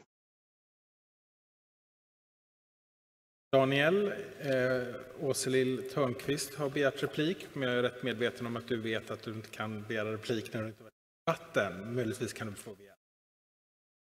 Nästa talare, Agneta Kärrbäck, SD, därefter Elisabeth Lann, KD. Varsågod Agneta. Ja, tack för ordet, herr ordförande, eh, ledamöter och åhörare. Jag håller med Daniel här, det är en ganska lång väg att gå innan det blir så som vi alla önskar att det ska vara. Eh, det finns ju inga enkla jobb inom vård och omsorg och undersköterskor och vårdbiträden har en väldigt komplex och bred roll i vård och omsorgsverksamheten. Och arbetet kretsar kring verbal och icke-verbal kommunikation och det innebär nära kontakt med människor som ibland har sjukdomar som påverkar deras sätt att kommunicera eller bete sig, som till exempel vid demens. Och att arbeta inom äldreomsorgen det kretsar runt omsorgstagarens hälsa och välbefinnande och samt i vissa händelser faktiskt som påverkar liv och död. Och när man talar om språkbrister så talar man heller inte om bara en brytning eller en dialekt, för det är inte en språkbrist, utan en språkbrist syftar på något som hindrar någon från att utföra en uppgift som ingår i ens arbete. Kommunikation det är ett livsviktigt verktyg i omsorgen och omvårdnaden och det har vi verkligen fått erfara här i pandemins fotspår i Göteborg och i hela Sverige. Jobb inom vård och omsorg det är heller inga enkla integrationsåtgärder. Det är kvalificerade jobb som kräver utbildning, kontinuerlig yrkesutveckling och lämplighet samt goda kunskaper i svenska språket. Och det får inte glömmas bort att det även gynnar den enskilde att behärska god svenska. Att rusta individen med språkkunskaper, det är snällt, det är schysst på riktigt. Och det kommer inte bara lyfta äldreomsorgen utan också individen. Och dessutom så gynnar det hela arbetslaget att alla kan göra allt som yrket innebär. Och i Göteborgs stads riktlinjer för värdighetsgarantier inom äldreomsorgen så hade vi gärna velat se att dessa garantier kompletteras med två punkter under rubriken värdighetsgaranti för hemtjänst, dagverksamhet och äldreboende från vårt håll. Och de punkterna är 1. Vi garanterar att vi säkerställer att de som arbetar med dig har ett godkänt utdrag ur belastningsregistret. Det kan man ju tycka är ganska självklart, men så är det inte idag. Två, vi garanterar att personalen som arbetar med dig besitter goda kunskaper i svenska språket så att du ska kunna förstå och göra dig förstådd. Och i den bästa av världar så hade det varit så självklart för alla att rösta igenom det här. Men där är vi inte riktigt ännu idag. Men jag yrkar i alla fall bifall till SDs tilläggsyrkande och bifall till tjänsteutlåtandet. Tack för ordet. Tack Agneta, det noterar vi. Då var nästa talare Elisabeth Land, KD, därefter Stina Svensson, Fi. Varsågod. Tack så mycket ordförande, fullmäktige och åhörare. Eh, jag tror att det står klart för alla här att vår äldreomsorg behöver ett tydligare fokus på den enskilda omsorgstagaren och det finns naturligtvis väldigt många utmaningar inom äldreomsorgen som vi skulle kunna diskutera här idag. Eh, jag tror det är viktigt att komma ihåg att värdighetsgarantier gör inte på något sätt anspråk på att lösa alla de utmaningar som vi behöver hantera. Eh, men för mig är det viktigt att varje människa har rätt att vara eh, den människa som hen är under hela sitt liv, oavsett om man behöver omsorg eller inte. Och inte förminskas eller reduceras till att bli en, en del av en kategori eller ett kollektiv. Och detta gäller naturligtvis även i, i senare delen av livet när vissa förmågor börjar tryta och vi behöver hjälp och omsorg. Eh, och för oss kristdemokrater har det varit prioriterat att rikta ett större fokus just på människan och människovärdet inom stadens omsorgsverksamheter. Att bli bemött med värdighet och respekt handlar om mycket mer än mat i magen och tak över huvudet och rätt medicinering. Och därför är det viktigt att fokus i de här garantierna inte bara ligger på praktikaliteter som tydliga namnskyltar och, och andra saker som i och för sig kan vara viktiga i omsorgen, men att vi inte stannar där. Eh, efter en återremiss nu så syftar garantierna till att det ska kännas bra i själen för omsorgstagaren. Bemötandet ska präglas av respekt för den enskilde och dennes syn på vad som är ett respektfullt bemötande och värdigt arbetssätt. Eh, och detta är ett sätt att skydda rätten att få vara den man är oavsett ålder, skede i livet eller eventuella behov av stöd. Värdighetsgarantierna kan naturligtvis inte i sig själva garantera någonting, men vi sätter ändå ljuset på något som är helt centralt i en god och trygg omsorg och därför är det angeläget att vi kan fatta beslut om att införa de här garantierna i vår omsorg här idag. Tack så mycket. Tack så mycket Elisabeth. Då var nästa talare Stina Svensson, Fi. Varsågod. Tack så mycket för ordet ordförande. Eh, ja, vi har ju haft de här garantierna i några år, eh, men eh, det har knappast gett mervärde för de äldre. Vi kan absolut förtydliga vad en kan förvänta sig med de uppdaterade värdegarantierna. Men det är lite som Daniel var inne på, det kommer inte att göra någon Va?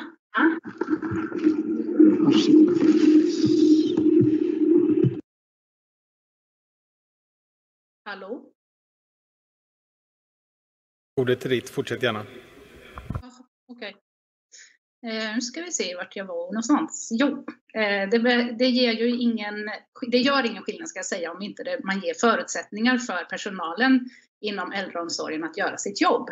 Och då behöver man alltså tillsätta resurser. Det behövs fler kollegor, eh, så kallat överanställda, eh, garantera trygga anställningar, mer utbildning, kompetensutveckling och handledning för anställda, höjd lön för personalen inom äldreomsorgen och se till att det finns ett nära ledarskap med färre anställda per chef. Idag har eh, varje chef inom äldreomsorgen har 50 anställda under sig och det är helt orimligt. Att arbeta inom äldreomsorgen är inget lätt jobb. In, inte om det ska göras med kvalitet. Villkoren för anställda inom äldreomsorgen varav eh, den absoluta majoriteten är kvinnor och kvinnor med utländsk bakgrund. Den har försämrats i årtionden. Och det får faktiskt konsekvenser för de äldre. Vi såg här nu under 2020 en skillnad i partiernas förslag till äldreomsorgen eh, under pandemin. Att fler partier såg behov av överanställningar och utbildningar och vi hoppas att denna förståelse för att äldre, äldreomsorgen behöver mer resurser, att den kvarstår när pandemin är över. För det behövs ett långsiktighetstänk för att vi ska skapa en god och jämn eh, kvalitet på äldreomsorgen i staden. Och för att vi ska kunna leva upp till de fina orden vi skriver på eh, och på riktigt vill förverkliga dessa värdighetsgarantier att möta varje äldre med respekt och kunskap. Med det så yrkar jag bifall till kommunstyrelsens förslag. Tack! Tack för det Stina. Vi ber om ursäkt för att det blev lite rundgång där medan du talade. Då var nästa talare Karin Pleijel, därefter Shadia Heidari. Varsågod Karin. Ja, eh, SCB säger att mellan 2019 och 2030 så kommer vi få 50 procent fler 80-plussare. Så frågan om äldre kommer att inte att bli mindre aktuell än vad den är idag i pandemins tidevarv. Eh, ett värdigt bemötande och god livskvalitet, det är många som har talat sig varma om det här och det tycker vi också är viktigt att man strävar efter inom alla som har med äldre att göra. Eh, och jag kan ju nämna att idag lägger Miljöpartiet, Åse Lill Törnqvist, min partikollega och jag en motion om att inrätta en demensby enligt modell som finns i både Danmark och Holland till exempel. Att låta oss inspireras av det, apropå att man har olika behov och de behöver tillgodoses. Eh, Elisabeth Land nämner många vackra mjuka värdeord som människovärde och själen och det är ju så att de här sakerna låter sig inte så lätt kvantifieras. Eh, en garanti leder ju lätt till mätbara mått som, som riskerar att utarma de här vackra orden. Eh, vad som är viktigt det är ju att man har, de här, har möjligheter som Stina Svensson var inne på eh, och att man eh, kvalitetssäkrar dels synpunktshanteringen. När det fallerar någon gång så ska man ju känna att det är någon som lyssnar och tar det på allvar och, och gör annorlunda. Eh, och att det finns möjligheter till en konstruktiv dialog mellan både de som är boende och de som arbetar där och de anhöriga så att man kan utveckla kvaliteten utan att man ökar administrationen eller utarmar stora vackra eh, begrepp till något mätbart som blir futtigt i sammanhanget. Tack för ordet. Tack Karin. Och på ditt anförande så har Elisabeth Land begärt replik. Varsågod Elisabeth. Tack så mycket ordförande fullmäktige. Eh, det stämmer att jag, att jag nämner många vackra ord eh, och om Karin Plejer hade lyssnat på hela mitt anförande så hörde hon också att jag sa att detta kommer inte ensamt alls lösa alla, alla utmaningar som vi har i äldreomsorgen för det är mycket som behöver bli bättre. Eh, men att vi kan eh, anta någon slags bas för bemötande och respekt och värdighet i äldreomsorgen tror jag kan fungera som en ledstång för våra medarbetare i äldreomsorgen det är inte alltid så självklart vilka värderingar som ska ligga till grund och, och, och att, liksom, att vi har ett dokument att samlas kring och, och just få en samsyn kring hur, hur vi bemöter varandra i, i äldreomsorgen eh, tror jag kan fylla en funktion. Det här gör inte på något sätt anspråk på att lösa äldreomsorgens utmaningar. Sen tycker jag att idén om en demensby är jättebra idé och det har vi också skrivningar om i vår budget. Så tack för den motionen Karin. Tack Jättebra. så mycket Elisabeth Lam. Du får kanske chansen till en kontrareplik här, för Karin Pleijel har begärt replik. Varsågod Karin. Ja, nu försvann mitt ljus här, men jag syns ändå tror jag i skenet av Gustav Adolfs torg. Eh, nej men eh, Elisabeth, jag bara ville varna lite grann för det här med ordet garanti. Jag tycker det är jättebra att man pratar om vad som är viktiga värderingar och hur man kan åstadkomma det i äldreomsorgen. Men det finns en risk om man bara fäster ett ord vid, vid det här ordet garanti, att det ska vara någonting ganska digitalt. Antingen så gör man någonting eller så gör man det inte, medan de här sakerna är, är mer mjuka. Men jag tror kanske att i sakfrågan där är vi överens. Det var mer att jag är orolig för att, att det kan gå för långt om man bara pratar om mätbara mått.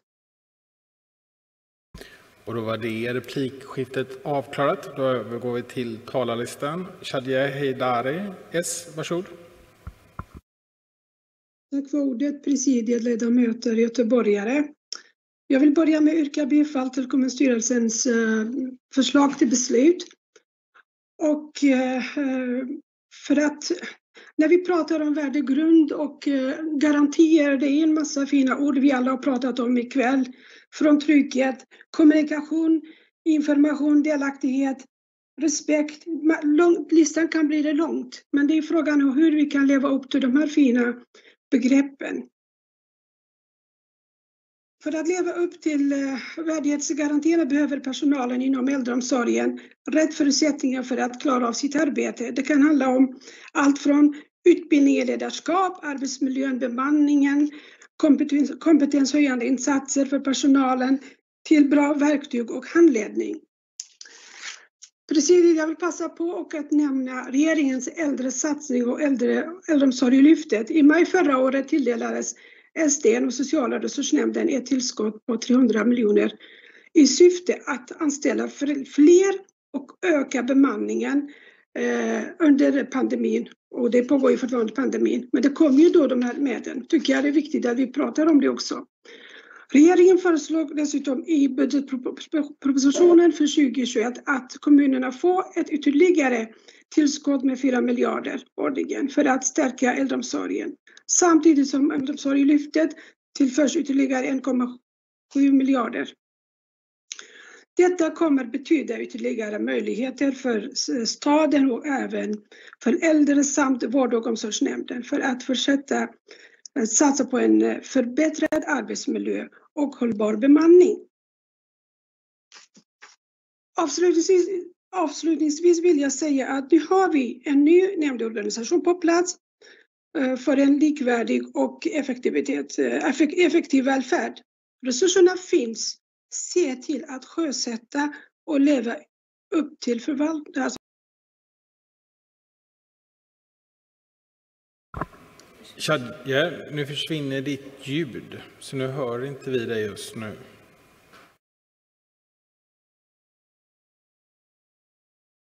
viktigt att den kommunikationen funkar. Det är viktigt att våra eh, äldre har inflytande, att våra äldre kan vara med och bestämma, att de känner sig självständiga och är eh, med på alla beslut. Och det vet vi att det funkar inte på det. Tack för ordet. Tack så mycket för det. Shadje, eh, på ditt anförande så har Elisabeth Land, KD, begärt replik. Varsågod Elisabeth. Tack så mycket. Ja, men det, det är ju roligt att det här blir en, en debatt eller en stund att lyfta många utmaningar som äldreomsorgen har som, som går långt utanför de här värdighetsgarantierna. Och Shadje, du lyfter förutsättningarna för äldreomsorgen att kunna hålla en hög kvalitet och för medarbetarna att göra sitt arbete. Och det här är ju problem som vi har haft jättelänge, inte bara i Göteborg, men jättelänge i Göteborg och jättelänge i hela Sverige. Och det var därför som jag satt för sju år sedan på, på regeringskansliet och tog fram ett utredningsdirektiv till en stor äldreomsorgsutredning. Eh, vi lyckades tillsätta den i slutet, eller under våren 2014. Men efter bara nio månaders arbete så valde socialdemokratiska regeringen att helt avbryta den utredningen och begravde den i ett bergrum. Nu har den letat sig fram igen och den pekar på just de här bristerna som vi ser idag att äldreomsorgen fortfarande kämpar med. Vi hade kunnat ligga mycket längre fram i äldreomsorgen om vi hade tagit vara på det. Tack så mycket. Tack för det, Elisabeth. Då var nästa talare, nej, där han eh, Shadje begära replik. Varsågod. Tack för ordet. Ja, Elisabeth, jag tror vi, eh, vi delar sammanfattning. Jag själv har jobbat med äldreomsorgsfrågorna i många år och det här är en viktig fråga för mig. Jag vet inte hur det var då, men nu har vi resurser och se till att sjösätta. Nu har ni ansvaret i Göteborg, så det är ditt ansvar nu att se till att, att vi sjösätter, pengarna finns, se till att vi får värdighetsgarantierna på plats så att vi kan alla vara glada över sen. Tack! Tack för det. Eh, och på det har Elisabeth också begärt en till replik. Varsågod. Tack så mycket Shadiye! Jag gör mitt bästa dagligen. Vi har många stora satsningar som, eh, och uppdrag i vår budget som, som just pekar på behovet av kompetensutveckling och, och bättre arbetsmiljö, närmre ledarskap och, och så vidare. Så att jag lovar att jag ska göra mitt bästa. Där har Shadia Hidari S begärt en replik till. Varsågod. Jag har, jag har lite problem med tekniken, men jag ska försöka här. Tack. Eh, det som jag eh, tänker skicka med också att eh, alltså jagandet efter alla minutrar. Alltså våra medarbetare måste ha, få en bättre arbetsmiljö så de ska inte känna sig jagade att komma in till, när de går hem till någon måste de pricka av och pricka eh, vad heter det, jo pricka av blir det och sen att man prickar av när man går, lämnar. Och det är viktigt att vi skapar bättre förutsättningar för dem också så att de är, mår bra, så att de inte blir sjuka, så att de orkar med sitt arbete. Och det handlar om yrkesstolthet. Och det ser vi inte alltid. Så slu, sluta att tänka på ekonomin och pengarna. Vi ska se till att de äldre finns i centrum och inte pengar som styr hela tiden. Det är klart, vi måste ha pengar. Pengar är ett verktyg för att kunna finansiera äldreomsorgen. Men samtidigt är det viktigt att vi ser till att ha bra arbetsmiljö för våra medarbetare så att de kan eh, tillföra ett bra arbete så att vi har äldreomsorg med, med eh, bättre livskvalitet helt enkelt. Tack för ordet. Tack så mycket, Shadje. Och Elisabeth Land strök sin sista replik. Så då återgår vi till eh, talarlistan. Där står Mariette Höj Risberg D. Varsågod.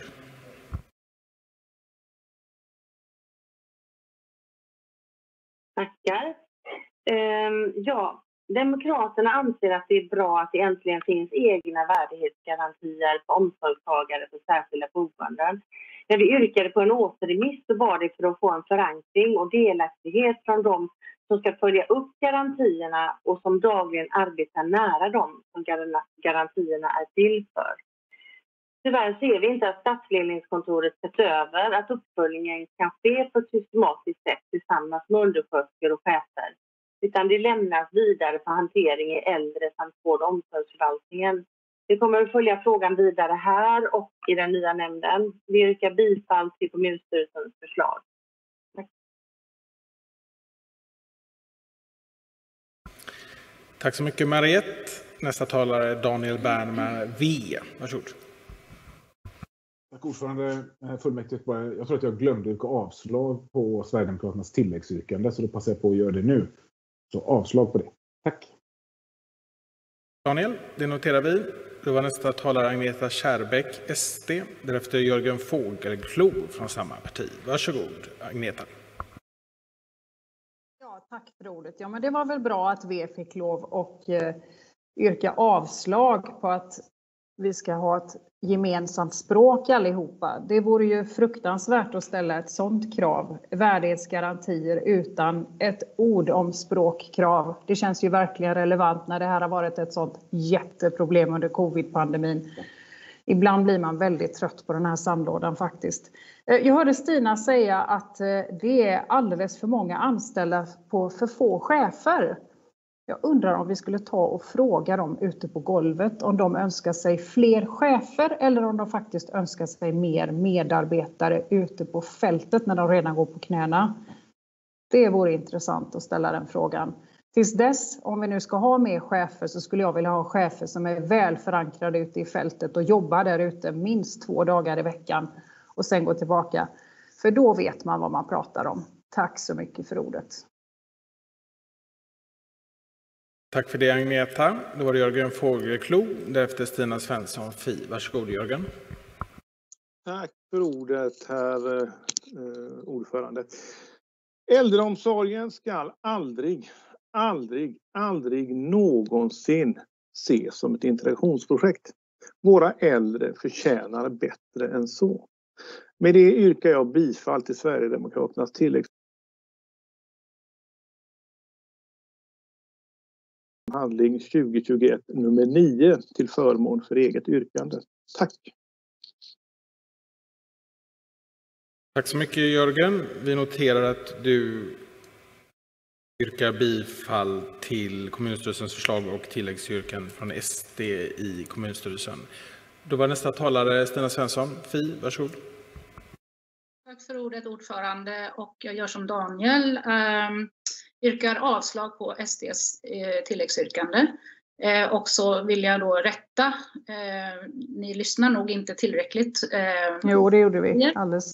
och det betyder att det ska vara nära ledarskap med färre anställda per chef. Så, tack för ordet. Tack Stina.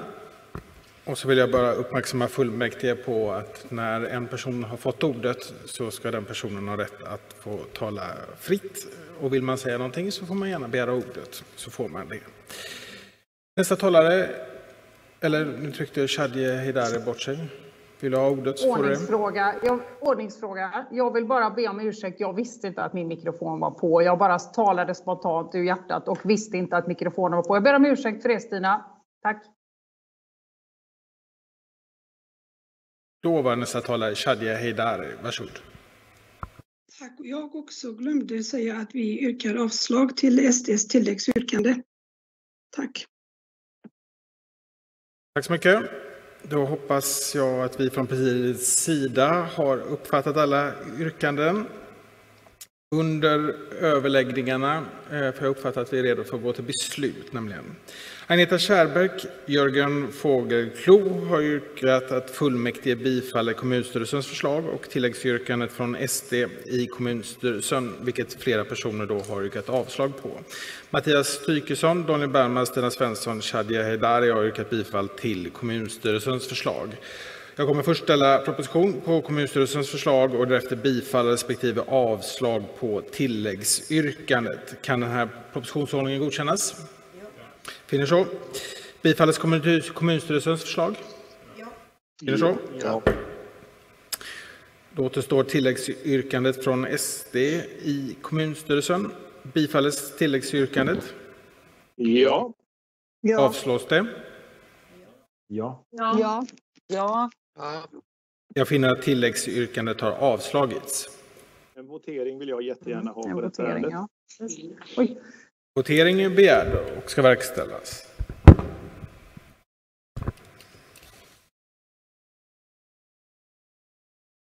Då är det ja för avslag, nej för bifall. Alltså ja för avslag, nej för bifall. Omröstningen börjar.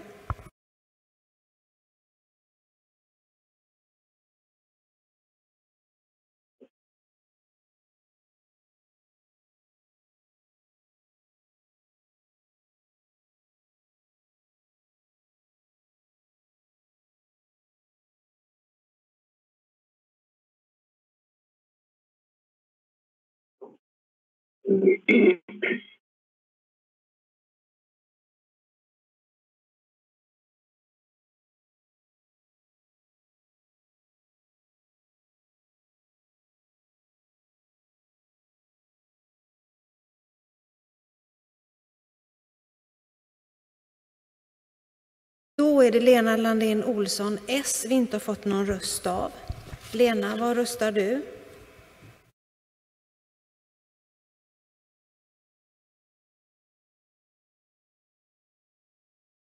Lena Landén Olsson, S. Hur röstar du?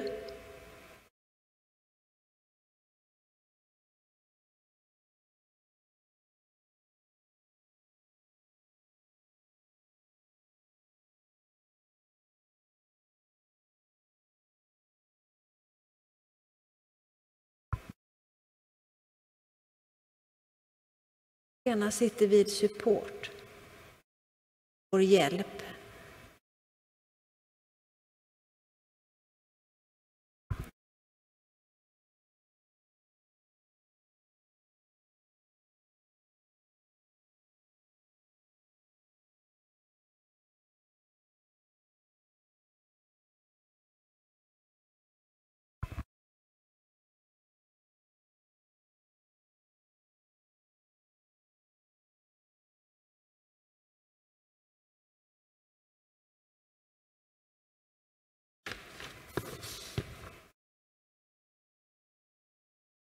Lena, om du hör mig så försök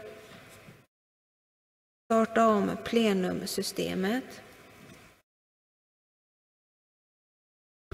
Eller meddela i chatten om du röstar ja.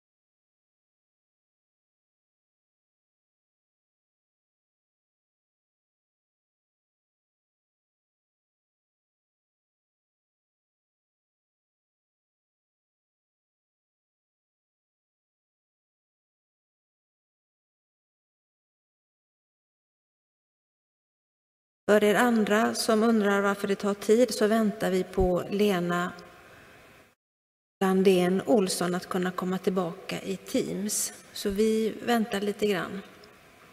Ha lite tålamod.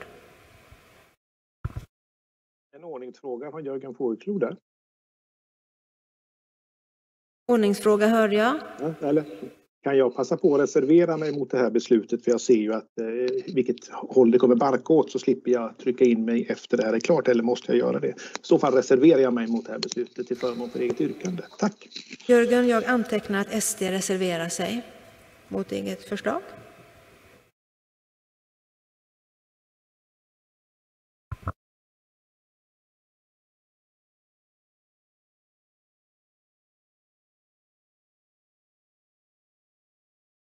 För eget förslag, inte emot. Ja.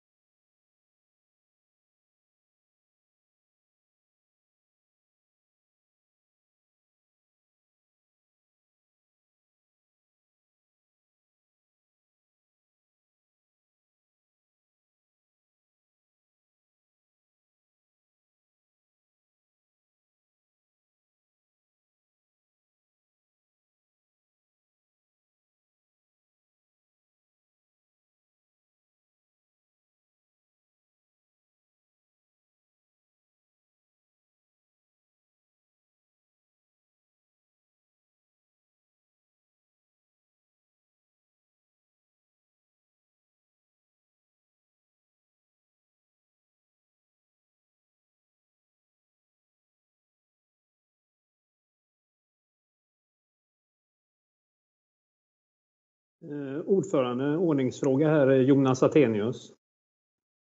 Ja. Vi har ju försökt att nå Lena, jag vet inte hur det går om ni har annan information där, men vi når inte henne på mobilen heller. Nej. Eh, Hon är i kontakt med support här, med Magnus. Okej, okej. Jag bara säger ett alternativ, jag vet inte ens, nu är du ute på hal is kanske då, det är om man skulle ta om omröstningen och vi skulle sätta in en ersättare, men så kanske man inte får göra. Om inte det löser sig så kanske Nej, det är ju under ett pågående alternativ. ärende, Jonas. Jag ska bara vänta Ja. lite vad Magnus säger. Vänta lite. Ja,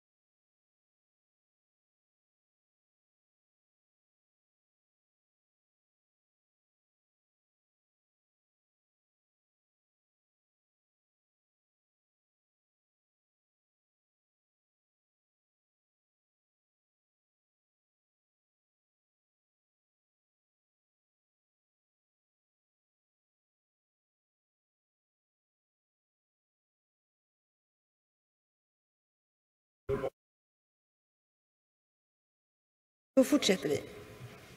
Nu har vi beslutat så här att vi, får ha, vi kommer avsluta omröstningen och då får vi ha en som är frånvarande. Och eh, S, ni får sätta in en ersättare till nästa ärende istället för Lena Landén Olsson S. Så får vi göra. Så nu avslutar vi omröstningen.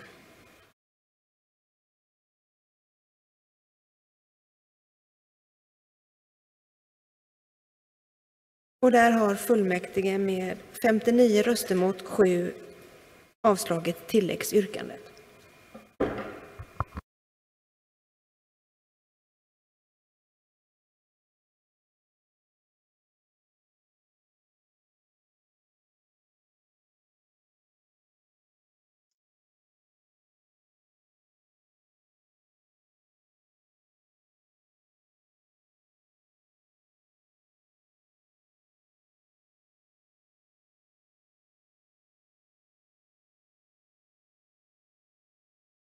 Då går vi vidare till nästa ärende. Och Jag skulle vilja ha en protokollsanteckning där från Demokraterna. Jag räckte upp handen.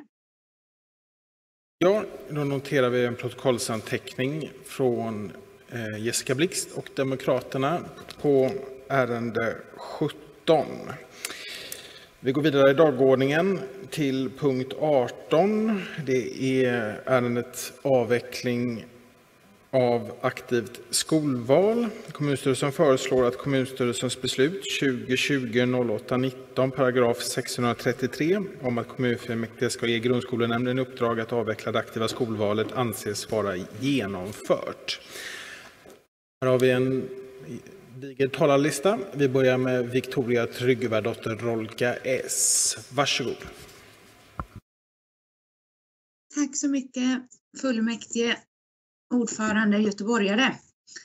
Och så kom dagen när vi fick eh, bort den här, det här begreppet som har skapat mycket debatt och mycket förvirring eh, och blivit en, en väldigt stor fråga utav någonting som egentligen handlar om ett eh, skolplaceringssätt. Men faktum är att det har blivit en stor fråga för att vi var med om det fiaskot som vi var med om.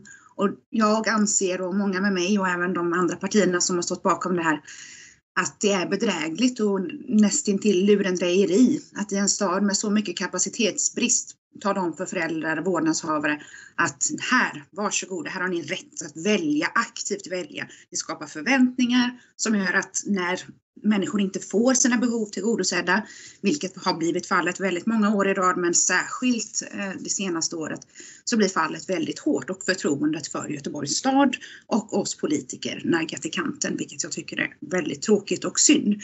Nu har vi gjort ett gediget arbete med ett omtag. Jag hoppas att vi inte ska se några fler skolvalshaverier. Där har vi jobbat i bred politisk enighet och det har varit ett konstruktivt arbete. Men jag vill, vill ändå bara poängtera att vi, vi har enorma problem med segregation i den här stan och det finns inget skolval i världen som kommer kunna ändra på det. Alltså, vi måste ta tillbaka kontrollen över skolan. Vi måste se till så att marknadskrafterna försvinner från skolan och riskkapitalisterna likaså. Segregationen ska byggas bort och det gör vi med fler bostäder och vi behöver en aktiv arbetsmarknadspolitik, vi behöver jobba med integration. Men skolval, aktivt skolval eller inte så, så är det ju självklart, självklart så att det är de här grundproblemen som vi behöver gå till attack med för att lösa segregation. Men jag tycker ändå att vi ska vara ärliga mot våra medborgare. Det är vi nu. Och jag tycker det är väldigt gott att se att Alliansen har besinnat sig trots att de under väldigt lång tid eh, förhalade och drog ut på den här processen. Så att eh, ja, med det vill jag bara yrka bifall på kommunstyrelsens förslag. Alltså yrkandet från Vänsterpartiet, Demokraterna och Socialdemokraterna. Tack! Tack så mycket Victoria. Då var nästa talare Sabina Music C, därefter Jessica Blixt D. Varsågod Sabina. Tack för ordet. Eh, jag har även tidigare försvarat det aktiva skolvalet och jag kommer fortsätta att försvara det. Och med det menar jag eh, försvara vårdnadshavarens rätt att få välja eller välja bort en skola för sitt barn. Rätt att få nödvändig information om sina rättigheter och möjligheter. Grundskolenämnden har den skyldigheten att informera om just denna rättighet. Självklart ska vi sträva efter att alla skolor uppfyller hög kvalitet och att placeringarna blir mer förutsägbara, både för familjernas och skolornas skull. Det förhindrar dock inte att vårdnadshavaren ska få den informationen och rätt information om vilka möjligheter som de kan använda sig av inför ett skolval. Jag yrkar därför avslag på yrkandet från V, S och D. Tack så mycket Sabina. Då är det folk som... Vi ser. Bosse Parbring näst på tur. Varsågod. Tack ordförande. Förra årets skolval i Göteborg blev på många sätt ett misslyckande. Ja, inte det aktiva skolvalet. Eh, men var det det som var orsaken då, eh, som partierna bakom det här yrkandet menar? Eh, nej, grundskoleförvaltningens granskning visar att det var felaktig handläggning tillsammans med kapacitetsbrist som var orsaken. Felaktig handläggning och, handläggning och kapacitetsbrist, det var orsakerna. Men jag förstår att det finns andra drivkrafter bakom avskaffandet av det aktiva skolvalet. Fast det fria skolvalet finns trots allt kvar i skollagen vad vi än tycker här i kommunfullmäktige. Miljöpartiet vill förändra skolvalet och göra det mer rättvist och jämlikt. Utbildningsminister Gustav Fridolin tog initiativ till den statliga utredning som nu föreslår mer jämlika förutsättningar för att kunna bryta skolsegregationen. Några förslag är kvotgrupper, geografiska urvalsområden som bryter segregationen, slopad kötid till friskolor, rättvis fördelning av resurser mellan kommunala skolor och friskolor och faktiskt obligatoriskt skolval. Vi får se vilka förslag som blir verklighet i riksdagen. För där är vi inte nu utan vi är i kommunfullmäktige i Göteborg och här får vi göra det vi kan med den skollag vi har. Miljöpartiet vill att jämlikheten ökar i Göteborgs skolor. Vi ser alldeles för stora skillnader i elevers förutsättningar och skolresultat. Vi ser en skolsegregation som är förödande både för skolresultaten och för att vi ska kunna skapa ett samhälle som håller ihop. Användandet av ett aktivt skolval tillsammans med insatser som bryter skolsegregationen så att blandade elevgrupper kan uppnås skulle kunna vara en väg att gå, men bara i kombination med varandra. För valfrihet, som vi får säga att ett aktivt skolval är ett uttryck för, bryter inte segregationen utan att kombineras med jämlikhetsinsatser. Men de insatser för att bryta skolsegregationen som Miljöpartiet tillsammans med Vänsterpartiet har föreslagit i grundskolenämnden har röstats ner av partierna på högerkanten. Och vissa partier vill ha valfrihet utan särskilt mycket jämlikhet och andra partier vill ha jämlikhet men inte särskilt mycket valfrihet. Den gröna vägen är att tro på individens rätt och möjligheter men också att se att alla individer inte har samma förutsättningar och därmed att det finns ett stort behov av att minska klyftorna. I det läge som vi nu befinner oss i Göteborg, där vi i Miljöpartiet upplevs att dörrar stängs från båda håll, så väljer vi i det här ärendet att inte delta i dagens omröstning och det vill jag ha till protokollet. Jag hoppas att det så småningom ska gå att hitta en annan väg framåt som både tar hänsyn till gällande skollag och behovet av att bryta skolsegregationen i Göteborg med de medel vi har till hands. Tack! Tack så mycket Bosse. Vi noterar till protokollet att den inte deltar i omröstningen. Nu räcker Sabina upp handen i Teams. Innebär det att du vill ha en replik? Då kan du, kan du försöka göra det i eh, plenumappen? Den la av. Den la av. Ja, så jag ska försöka också logga in där. Men om jag bara får säga med Ordet, det här. Du får en replik, varsågod. Eh, det var några bra förslag, men uh, ett av dem skulle jag vilja kommentera på där med kö till friskolorna. Uh, det är inte alla friskolor som bedrivs av vinstsyfte. Vissa är föräldrakooperativ och de har vi här i Göteborg också. Där det bland annat också ingår en insats från föräldrarna och därav finns det en form av krav på föräldrarna för att barnen också ska få gå på skolan städning, styrelsearbete eller liknande. Men att eh, bara låta vem som helst gå där utan att vara införstådd med vad som krävs av föräldrarna är inte en väg framåt. Det var bara ett exempel på att eh, vissa köer kanske inte kan bara tas bort. Tack. Tack Sabina. Hoppas vi att du fixar till uppkopplingen med plenum och vi går till vidare tillbaka till talarlistan. Där står Axel Darvik L. Varsågod. Tack ordförande. Det fanns eh, goda intentioner med eh, tankarna kring eh, aktivt skolval, men vi kan ändå konstatera att det fick aldrig de effekterna som eftersågs. Något system med aktivt skolval har vi heller aldrig haft i Göteborg. Eh, och att välja skola aktivt, det har i sig inte heller något eh, egenvärde för oss i Liberalerna eller i i Alliansen. Vi vill att alla skolor ska vara bra skolor. Det system som vi nu har på plats och som faktiskt är just nu pågår i eh, där, där placering och önskemål pågår. Det är inte ett sådant system och det är inte det som vi heller eftersträvar. Därför så har vi ingen annan eh, åsikt heller än att eh, vi anser att det yrkande som finns eh, egentligen kan lämnas därhen. Eh, många vårdnadshavare och elever vill ha en skola, eh, en bra skola i närheten av de bor. Och, eh, då gäller det att ha ett, eh, ett system som går det här till mötes. Sen finns det också en del föräldrar och elever som tycker det är viktigt att få göra sitt önskemål och där har vi en skyldighet att lämna information om den möjligheten.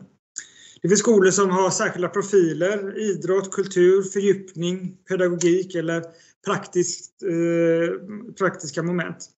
De ska naturligtvis vara möjligt att, eh, för föräldrar och elever att önska och i mån av plats också kunna gå där. Eh, vissa vill ha en lösning bara för att det är smidigt också i vardagen. De, de skolplaceringar som gjordes i Göteborg förra året eh, innehöll en, en, rad felaktigheter. Det här var helt oacceptabelt och det får inte ske igen. Det, förutom att en del fel begicks så fanns det också en brist på elevplatser i vissa områden.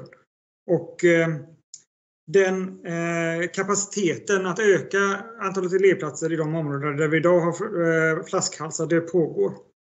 Vi har också sett till att det öka möjligheten att eh, få en skola genom, i närområdet genom att ge mer strikt garantier för både de som väljer till förskoleklass och de som väljer till högstadiet eller någon annan eh, årskurs.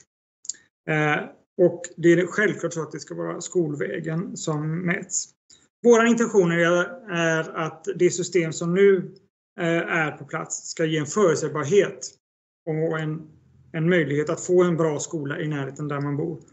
Och eh, erbjuda möjligheten att önska en annan skola om så eh, finns. Tack. Tack så mycket. Axel, under ditt anförande så har eh, plenum, eh, som vi alla kan konstatera, har lagt ner för tillfället. Men vi har ett gäng personer som har begärt ordet fortfarande i systemet, så vi tänker oss att vi fortsätter på den här listan. Och vill man begära replik så får man begära ordet eh, i plenum, eller förlåt, i, i Teams så ska vi försöka hålla koll på detta med replikerna också. Och om det är några som fler vill eh, ha ordet sen. Eh, men näst på, på, tur på talarlistan det är Sofie Gyllenvalt M. Varsågod. Tack för ordet ordförande. Ordningsfråga. Då ska vi se, då har vi en ordningsfråga innan Sofie eh, sätter igång. Varsågod. Ja, nej, men jag bara tänker på att det kraschade ju redan inför den här så att jag kunde inte begära ordet heller. Så det blir ju det blir ju överhuvudtaget en ganska konstig debatt när man hamnar jättelångt ner fast man begärde ordet tidigt och sådär. Så att det, hela debatten är ju lite konstig utifrån att inte plenum funkade. Så det kan vara bra att ha åtanke när man tänker att det gick ändå att sätta upp sig. Men det gjorde inte riktigt det.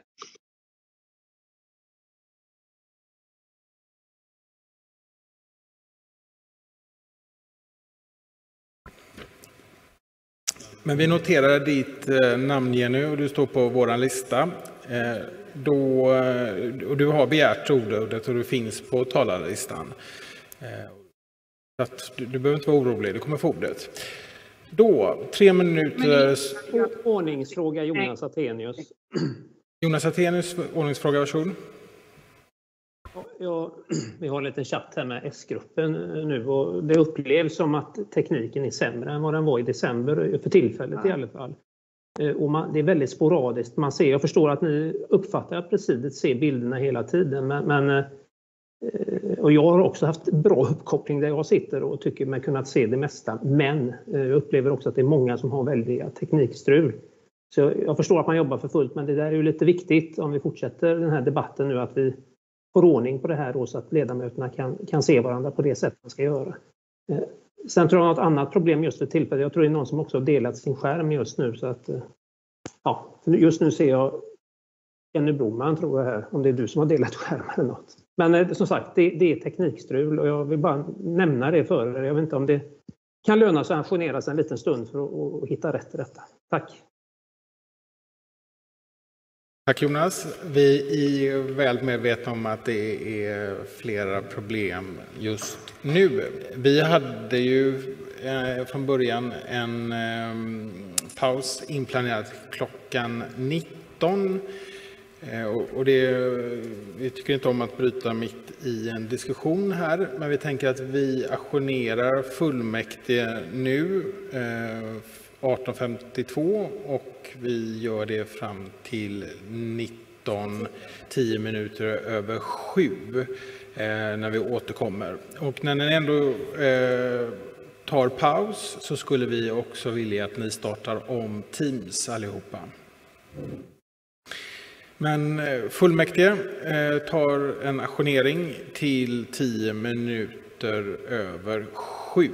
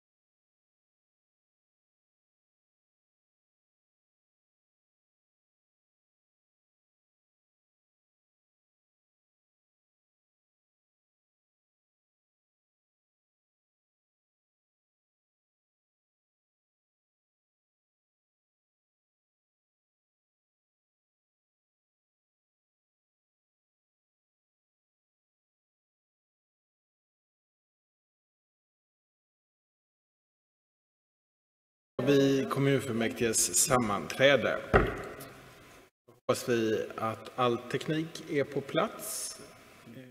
Plenum är igång och på talarlistan har vi nu Sofie Gyllenvalt M. Varsågod. Ja, tack för ordet igen, ordförande. Eh, jag vill börja med att säga det att jag tycker att det är jätteviktigt att vårdnadshavare och elever kan önska skolan. Eh, och det kan ju vara, som har sagts tidigare, av olika anledningar att man vill välja skola. Det kan ju vara att man vill gå på en skola med en specifik inriktning eller att man helt enkelt vill välja bort en skola av olika anledningar. Eh, och det är viktigt att vi kommer ihåg att enligt skollagen så kan man önska, det är en rättighet som vårdnadshavare att man får önska skola. Eh, och det behöver vi inte ha ett aktivt skolval för att göra. Utan det har som sagt alla rättighet att göra. Eh, och sen så kan jag även tillägga att det är jätteviktigt att alla skolor ska vara bra. Så man ska ju aldrig behöva välja bort en skola för att den inte är bra. Eh, och i samband med skolplaceringen under åren som alla vet så gick ju inte det bra överhuvudtaget. Det var en ren katastrof. Och vi i nämnden har vidtagit en massa åtgärder för att förhindra att detta ska hända igen. Och det tycker jag ändå att vi har haft en väldigt bra enighet i nämnden om att detta inte ska hända igen. Och eh, vi är alla överens om vad som gick fel. Och eh, det var ju inte heller det aktiva skolvalet, alltså det vill säga att man fick välja skolor. Det var ju inte därför skolvalsprocessen havererade. Utan det var ju bland annat då som har sagts tidigare att man använde fågelväg istället för skolväg. Eh, och sen även kapacitetsbristen bidrog ju till att man inte fick det önskemålet som man hade önskat. Eh, och med detta sagt så eh, deltar inte vi i kvällens omröstning. Eh, och som sagt, jag vill även betona igen att det är jätteviktigt att vårdnadshavare får önska skola och det kommer man kunna göra i fortsättningen också då det är lagstadgat. Tack för ordet. Tack så mycket Sofie. Då är nästa talare Helene Odenjung L, därefter Jenny Broman V. Varsågod Helene. Tack så mycket ordförande fullmäktige. Ja, som flera tidigare talare nu har sagt så var det ju ganska många som var snabba med att påtala vad det var som hade gått fel i vårens eh, placeringar. Eh, det var friskolornas fel, hävdade någon. Eller det var de nyanländas fel, hävdade några andra. Ehm, och jag tänkte ändå att jag skulle poängtera att eh, det verkligen inte var så i den kvot som vi hade, eller de kriterier vi hade i våra riktlinjer, att det var möjligt om man behövde träna sin svenska få lov att gå före, så var det 55 eh, elever som eh, vars vårdnadshavare hade gjort just det eh, valet att få lov att gå före, eller prioriteras före. Av 1900 elever totalt som räknas som nyanlända i hela grundskolan. Av dem så var det tre elever som fick eh, det, den förturen. Så det var inte de eleverna som gjorde att skolplaceringsarbetet eh, gick som det gick.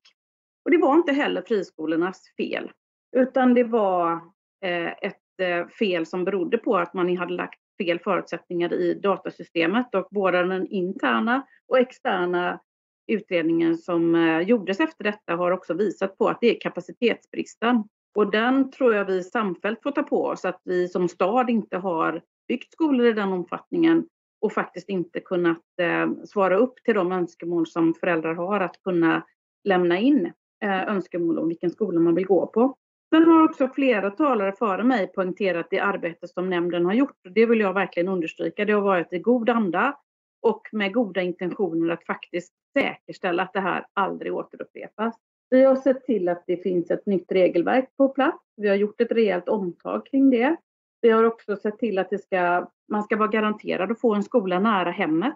De elever som nu står i begrepp, eller vårdnadshavare är det ju i stor utsträckning, står i begrepp att välja skola får upp förslag. Det är någon av de här skolorna i närheten av ditt eh, hem som ni blir Eh, placerade på om ni inte gör ett annat önskemål. Det är så det ser ut i årets placeringar. Men jag skulle också vilja, och vi har också ändrat på syskonförturen och tydliggjort den så att den är eh, eh lika över staden. Det var den inte tidigare. Det var en kvarleva från eh, dels de skolenhetsstorlekar vi har men också ifrån stadsdelarna. Eh, men framförallt så vill jag understryka den dialog som har skett under hösten. Dialog mellan både vårdnadshavare, mellan oss i nämnden och eh, mellan förvaltning och rektorer. Den har varit ett bra arbete för att säkerställa att detta inte händer igen. Tack! Tack så mycket Helene. Då var nästa talare Jenny Broman V, därefter Stina Svensson Fi. Ja, tack så mycket ordförande och kommunfullmäktige och alla Göteborgs elever.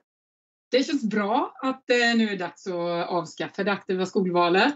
Och eh, det finns flera anledningar till det och det handlar inte bara om det senaste årets placeringspaus, även om det fick mycket uppmärksamhet i samband med det. Att föräldrar, om de vill, har rätt att önska skola, det är ju ingenting som vi i kommunen styr över. Och inte heller rår vi över det katastrofala system med marknadsskola som finns. Men det som vi som kommun kan välja är att mildra de negativa effekterna eller förstärka dem genom att uppmana och öka på valen och göra valet till ett aktivt skolval så att fler väljer. Och det är någonting som har kostat pengar och är slöseri med resurser. Det ger ökad administration.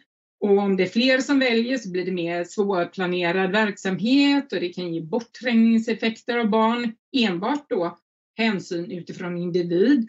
Och det tar ju inte hänsyn till barnets sammanhang med kompisar och inte ens barn med särskilda behov eh, kan då man ta hänsyn till utan det är ju kanske något annat barns förälder som har valt och kan tryck, eh, trycka bort det barnet. Och det tycker vi är fel. Eh, men sen så är det ju så att jag tycker att det är riktigt fräckt att uppmana föräldrar att välja och lägga massa energi på att göra ett val då valet egentligen är väldigt, väldigt begränsat lite som att bjuda för hela Aladdin-asken. Och eh, sen så är det ändå bara körsbärslikörer man kan få. Och eh, de som gör Aladdin de vet ju att inte den var så populär så den är ju borttagen. Men eh, fokus behöver vara att alla skolor ska vara bra skolor. Och vi behöver satsa på de skolorna som idag väljs bort istället. Det är där vi ska lägga vår energi. Aktivt skolval lyfts dessutom ibland fram som ett sätt att minska segregationen. Men även de partierna som vill, även om man vill att alla ska välja så kommer det aldrig vara så att alla väljer. Eh, och under de här åren när det har varit aktivt skolval och man mer uppmanat folk att välja så har det ju ändå inte varit så att eh, i områdena där, eh, som är svagast socioekonomiskt så är det betydligt färre som väljer. Men om man tittar på resvägarna i de områdena så är det ju barn till högutbildade föräldrar som reser långt till sina skolor. Så utav de som ändå väljer, de få som väljer där, så är det ju ändå de mest högutbildade. Det vill säga eh, om vi uppmanar till fler skolval så blir det ju ännu större eh, segregation och kvar blir det då skolor med väldigt tuffa elevsammansättningar. Och det är ingenting som skolan i Göteborg behöver. Det är inte bra för någon. Så låt oss skrota det aktiva skolvalet nu. Avskaffa aktiva skolvalet är ett steg i rätt riktning. Låt oss fokusera på att lägga tid och resurser på att ge alla elever likvärdiga möjligheter med bra skolor. Och Då var din tid slut. Du är varmt välkommen tillbaka och begära ordet. Tre minuter går fort ibland. Bifall till kommunstyrelsen. Det noterar vi. Nästa talare, Stina Svensson, Fi, därefter Elisabeth Lang, KD. Varsågod Stina. Ja, tack för ordet ordförande. Eh, Feministiskt initiativ vill avskaffa det fria skolvalet i sin nuvarande form. Eh, men lugn här nu, ja det är inte ett beslut för kommunfullmäktige här i Göteborg utan det är naturligtvis ett nationellt beslut. Men vi kan här eh, besluta om hur vi hanterar delar av det här i vår kommun. Det Alliansen ville genomföra ett så kallat aktivt skolval, att satsa på reklam och utskick och tvinga alla elever att välja, slutade ju faktiskt inte så bra. Tidningarna kallar det för skol, eh, skolvalshaveriet. Och visst fanns det andra orsaker också. Eh, men det Alliansen gjorde kring aktivt skolval försämrade ju faktiskt för Göteborgs elever. Och därför är jag nöjd att vi eh, har en majoritet att stoppa eh, och vi hade det redan i augusti. Eh, Feministiskt initiativ, Vänsterpartiet, Socialdemokraterna och Demokraterna representerar 44 av 81 mandat i den här församlingen. Tillsammans har vi sett till att det aktiva skolvalet nu stoppats. Så därför yrkar jag då bifall till det yrkandet i kommunstyrelsen som menar då att anteckna att det aktiva skolvalet har stoppats. Så tack för ordet. Tack Stina. På ditt anförande så har Helene Odenjung L begärt replik. Varsågod Helene. Mm, tack så mycket. Jag skulle bara vilja poängtera att det förslag som vi hade ifrån Alliansen, det var nämligen så här att vi tycker att det är viktigt att alla vårdnadshavare får veta om att de har rätt att välja skola. Det var vår ambition med ett aktivt skolval.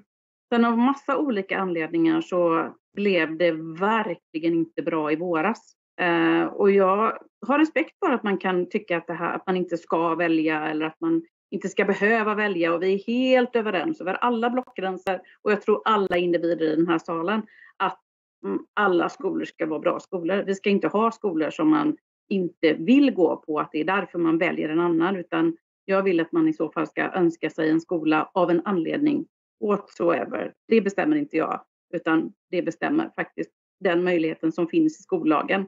Så den kan vi aldrig tulla på. Men jag är orolig faktiskt över att det fanns partier här som inte tyckte att föräldrar ens skulle få den informationen. För det låg yrkanden i grundskolenämnden om att man skulle stoppa alla informationsinsatser. Tack. Helene, då var nästa talare Helene, eller det är inte alls Helene, men Elisabeth Lang, KD, därefter Jörgen Fågelklo, SD. Varsågod Elisabeth.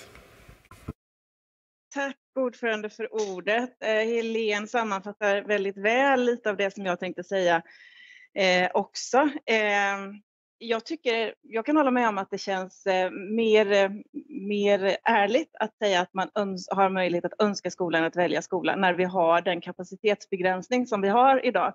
Jag har själv ett barn som ska börja skolan nästa år och har fått hem den här broschyren och den var väldigt pedagogisk och bra och förklarar att det inte alls säkert att man kommer få den skola som man önskar.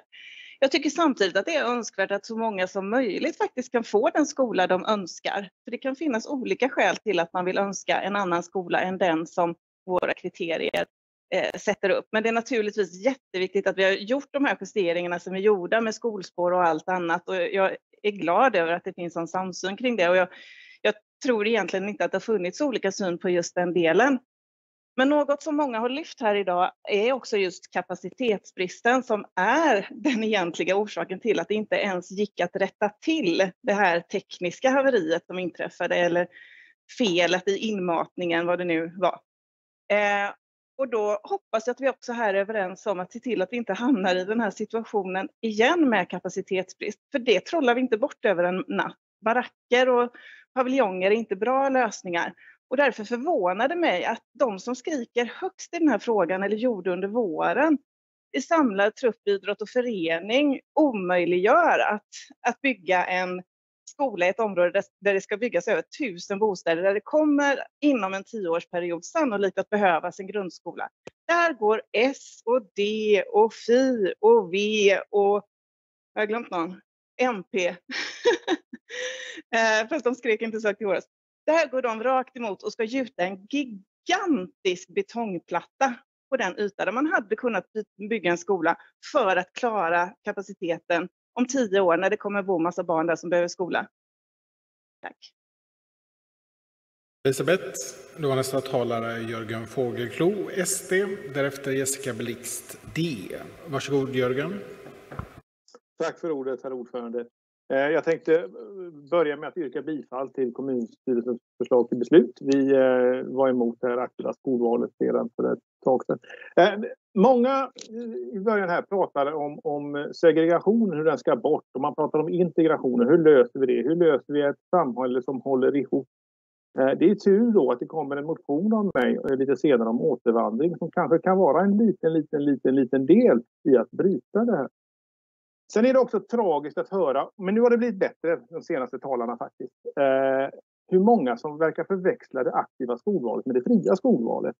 Eh, och det är inte alls samma sak. Vi är för det fria skolvalet, men det här aktiva skolvalet vi hade i Göteborg, det, det blev inte bra.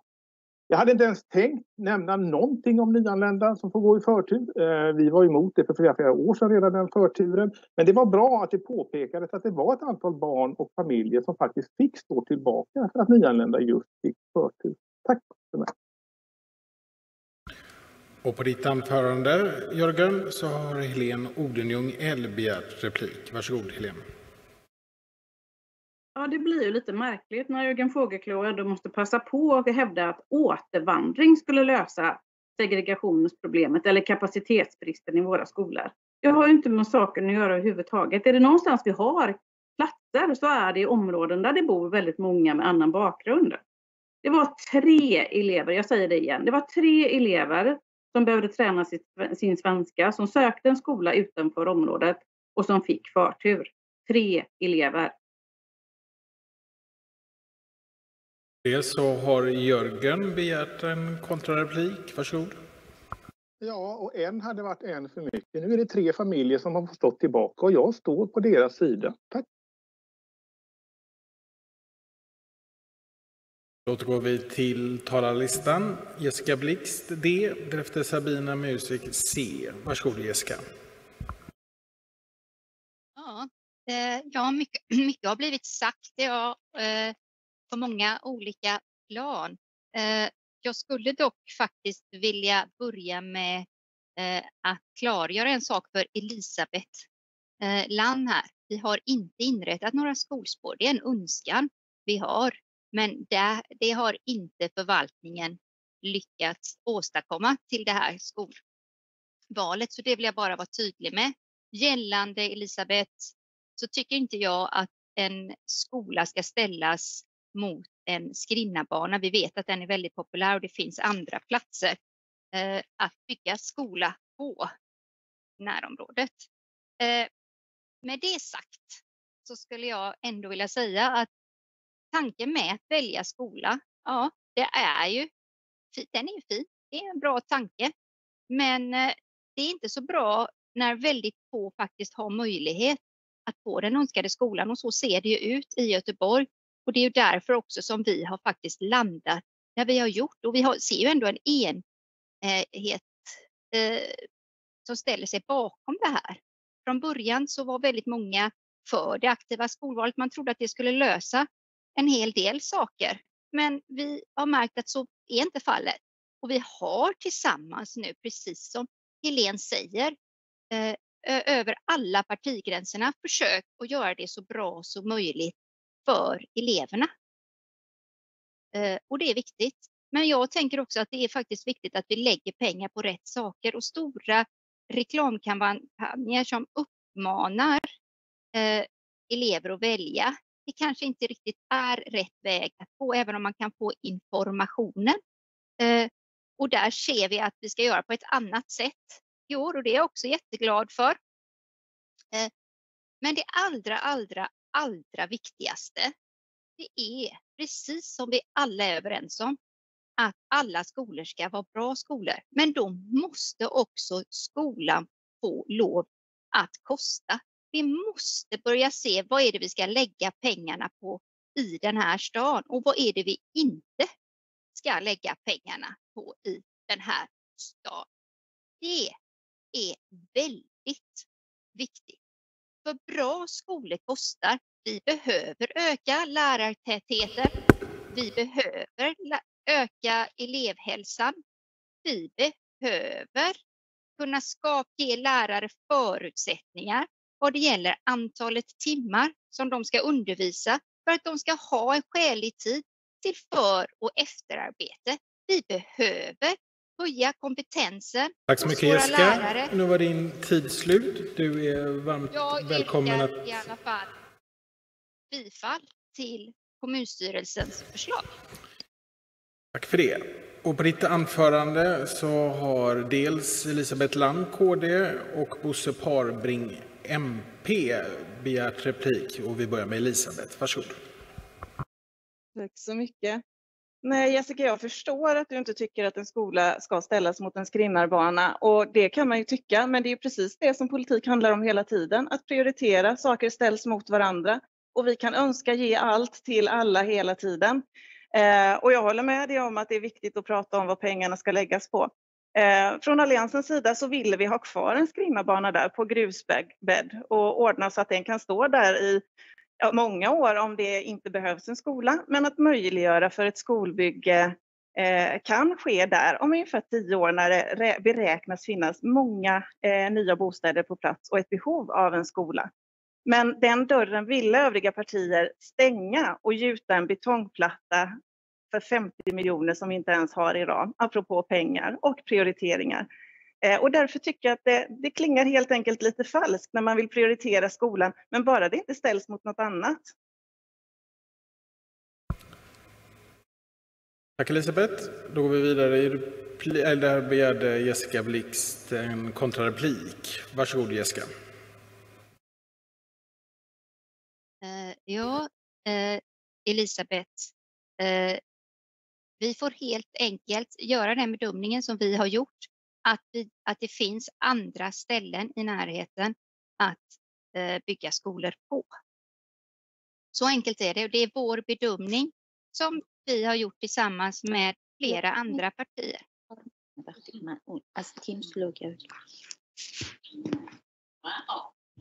Tack så mycket Jessica. Och så ber vi er som har era mikrofoner på att stänga av dem. Och vi är inne i ett replikskifte. Elisabeth Land, KD, varsågod. Ja, det är ju också ett sätt att göra det väldigt lätt för sig att göra sina egna bedömningar. Det finns ju, det finns ju tjänstepersoner som sitter och tittar på området och bedömer att det är svårt i att det är ett jättevackert eftertraktat naturområde med löparslingor och många besökare och, och fotbollsplaner och annat och hade lämpat sig väldigt väl för en skola i framtiden om det ska byggas väldigt mycket bostäder där. Eh, och hade vi, hade vi satsat på att rusta upp eh, grusbädden så hade vi haft en skrinnarbana och vi hade kunnat ha kvar den om vi önskade det. Men nu stänger ni dörren utan att ni har hittat någon annan plats och det är den platsen som, som det planeras eh, att anläggas en skola på. Sen kan man ju säga att vi bedömer att det går att, ja, det, det är att göra det lätt för sig som sagt var. Då avslutar vi det replikskiftet och går vidare till nästa. Bosse Parbring, MP, varsågod. Tack ordförande. Eh, jag har förstått att ni i Demokraterna tycker att det är ett problem med det aktiva skolvalet förra året var att det belastade systemet för mycket. Och då undrar jag, eh, många av de som eh, ändå använder sig av rättigheten att önska bor ju i olika områden där ni har väldigt många väljare till exempel Torslanda och eh, södra västkusten, Långedrag, Önnered liknande. Kommer ni, kommer ni gå ut till era väljare och uppmana dem att eh, inte önska skola till sina barn för att minska belastningen på systemet och låta myndigheterna bestämma över var, de, var barnen eh, blir placerade? Kommer ni gå ut och... För jag ser nämligen att det finns att jag tycker att det är problematiskt att vi ser så stora skillnader i Göteborg Eh, vissa områden, de jag talade om, där är det närmare 100% som önskar placering. Eh, medan i områden som Bergsjön och Biskopsgården så är det runt 60% som gör det. Och, och de skillnaderna måste ju bero på någonting. Tack Bosse. Då var din tid ute, men det finns eh, möjlighet att sätta upp sig på talarlistan. Där väntar Sabina med Music C. Nu ska vi se, nu hann Jessica Blixt begära replik lite sent. Varsågod Jessica. Ja, du Bosse. Eh, till saken hör ju det här att eh, problemet är ju mycket större än så för att de eh, som faktiskt har valt skola i vissa områden har ju väldigt liten möjlighet att få skolor på andra sidan stan där de skulle vilja gå. Så där är ju hela problematiken med det här. Man lurar, man kan inte göra så mycket även om man väljer så har man inte så stor chans att få sitt val och det är viktigt. Och därav är det viktigt att alla skolor ska vara bra skolor och då måste vi satsa på lärartäthet bland annat. Jo, det är vi alla överens om att alla skolor ska vara bra skolor. Men jag menar, eh, vi har en möjlighet eh, enligt skollagen att, eh, förlåt, jag fick börja prata innan jag fick ordet. Eh, ja. Nu får du inte ordet. Nej, jag ska bara. Bosse Parbring har begärt replik. Varsågod. Jag om ursäkt. Eh, jo, vi är alla överens om att eh, vi ska ha bra skolor. Det är ju väldigt okontroversiellt att säga det. Men eh, vi, jag tror väl att de flesta, och åtminstone eh, borde väl Demokraterna tycka att, eh, att eh, vi ska ha, eh, också ha rätten att kunna önska skola. Sen att det inte blir precis som man önskar, det är ju en annan sak. Så är det på få ställen, men att man åtminstone ska ha möjlighet att, att lämna ett önskemål. Eh, men eh, att det är så stora skillnader i kommunen tycker jag är problematiskt då. Dels för att vi kan väl inte tro att föräldrar i Bergsjön och, och Biskopsgården skulle vara mindre intresserade av sina barns skolgång. Eh, utan snarare tror jag att det handlar om att eh, de har sämre förutsättningar att ta del av dem, den rättighet och, den, och tillgång till den information som behövs för att kunna göra ett val om de, eller ett önskemål om de vill det. Tack Bosse. Och på din replik så har Jessica Blix begärt en replik till. Varsågod. Eh, ja, det, vi kan ju uppmana folk att välja Bosse hur mycket som helst i alla olika områden. Men det kvarstår, valet i sig eh, eller önskan i sig är ju ingenting värd ifall man ändå inte har möjlighet att få önskad skola. Och det är ju det vi fortfarande brottas med. Och det är ju det här vi tillsammans nu försöker faktiskt att lösa. Peter, det här replikskiftet lite till. Bosse Parbring, varsågod. Jo, men då återstår ju fortfarande min fråga. Kommer ni då gå till era väljare och, och säga till dem att eh, önska inte, det är ingen idé, för det kommer ändå inte bli som ni vill, utan lita på eh, den skola som myndigheten eh, tilldelar er. Och då finner jag att det replikskiftet är avslutat. Då går vi till talarlistan. Där står Sabina Musik C. Varsågod. Tack för ordet. Jag vill börja med att säga att eh, jag håller med Bosse i eh, det här replikskiftet. Eh, men sen så var jag lite snabb i mitt eget anförande då det är en jättefråga för mig verkligen. Men jag yrkar inte avslag på V, S och Ds yrkande, utan jag yrkar ingenting. Men står självklart fast vid att vi alla ska ha lika information och känna till våra möjligheter för att få välja skola för vårt barn. Inte bara de som har lätt att få informationen och som är eh, själva pålästa inom det när till exempel deras föräldrar gjorde val åt dem eller liknande. Utan alla ska ha samma information tillgängligt. Eh, jag vill också avsluta med att säga att det aktiva skolvalet fanns ju faktiskt 2019 också där vi inte hade det här haveriet med placeringarna. Men jag förstår att man behöver peka ut någonting som problem för att skylla på aktiva skolvalet. Tack så mycket. Tack Sabina. Eh, vi noterar att du drar tillbaka ditt yrkande. På ditt anförande så har Jenny Broman och Jessica Blixt begärt replik. Vi börjar med Jenny Broman. Varsågod. Ja, jag antar att ni har läst eh, lite längre ner på dagordningen där jag har en interpellation som lämnades in då hösten 2019. Så det är inte så att inte jag uppmärksammade problemet med de här eh, valen och aktivt skolval redan då. Det är inte det. Det är alltså inte enbart eh, skolvalshaveriet nu som gör att Eh, jag ville att det aktiva skolvalet skulle avskaffas. Så läs lite längre ner på dagordningen så ser ni att det inte var nu som vi kom på det. Tack Jenny. Då går vi vidare till nästa replik. Jessica Blixt, D. Varsågod. Eh, ja, och Sabine, jag vill bara förtydliga en sak. Att, att alla vårdnadshavare kommer få information om att man kan välja skola i samband med Eh, skolvalet. Däremot kommer vi inte göra lika stora satsningar därför att också förvaltningen såg att de faktiskt inte ledde till den önskade effekt som man skulle ha. Men självklart så kommer alla i vår stad få information i samband med att de har möjlighet att önska skola. Så ser det ut, men inte i den omfattningen och inte av den kostnaden det är vi skyldiga att göra dessutom eftersom vi har eh, ett skolval. Tack Jessica.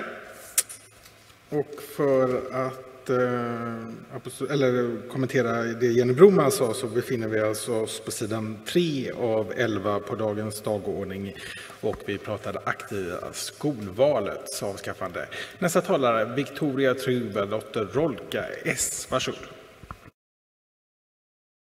Ja, det har varit en, en hel rad påståenden och allt ifrån att eh, skylla allting som gick fel på det aktiva skolvalet eller att man gör det lätt för sig. Här kan jag säga till er allihop i den här församlingen att det här har varit allt annat än lätt för många av oss politiker som har träffat förtvivlade barn, förtvivlade föräldrar, gått igenom någonting som har varit för mig personligen i min, mitt yrkesliv något av det absolut tuffaste. Så att, att tala om att vi gör det lätt för oss, eh, som Elisabeth Land gjorde i sitt inlägg kopplat till kapacitetsfrågan, det är, eh, skulle jag vilja hävda, är rent falskt. Eh, att däremot ställa olika, väga olika intressen mot varandra, det kommer vi absolut alltid att behöva göra och vi socialdemokrater kommer vara oerhört aktiva i arbetet med att se till att få kapacitetsfrågan eh, i ordning ställd. Och det ska gå väldigt fort är vår förhoppning och hoppas att vi i bred enighet kan jobba vidare även där. Men att det aktiva skolvalet skulle vara det enda skälet till att det gick fel. Det är ju ingen som har påstått. Men jag vill med bestämdhet hävda att det självklart har spett på rörigheten.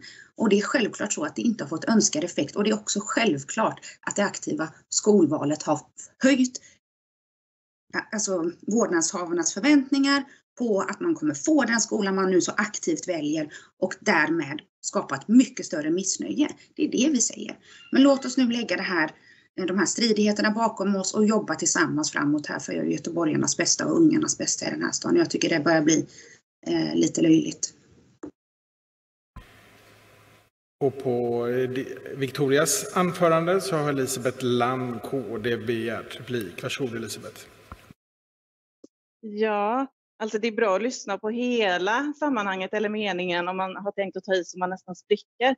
Jag sa att det är att göra det lätt för sig att säga vi gör vår bedömning att det finns plats för en skola någon annanstans utan att ha en aning om var den skolan ska ligga när det är ett område där fastighetskontoret tycker det är lite svårt att hitta någon plats för en skola där man planerar väldigt mycket bostäder. Då kan man i alla fall göra sig besväret och, och komma med den idén istället för att bara avfärda det och hävda att man tar ansvar för att vi inte ska ha kapacitetsbrist om tio år eh, för att det är svårt att göra en prioritering här och nu. För det finns ju en anledning till att vi sitter med en kapacitetsbrist här och nu. Det är för att det är svårt att prioritera när intressen ställs mot varandra. Det är svårt att säga nej till en skrinnarbana som är omtyckt och populär. Jag förstår det. Bara för att vi kanske behöver en skola om tio år. Men risken är då att vi inte kommer ha tillräckligt med platser om tio år. Och då är det att göra det lite lätt för sig att inte svara på hur det ska lösas. Det var det jag hävdade, inte att något annat i det här var lätt. Tack så mycket Elisabeth. Då återgår vi till talarlistan. Jenny Broman V, därefter Axel Darvik L. Varsågod Jenny.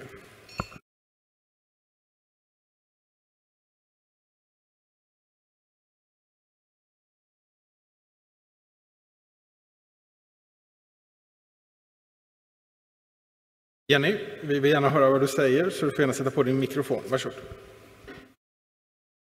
En gång till. Jag håller på att trycka på den gång på gång och den var seg. Jo, men det har varit en intressant diskussion det här. Det känns eh, lite som från en del det där med när, har ni sett den här bilden när Homer Simpson lite skamset backar in i busken och gömmer sig lite halvt. Eh, lite så känns det ibland. För det är ju väl ändå så att det är ett valmanifest från ett av partierna som argumenterar här så står det väl inför aktivt skolval så att alla elever aktivt väljer skola. Men jag tänker att vi, det ändå är bra att vi har kommit fram till att det ska vara så att de föräldrar som inte väljer skola till sina barn ska ha bra möjligheter. Men jag vill faktiskt varna för att eh, vi har ju gemensamt tagit beslut, men det är ju inte så att de, de kriterierna som ligger nu för placering på långa, långa, långa vägar är där, där vi önskade, där våra yrkanden var med skolspår och, och så vidare. Det har bara liksom minskat möjligheterna till kaos nu. Så eh, jag är faktiskt inte lugn ännu, men jag tror det kommer absolut bli bättre. Och på Jenny Bromans anförande så har Helene Odenjung L begärt replik. Varsågod. Ja, jag tänkte jag skulle svara på den här frågan med eh, aktivt skolval och om det stod i något partis valmanifest. Det var inte i Liberalernas, men däremot så stod det faktiskt i den, eh, eh den utredning som landade i att vi skulle införa en gemensam eh, förvaltning för grundskolan. Då hade man nämligen med eh, Skolkommissionens eh, analyser kring eh, hur man skulle komma till rätta med skolsegregation. Björn Åstrand är ju en annan som pekar på möjligheterna till att eh, det ska vara obligatoriskt skolval eller aktivt skolval som Bosse också lyfte i sin eh, replik. Så att det här är inte något eh, hittepå ifrån något av allianspartierna utan det har varit en av analyserna för att se om man skulle kunna komma till rätta med segregationen. Det visar ju då eh, utredningarna att det var inte tillräckligt effektfullt. Så den frågan måste man jobba vidare med. Och på det repliken så har Jenny Broman begärt en kontrareplik. Varsågod.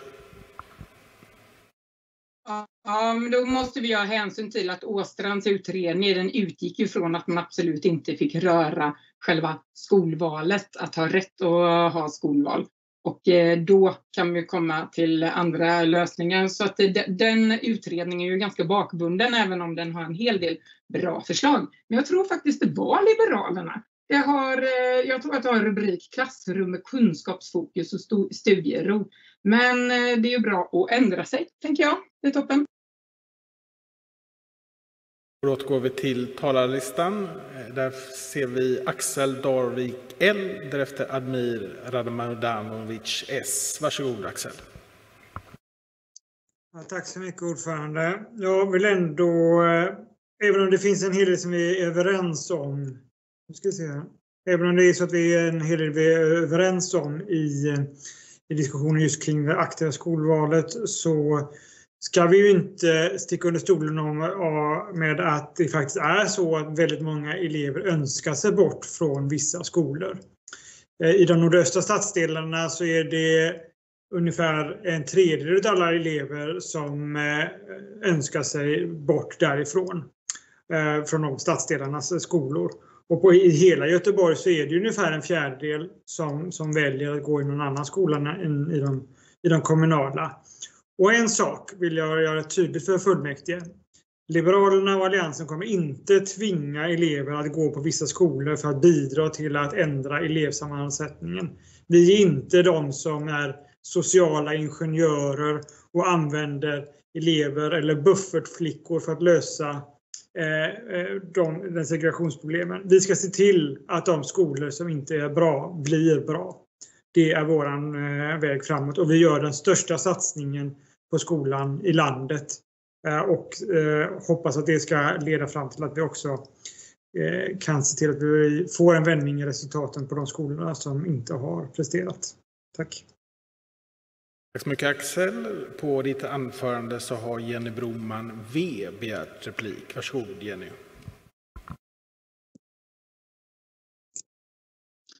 Ja, nej, men det är ju bra att eh, vi håller med varandra om att eh, de så kallade frånvalsskolorna eh, ska vi jobba med. Eh, det har vi drivit väldigt aktivt i eh, nämnden. Så eh, ser fram emot att eh, även eh, ni kommer driva det hårt för det är väldigt viktigt att eh, även de skolorna blir bra. För som jag sa i mitt första anförande så är det ju så att utav de som väljer i de områden där det är färre som väljer så är det ändå de mest eh, eh, de som har föräldrar som har högst utbildning som väljer bort sig bort därifrån och det är fler flickor som väljer sig bort. Så eh, det blir ett bekymmer för de skolorna som är kvar och det behöver vi ta tag i. Tack Jenny. Då återgår vi till talarlistan. Admir Ramadanovic, S. Därefter Håkan Lösnitz, SD. Varsågod Admir. Ja, tack ordförande, fullmäktige, eh, göteborgare. Ja, eh, jag kan faktiskt tycka eh, att det med tanke på det något eh, höga tonläget från borgarna kan faktiskt verka något lite oanständigt att man har politiker i denna kammare som själva sitter i friskolors styrelser och samtidigt faktiskt deltar i diskussioner och beslut som gynnar dem också. Ehm, oavsett om det är en hjärtefråga eller inte. Så jag tycker ändå att vi kanske ska sansa debatten lite grann om än den är viktig, absolut. Tack för mig. Och på Admiris inlägg så har Sabina Musik C begärt replik. Varsågod. Ja, tack för ordet. Eh, jag kände lite att det var mig som menades. Eh, jag sitter inte i en friskolas eh, styrelse. Däremot kanske jag gör det i framtiden för jag tycker att det är bra skolor. Jag sitter i en förskolas styrelse som ersättare, om det är intressant att veta, och är väldigt noga med att inte hamna i en jävsituation. Men också alla vi som har barn på en skola eller förskola skulle kunna vara i en jävsituation för att tilldela pengar till förskola eller skola. Jag har inte känt mig i något sammanhang jävig i den här diskussionen. Tack. Tack för det. Sabina Admir Ramadanovic har begärt en kontrareplik. Varsågod. Ja, tack ordförande fullmäktige göteborgare. Jag vill bara påpeka att jag aldrig nämnde ordet jäv. Då noterar vi det och, och återgår till talarlistan. Där har vi Håkan Lösnitz, SD, just nu sist på listan. Varsågod. Tack för ordförande, herr ordförande och tack för att jag fick lov att vara sist. Eh, jag har suttit och lyssnat på den här debatten nu en väldigt lång stund med en liten paus emellan. Eh, och man kan summera med att skillnaderna är inte så fantastiskt stora i detta. Jag tror vi alla är ganska ense här. Eh, som Jenny säger att skolvalet, ja men det är inte en fråga för fullmäktige här ändå. Eh, det är ju statligt så den behöver vi inte diskutera. Sen så är det då hur alla har rätt eh, att välja. Eh, och det aktiva var då att vi gjorde lite mer kampanj och det ju väl, blir ju väldigt finstilt här snart. Alltså hur mycket ska vi informera och hur lite ska vi informeras? För alla har ju den rätten ändå. Eh, som Axel pratar om, eh, de här välja bort-skolorna och att det är där vi ska satsa och vi driver ju en fråga när vi pratar om vår skolpolitik att de sämsta skolorna, om vi kallar dem då, bort, välja bort-skolorna, ska ju ha de bästa lärarna. Att man, lärarna ska ha någon slags eller, incitament att välja och jobba på de skolorna som alla väljer bort och de de bästa lärarna, då kommer ju, oj, då vill jag inte välja bort det för de var de bra lärarna. Så att det är någonting jag har med i huvudet och eh, Admir, det du sa, intressant. Tack för mig. Då så, då har jag tom på talarlistan. Är fullmäktige redo att gå till beslut? Ja. Svar ja. Då finns det bara ett förslag till beslut och det är kommunstyrelsens förslag. Kan det också bli fullmäktiges beslut? Ja. Finner så. Ja. Och så noterar vi också till protokollet att MP inte deltog i den omröstningen.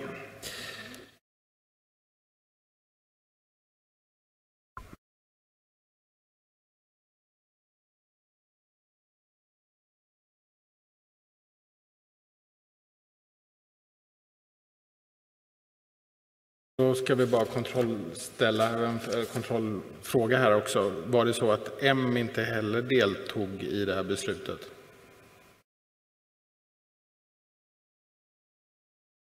Nej, vi deltog. Bra, tack. Och innan vi byter här i presidiet så vill jag bara påminna om att icke tjänstgörande eh, ersättare att skriva i chatten att ni är på, på plats om ni inte gjort det tidigare så att vi kan hantera arvodena.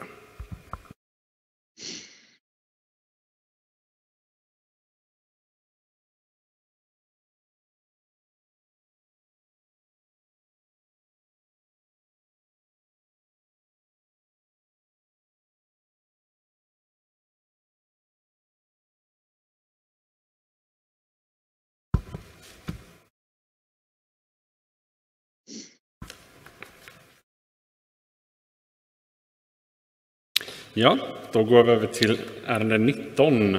Utökning av förskolenämndens eget kapital 2020 samt disponering av överskottet under 2021. Där kommunstyrelsen föreslår att förskolenämnden får utöka sitt eget kapital med hela överskottet för 2020 samt tillåts disponera upp till 80 miljoner av överskottet under 2021. Då har ordet först begärts av Daniel Bergman V, därefter Jessica Blix D. Varsågod Daniel. Tack. Ordförande, eh, eh, kommunfullmäktige göteborgare. Ja, för ungefär två månader sedan när vi tog budgetbeslutet så konstaterade vi att det fanns bara en budget som inte innebar nedskärningar i förskolan och det var den rödgrönrosa budgeten. Och anledningen till det, det var att alla andra partier hade lagt budgetar där man skar ner, där man bytte eh, kostnadsmodell för, eh, för hyrorna, men där man inte kompenserade för de ökade kostnaderna. Eh, vi påpekade det då, det, vi hade täckning för det i vår budget, men, inte, men inga andra partier. Sen går det några veckor och sen inser de andra partierna att oj då, det här blev ju inte bra. Här blev det en nedskärning. Lyckligtvis har tillräckligt många partier förstått allvaret och förstått att Göteborg mår inte bra av den typen av nedskärningspolitik. Förskolorna behöver ha grundläggande förutsättningar för att kunna bedriva ett bra arbete med, med barn. Eh, och därför eh, har vi nu en majoritet för att kunna korrigera det här, den här nedskärningen. Det tycker jag är positivt eh, och med det vill jag yrka bifall till kommunstyrelsens förslag till beslut. Tack! Tack. Då var nästa talare Jessica Blix D. Därefter Victoria Tryggvedotter Rolka S. Varsågod Jessica. Ja, ordförande, ledamöter och eventuella åhörare. Ja, det är alltid bättre att försöka rätta till felaktigheter innan vi ställer till skador i verksamheten. Och vi är nog alla överens om att vi vill ha en förskola där barn rustas för framtiden. Och för att lyckas med det så behöver vi arbeta tillsammans för att ge förutsättningar för barns utveckling och lärande. Förskolan lägger grunden för barns kunskapsutveckling och framtid. Så när det gäller förskoleförvaltningsverksamhet så saknades de ekonomiska förutsättningarna i budgeten. Utan korrigeringar så hade det blivit kraftiga nedskärningar med förödande konsekvenser för barnen. Därför initierade vi demokrater ett yrkande för att kompensera för de ökade hyreskostnaderna. Ett yrkande som S snabbt anslöt sig till. Det blev fel och vi, vi måste göra vad som krävs för att rätta till misstaget. Svårare än så är det faktiskt inte. Det finns uppenbarligen olika sätt att se på pengar och vad som får kosta i den här staden. Som exempel, ja, när linbaneprojektets utredning drog iväg kostnadsmässigt så var det inga problem att återställa det egna kapitalet. Nämnden bestämde 64 miljoner kronor helt i onödan och till ingen nytta och här, här återställdes kapitalet i efterhand. Så det är glädjande att vi alla är eniga om att kompensation för ökade hyreskostnader, ja det behövs. Vi vet också vad kompensationen eller varför den behövs. Avseende formalia, ja, då kontrollerar vi faktiskt med statsledningskontoret om ett korrekt sätt att tillföra medel till förskolan och till barnen. Så låt inte denna fråga handla om formalia eller vem som har kompenserat mest korrekt. Det får helt enkelt inte handla om något annat än barns trygghet och framtid. Och tack, tack för att ni är med och gör skillnad här idag. Jag yrkar bifall till D och S förslag till lika kommunstyrelsens förslag. Tack Jessica. Nästa talare är Victoria Tryggvedotter Rolka, S, därefter Sabina Musik C. Varsågod Victoria. Tack så mycket ordförande, fullmäktige och eventuella åhörare. Ehm, jag tycker Jessica sa det väldigt bra, så jag ska inte bli långrandig, men kan väl bara konstatera att det är inte första gången som vi oppositionspolitiker eller partier får gå in med insatser för att rädda barn, personal, göteborgare från stora försämringar och nedskärningar. Det som jag däremot tycker är beklämmande det var att det tog en stund för eh, högerstyret att komma ut på banan här och och det som gör faktiskt nästan lite ont i mig det är att man, man vill alltså tacka förskolans personal, de som har stått i frontlinjen under hela pandemin och sett till så att samhällshjulet har rullat när alla andra i princip som har möjlighet att kunna sitta hemma så möter de varje dag risk för smitta i väldigt, väldigt tuffa arbetssituationer. Att man vill tacka dem med att skära ner.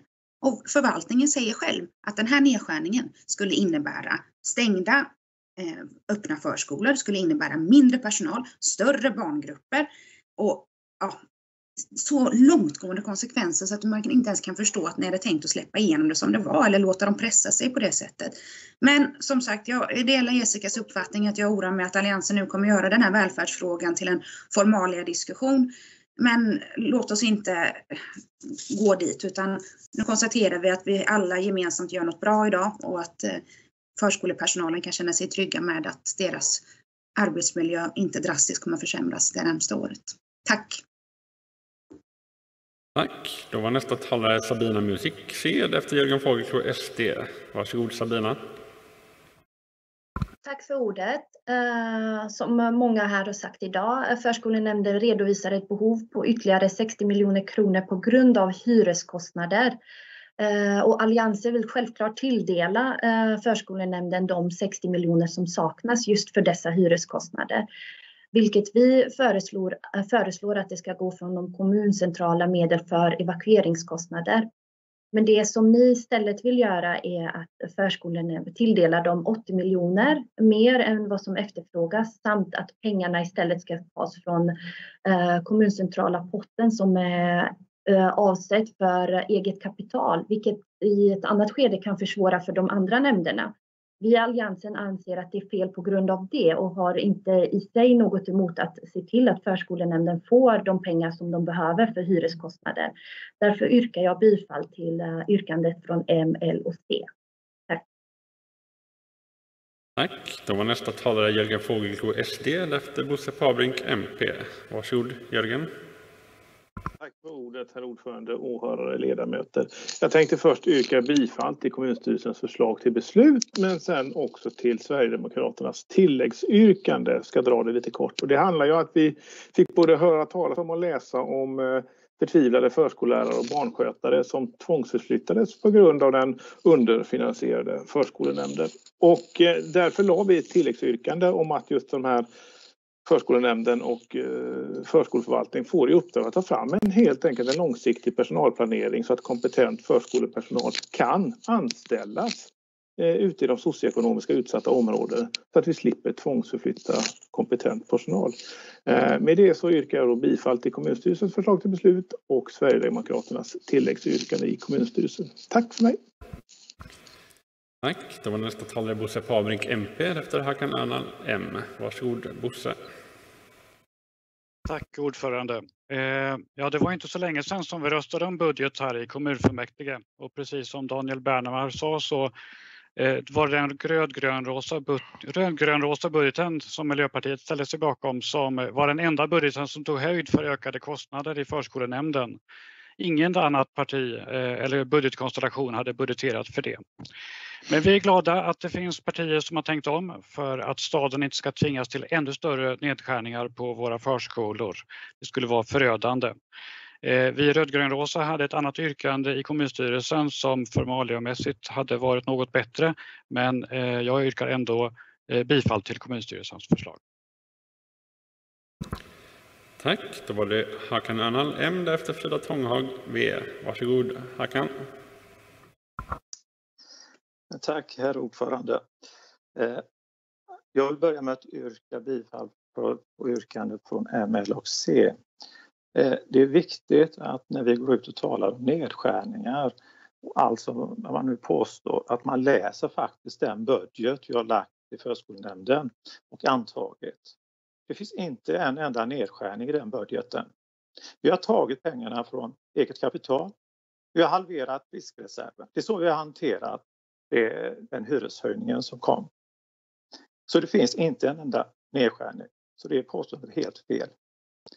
Och när man pratar om eh, omställningar eh, som SD drog upp här. Det har ingenting med budgeten att göra. Det är faktiskt det som är rektorns budget och de ramar som är likvärdigt över staden. När man får, har mindre barn i, i, i sin verksamhet så måste man ställa om. Om man har för höga kostnader måste man ställa om. Det är lika för alla förskolor, alla enheter. Det har ingenting med budgeten att göra. Låt oss prata om budgeten. Vi höjde grundbeloppet med 2,8 procent. Förra året höjde vi den med 6% Det är stora belopp. Och det är bra om vi faktiskt pratar om fakta och inte faktiskt lurar våra väljare.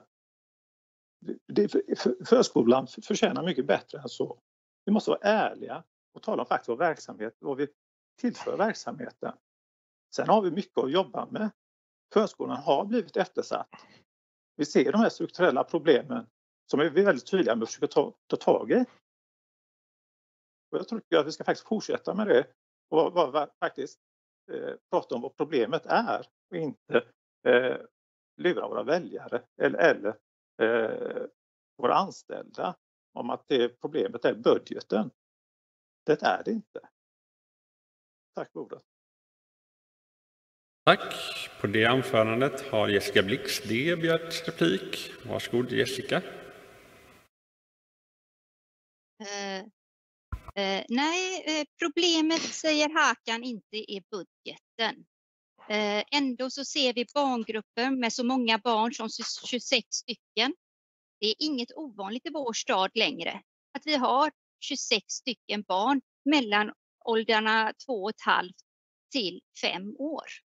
Eh, vi ser jättemånga förskolor som behöver göra sig av med sin kompetenta personal, alltså förskollärare och ersätta dem med förskoleassistenter. Men det har heller kanske ingenting med budget att göra.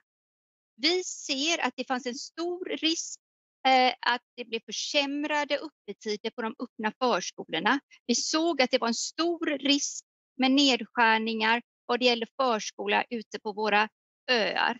Ja, men det har nog heller ingenting med budget Tack. att göra. Fråga det. våra på... förskollärare. Då var tiden slut. På din replik har Hakan begärt kontrareplik. Varsågod. Tack ordförande. Nej, det stämmer Jessica. Våra förskolor förstår inte budgeten. De, de har inte ansvar för budgeten. Det har våra rektorer. Det är dem vi ska prata med. Och det är dem jag lyssnar på.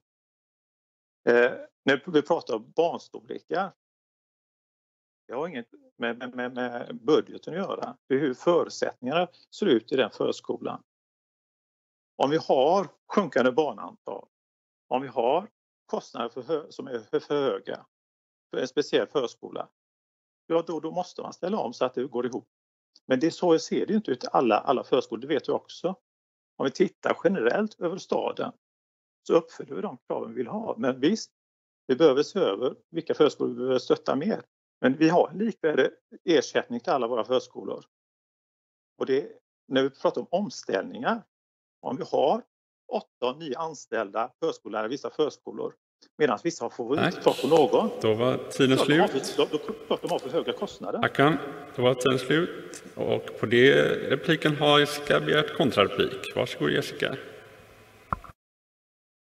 Ja du Hakan, det är som du säger, hoppas verkligen inte att du menar det, att det är rektorernas fel att eh, vi har stora barngrupper. Eller att vi har låg, att inte vi kan ha kvar vår höga kompetens. Från början så hade vi ett mål i den här stan att vi skulle ha två stycken förskollärare och en eh, barnskötare i varje barngrupp.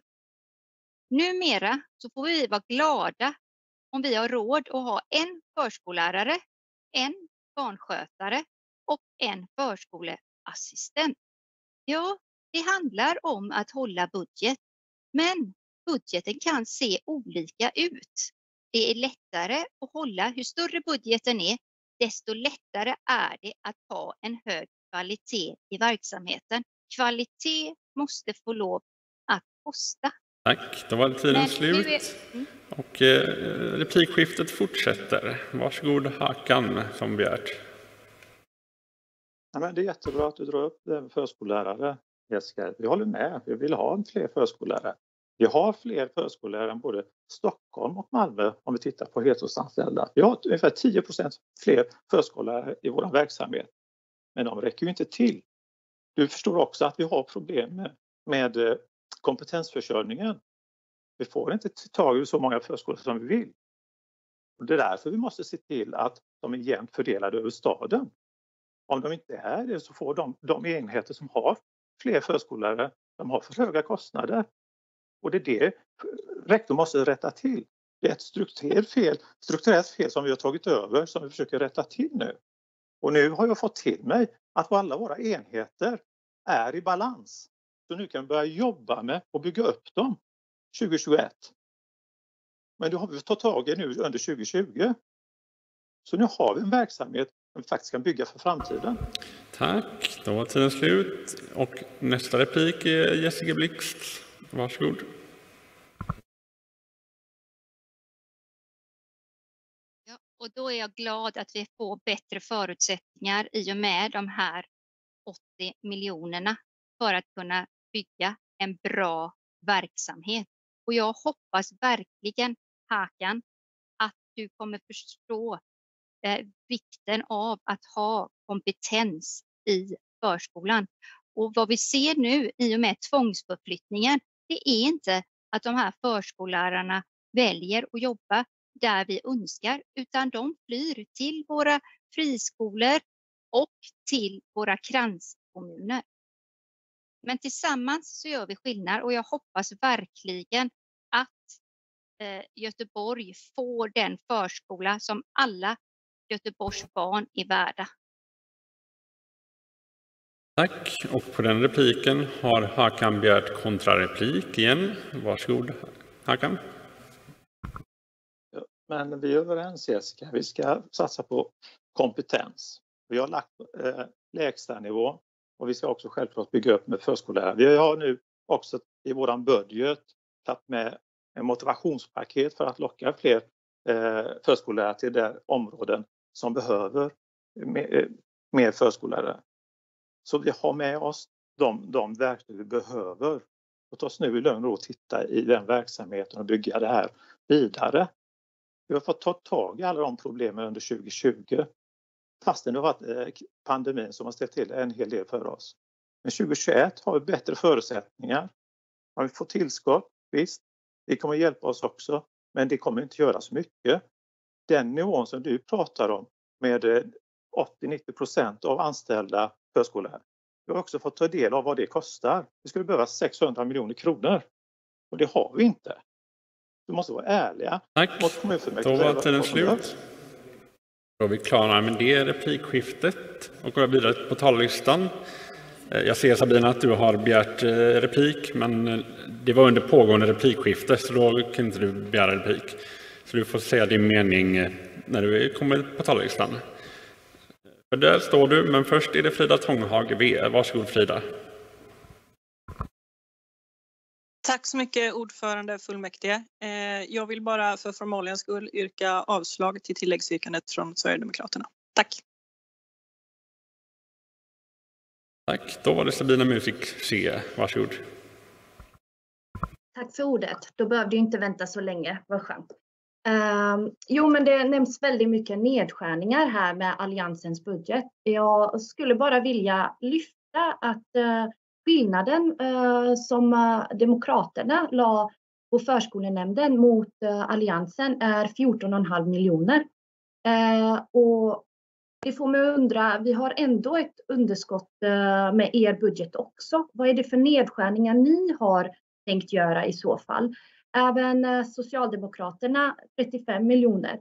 Eh, så att ni hade lika väl inte klarat av det här behovet på 64 miljoner som vi heller. Så att prata om nedskärningar, då, då är vi likadana. Vi ligger i samma storleksordning där, så jag tycker inte det, det känns relevant. Däremot så har vi uppmärksammat ett behov som vi alla vill eh, tillgodose och se till att vi eh, se till att förskolenämnden får de pengar de behöver.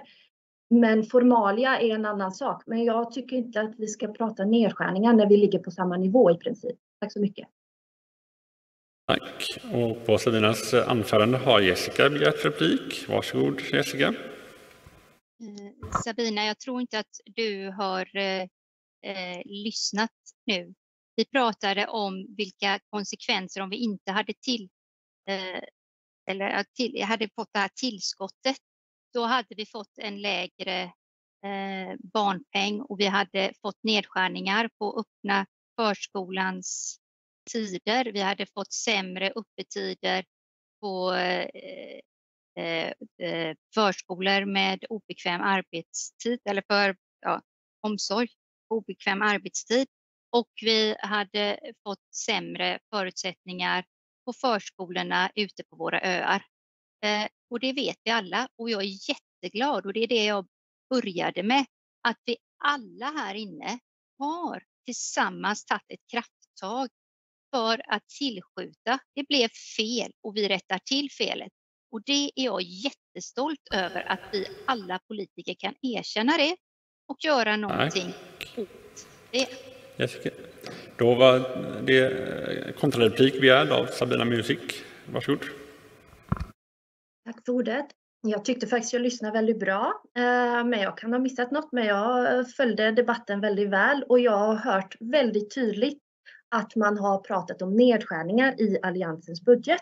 Och det var bara det jag ville poängtera. Däremot är vi överens om att vi ska ge eh, nämnden det, de medel de behöver. Sen att vi tycker att vi gör det på olika sätt, det, det är vi oense om. Men eh, vi går vidare i debatten. Men jag lyssnade väl på att ni sa att uh, Alliansens budget uh, har nedskärningar. Tack. Då går vi tillbaka till talarlistan. Först ut är Martin Manholt, D, efter Stina Svensson, Fi. Varsågod Martin. Tack så mycket. Nej, jag ville bara be om ett annat tonläge. Det är ju alldeles uppenbart att, eh, att vi i vår budget inte tog höjd för dem. Det var otydligheter i det underlaget. Vi borde gjort ett bättre arbete. Eh, Daniel Bernmar och hans konstellation gjorde ett bättre arbete och det tycker jag han ska ha beröm för. Och nu försöker vi då korrigera. Skillnaden är att ni i Alliansen försöker låtsas som att ni inte har gjort något fel. Alltså, och när jag läser protokollsanteckning från alla kommunalråd, alltså ni håller en svansföring som man inte ska ha när man har gjort fel. Då ska man vara ödmjuk, be om ursäkt och göra rätt. Och det är det som är skillnaden i den här debatten. Vi hade det förra året när ni stod på presskonferens från Alliansen och sa att ni satsade på skolan. Det var den största nedskärningen på länge med 240 miljoner. Som vi fick till och med tvinga fram en återremiss för att korrigera. Och då var det formalia fel på det och nu är det formalia fel. Vi har ju kontrollerat med Stadsledningskontoret. Det här är ett möjligt sätt, finns säkert bättre sätt. Men det var det vi såg där och då och det är det som vi har fått stöd för i kommunstyrelsen. Så jag ber er i Alliansen att vara lite ödmjuka. Man kan göra fel, men det ännu bättre är när man korrigerar och gör rätt. Men då kanske man ska hålla en svansföring som passar sig. Det vill jag säga. Tack! Tack. På det anförandet har Sabina Musk begärt replik. Varsågod Sabina. Tackar. Um, ehm, ja, jag tycker att uh, om man påstår att någon inte är med, hänger med och inte lyssnar så kan man också tåla att någon uh, säger att man faktiskt är med och lyssnar. Och uh, vi, vi tillför också medel. Det är att nu kommer ett av yrkanden gå igenom och ett av pengarna kommer tas från antingen evakueringskapitalet eller från nämndernas kapital. Men pengar kommer tillföras. Så eh, jag förstår inte riktigt eh, vad, du, vad problemet är. Det som jag ville lyfta var att vi inte kan prata om nedskärningar i Alliansens budget när vi faktiskt ligger på i princip samma nivåer. Den mängden pengar som eh, nämnden får från grunden, det här är småpengar i förhållande till den stora budgeten som nämnden har. Och där ligger vi ganska lika. Tack. Då var nästa talare Stina Svensson Fid efter Hakan Önal M. Varsågod Stina. Ordet ordförande. Jag vill bara yrka bifall till kommunstyrelsen och avslag på SDs tilläggsyrkande. Tack. Tack. Då var det Hakan Önal M sist på talarlistan. Varsågod. Nej, jag tycker det är fortfarande väldigt tråkigt att, att uh, hävdar att vi har nedskärningar i vår budget. Då hade jag gärna velat att hon har lyft i, i förskolenämnden. Inte, ett enda, inte en enda nedskärning har vi föreslagit. Att vi tittar på, på ersättning över, över eh, eh skärgården. Det har varit öppna med. Där har vi ju, där har vi ju inte bara eh, det är inte ersättningarna som är felet utan det är likvärdigheten. Att vi ska kunna faktiskt erbjuda en förskola som håller ihop. Vi har ju förskolor med, med, med fyra barn och två anställda. Och det är det vi försöker se hur vi kan rätta till. Och det, och det tror jag vi var överens om att vi skulle göra, men, men jag kanske har fel. Men att vi rättar till eh, och, och de strukturella felen inom förskolan och försöker få en likvärdighet. Jag hoppas vi är överens om det. För det, det där har inget budget att göra, det är för att det ska faktiskt vi ska ha en fungerande verksamhet. Men att försöka hålla och, och koppla eh, budgeten mot de här omställningarna, det där är ju fel. Det har vi också fått underlag från förvaltningen om. Det är för att det finns för, för många förskollärare i centrala stan. De har haft bättre förutsättningar att rekrytera förskollärare. Kostnaden för att kunna behålla det är 600 miljoner och det har ingen av, har lagt så mycket pengar i sin budget. Då, då kan vi inte heller begära att rektorerna ska kunna hålla sig i den nivån. Vi behöver justeras för att få en likvärdighet. Tack för ordet. Tack. På det anförandet har Jessica Blixt begärt replik. Varsågod Jessica. Ja, nu vill jag verkligen tydliggöra några saker här, Hakan. Nummer ett, eh, de här 600 miljonerna som du pratar om.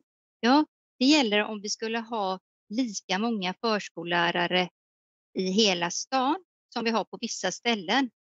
Eh, likhet eller likvärdighet behöver inte vara att man sänker kvaliteten på vissa ställen i staden. Det tror jag att vi alla är överens om. Så att det här har ingenting med det att göra.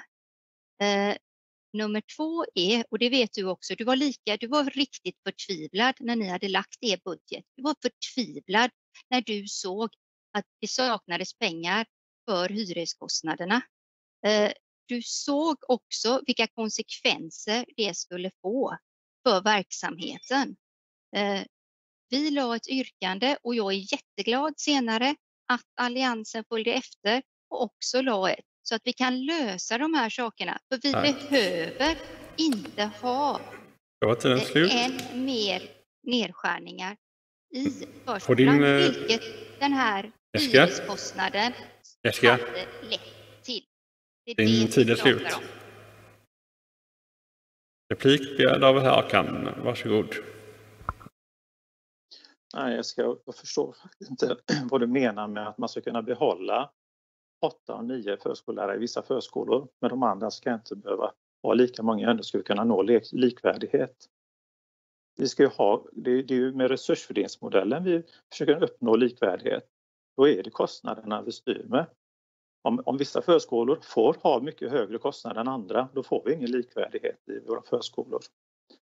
Så det, det måste vi vara överens om. I så fall är det hela resursfördelningsmodellen vi ska ifrågasätta. När det gäller eh, de här hyresökningarna, ja, jag är förtvivlad. Och det är därför också Alliansen har lagt in eh, ett yrkande om att tillskjuta 60 miljoner, för det är det som saknas. Det är därför jag också eh, yrkar bifall för det. Tack. Nu var det nog inte någon mer replik. Jag tog bort sin. Då var nästa talare Aslan Akbas, S. Varsågod Aslan. Tack så mycket ordförande, fullmäktige, ledamöter, göteborgare som ser detta. Det mesta har ju sagts, men eh, jag tycker att man börjar spåra ur från vad själva yrkandet är. Eh, det är flera talare som har lyft upp det saknas pengar. Och när det saknas pengar och inte rätta till det, det kommer leda till att någonstans måste man dra ner att få täckning för de pengarna. Och eh, Hakan lyfter upp mycket om eh, resursfördelningsmodellen, 600 miljoner pedagoger. Ja, men yrkande handlar inte om det. Det handlar om att det saknas pengar och tack vare yrkande från Demokraterna och S kommer vi rätta till där. Låt oss börja där. Sen är ju det här med, med, med resursfördelningen och vilka budgetar det är. Ja, men det kommer i tid att diskutera det och eh, debattera med olika partier. Nu handlar det om att rätta till med de här 80 miljonerna som saknas för hyrestäckningen. Och skulle vi inte få de här pengarna eller skulle vi inte komma med yrkande och rätta till det, ja, men vad hade varit konsekvensen av det då? Alltså på något sätt skulle vi behöva ta hand om. Sen är självklart, det finns ju många utmaningar i förskolan att ta tag i, men, men det, det är inte det det handlar om ikväll, utan nu ska vi ta ställning till det här yrkandet som har gått igenom i kommunstyrelsen och eh, därmed så yrkar jag på bifall. Tack! Tack. Replik begärd av Hakan Önal. Varsågod Hakan. Ja, men jag håller med dig Aston. Eh, det, det är väl det vi ska fokusera på. Och det där vill säga, det som saknas är 60 miljoner, inte 80 miljoner. Det är det vi från Alliansen säger. Och det är det, det vi försöker rätta till. Men det är inte jag som har dragit upp att det skulle vara en massa stor, stora nedskärningar i förskolan. Det är faktiskt ni och då jag behövde svara på det. Tack ordet. Tack. Kontrareplik Aslan Akbas. Varsågod Aslan. Tack så mycket ordförande. Ja, eh, Håkan, du säger att det saknas 60 miljoner och det har vi de 60. Ja, men vi anser att det behövs 80. Då har vi lagt 80. Så enkelt är det. Tack. Nästa talare är Emelie Börnfors C. Varsågod Emelie. Tack ordförande för ordet. Ja, när man gör en budget så är ju det ofta en prognos om vad man har och vad man tror man har att vänta det kommande året och det har ju anförts i den här debatten att Alliansen har haft fel och det kan ju ni som har lagt yrkanden från SD anse. Men vi har ju de facto tagit höjd för evakueringskostnader i Alliansens budget. Vi har lagt 100 miljoner för evakueringskostnader. Nu hade vi velat gå fram med ett yrkande som säger att 60 miljoner ska ges till förskolenämnden. Det är ju så att man hanterar ju saker löpande under året i en budget också. Eh, och ni vill ju lägga 80 miljoner. Så att eh, pengarna kommer ju komma förskolan till del. Men det jag skulle vilja veta är varför S inte väljer att lägga att ta pengarna från sin pott evakueringskostnader. Eh, ni har ju också lagt motsvarande 100 miljoner i evakueringskostnader i er budget. Varför väljer ni nu att lägga och ta de här pengarna från eget kapital och inte från just evakueringskostnader? Det skulle jag gärna vilja fråga till exempel Victoria, om jag kan få svar på. Tack för ordet. Tack. Och på det anförandet har Martin Wannholt begärt replik. Varsågod Martin. Tack. Då kan jag börja med att korrigera eftersom Axel Josefsson, eller vem det var, tror jag, som sa fel i media där och inte hade läst vår budget. Vi har också avsatt 100 miljoner kommuncentralt till evakueringskostnader. Varför vi valde i yrkandet den vägen med eget kapital, det var ju för att det var ett överskott i år och det var, skulle vara pedagogiskt. Vi har också fått det säkerställt att det är korrekt att få göra så från statsledningskontoret. Så även det är fel som du har varit med och skrivit i en protokollsanteckning här, Emelie. Sen kan man göra på olika sätt, men vi valde den vägen. Sen är det var bra att du sa det nu, för det låter ju inte så när man läser vad, vad du har varit med och skrivit här i, i er protokollsanteckning som inte nämner barnen eller någonting överhuvudtaget utan bara snöar in på bitter formalia. Att det, man lägger tilläggsbudgetar under året när det händer saker och man kan kompensera på olika sätt. Vi valde den vägen. Dessutom vill jag klargöra, det står upp till 80 miljoner. Det jag förutsätter ju att förskolenämnden eh, håller sig till 60 om de klarar det. Man kan få över pengar också, det är inte förbjudet. Martin. Eh, så. Tack. Eh, och på det, den repliken har Axel Josefsson M begärt replik och eftersom han blev apostroferad så ger jag ordet. Varsågod.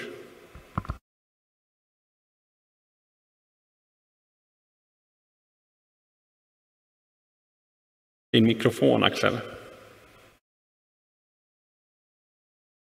Tack, nu hoppas jag att jag hörs. Eh, tack, tack ordförande. Jag blir lite förvånad här när Martin eh, Wannholt pratar om att man kan flytta överskott från ena året till andra året och att stadsledningskontoret har eh, påtalat att det är okej. Okay. Då hade jag gärna velat veta eh, hur man har kommit fram till den synpunkten, för så fungerar inte kommunal ekonomi, utan man gör en budget för det året man har och sen så får man, får man eh, ta med, med ur den budgeten. Det finns inga pengar du kan flytta mellan åren. Och det tror jag är väldigt viktigt att, att vi har koll på detta. Tack. Kontrareplik, Martin, varsågod. Ja, då får jag be Axel att lyssna. Jag sa att vi såg att det var pedagogiskt för att förklara med överskott. Vi vet mycket väl att det går på årets budget under alla omständigheter eftersom vi stänger böckerna. Det var ett pedagogiskt sätt att förklara för medborgarna. Här gör man ett överskott och, och då sätter vi av motsvarande för det. Vi vet mycket väl att man inte kan föra över pengar. Men vi fick mejl från när vi ställde frågan till SLK. Går det att göra så här? Ja, det går att göra så här. Det finns inga hinder mot det. Ni påstår att det är hinder på det och ni börjar dra upp massa formalia. Kan ni inte vara glada för att vi slipper de nedskärningar som skulle blivit konsekvensen av felbudgeteringen i er budget med 20 politiska sekreterare, fyra budgetsekreterare och i vår budget? Tack. Då var det kontrareplik. Axel, varsågod. Tack. Eh, nej, men våran, våran budget är ju fullt finansierad och vi har ju också lyckats lägga en budget till skillnad från en del andra partier i eh, kommunfullmäktige. Eh, och det vi bygger det på det är att vi har reserver och det är så vi hanterar eventuella underskott löpande under året. Och här har det nu kommit upp en diskussion om vart man ska ta de här pengarna och då i och med att det är relaterat till lokalkostnader så förordar ju vi att vi ska använda lokalkostnadskontot. Konsekvensen av ert förslag nu är ju att vi stryper eget kapital eh, för alla andra nämnder. Vi minskar ju det så att eh, nu återstår det bara 120 miljoner kvar där. Och det är klart att det kommer bli svårt för oss framåt om det skulle uppstå underskott i andra verksamheter. Tack. Tack. Kontrareplik. Martin, varsågod. Ja, det är bara att titta på hur vi har löst de saker vi har gjort i årets budget om olika tillägg hela vägen. Förvisso coronakris, men det kommer andra saker säkert i år också, tyvärr. Eh, så att det går att hantera. Min invändning, Axel, är att ni försöker med hög svansföring istället för att tala om för göteborgarna, eh, som vi har gjort. Vi har gjort en felbudgetering här. Daniel Bergman har gjort en mer korrekt budgetering. Och ni har också, trots alla politiska sekreterare, gjort en felbudgetering. Då får man först be om ursäkt för det och vara glad för att korrigera. Sen kan man korrigera på olika sätt. Jag är jätteglad för att vi fattar det här beslutet idag. Tack. Tack. Kontrareplik. Axel, varsågod. Jag har ju svårt att se hur man kan kalla det för en felbudget när man använder sig av en reserv. Eh, en, fel, en felbudget är ju om man inte har några reserver. Eh, och eh, det är ju det som vi riskerar att få nu när man går fram och tar så pass mycket pengar från eget kapital. Att det kommer bli tufft för alla andra nämnder här längre fram. Så att utifrån det perspektivet så tycker vi att det varit mer rimligt att ta detta från de reserver vi har för lokalkostnader istället för att ta det från eget kapital. Tack. Då var det tom på talarlistan tror jag. Jörgen tog bort sig igen. Ja. Då frågar jag fullmäktige om vi kan anse överläggningen avslutad. Ja, ja. Då under överläggningen yrkar Daniel Bärmar, Jessica Blixt, Jörgen Fogelklou, Bosse Pabrink, Stina Svensson och Aslan Akbas bifall till kommunstyrelsens förslag. Sabina Musik och Hakan Önal att fullmäktige beslutar bifalla förslaget från M, L och C i kommunstyrelsen. Och Jörgen Fogelklou yrkar också bifall till tilläggsyrkandet från SD i kommunstyrelsen. Jag kommer först att ställa proposition på kommunstyrelsens förslag och yrkandet från Sabina Musik med flera. Och jag kommer därefter ställa proposition på bifall respektive avslag på tilläggsyrkandet. Godkänns den propositionsordningen? Svar ja. Bifalles kommunstyrelsens förslag? Ja. Ja. Bifalles förslaget från Sabina Musik med flera? Ja. Ja. Jag anser att kommunstyrelsens förslag har bifallits. Votering. Votering är begärd och ska verkställas.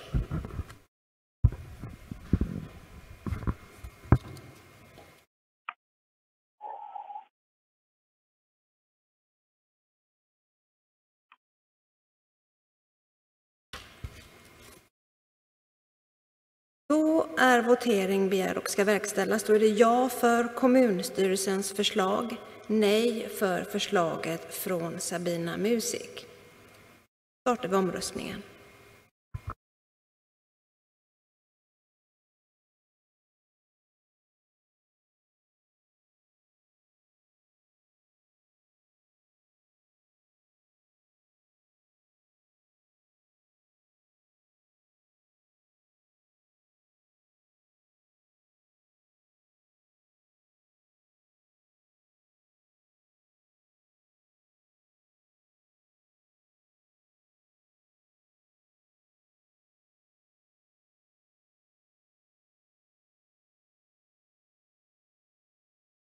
Jag kan inte uppdatera. Jag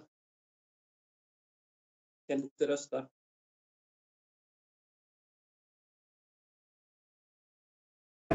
Vi tar det i retur och ordning. Det är två, tre som vi ser inte har röst... En. Vi börjar med nummer 43.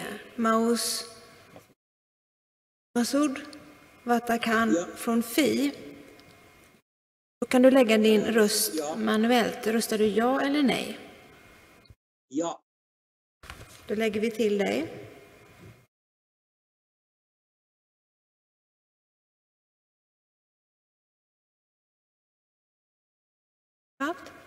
Då är omröstningen avslutad.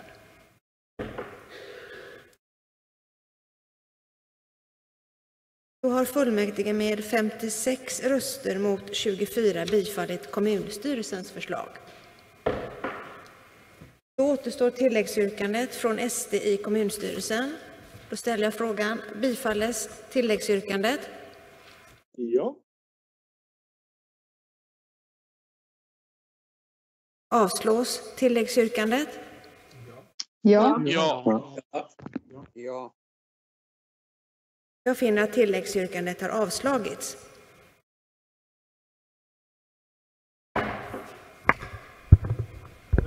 Reservation där till förmån för eget yrkande från Sverigedemokraterna. Tack. Reservation från SD. Noterat.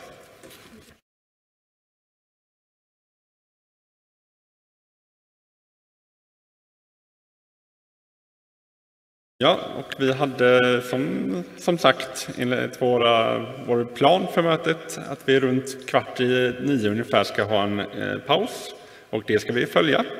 Så vi tänker att vi kör den nu, en kortare, men en tio minuter. Nu är klockan 20.40, så 20.50 kommer vi tillbaka. Tack Förlåt, jag skulle bara vilja reservera Centerpartiet också eh, till förmån för eget yrkande. Reservation Centerpartiet noteras. Tack så mycket. Ajournering.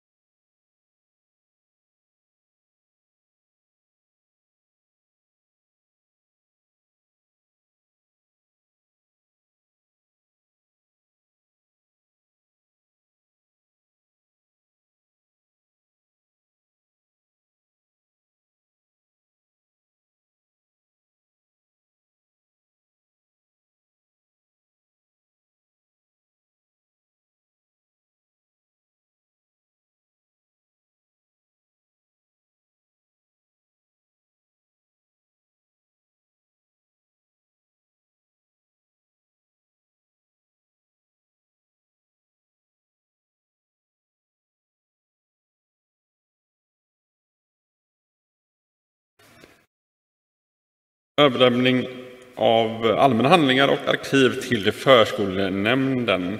Kommunstyrelsen föreslår att stadsdelsnämndernas överlämnande av allmänna handlingar och arkiv till Göteborgs förskolenämnd som behövs för att fortsatt driva den serviceverksamhet som framgår av stadsledningskontorets tjänsteutlåtande godkänns. Det är tomt på talarlistan. Kan vi anse överläggningen avslutad? Svar ja. Bifalles kommunstyrelsens förslag? Svar ja. Ärende 21. Uppdrag till socialnämnderna att förstärka det uppsökande arbetet gentemot barn och ungdomar genom samverkan med föreningslivet. Kommunstyrelsen föreslår att de nya socialnämnderna får i uppdrag att i samarbete med idrotts och föreningsnämnden skyndsamt förstärka det uppsökande arbetet gentemot barn och ungdomar genom samverkan med föreningslivet. Vi har en talarlista. Först ut är Jesper Berglund V, efter Hanna-Linnea Wettermark L. Varsågod Jesper. Tack ordförande göteborgare. Stadens ungdomar har drabbats hårt av pandemin. Hemstudier i kombination med minskade föreningsaktiviteter leder till att många har fått en försämrad hälsa, såväl fysisk som psykisk. Föreningslivets roll som demokratisk fostrare och de förebilder som finns i det ledarledda föreningslivet är inte närvarande i samma utsträckning som vanligt. Det är därför av stor vikt att vi bifaller förslaget från V, MP och S i KS, alltså KS förslag. Jag yrkar å Vs vägnar bifall till kommunstyrelsens förslag och avslag på SDs yrkande. Tack! Tack. Då var nästa talare Hanna-Linnea Wettermark Eld efter Ulf Karlsson MP. Varsågod Hanna. Tack så mycket för ordet ordförande, kommunfullmäktigeledamöter och åhörare. Som Jesper mycket tydligt nämnde så är ju coronapandemin en bidragande faktor till att eh, många unga har förlorat sitt eh, sociala sammanhang. Skolan är delvis på distans. Eh, aktiviteter har lagts ner på grund av att det inte funnits ändamålsmässiga lokaler och många mötesplatser där man har kunnat träffa sina nära och kära och kompisar har varit stängda på grund av pandemin. Och det är ju snart ett år det har pågått, nästan 11 månader av restriktioner nu. Då är det jätteviktigt att det finns trygga, positiva sociala sammanhang att eh, mötas av. Och eh, sådana är föreningslivet och därför är det jätteviktigt att eh, vi bifaller kommunstyrelsens förslag om att ge socialnämnderna ett uppdrag att arbeta uppsökande mot de ungdomar som kan behöva det. Tack så mycket. Tack Hanna. Eh, nästa talare är Ulf Karlsson, MP, efter Stina Svensson, Fi. Varsågod Ulf. Ja, tack så mycket ordförande, kommunfullmäktige, åhörare. Att vara ung idag innebär att man är i en tidpunkt i livet som formar ens framtida livsval och inriktning.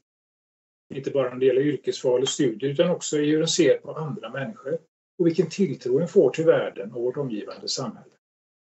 Att växa upp idag innebär att växa upp med vetskap om att miljöförstöring och klimatförändringar hotar ens framtida möjlighet till, till ett gott liv.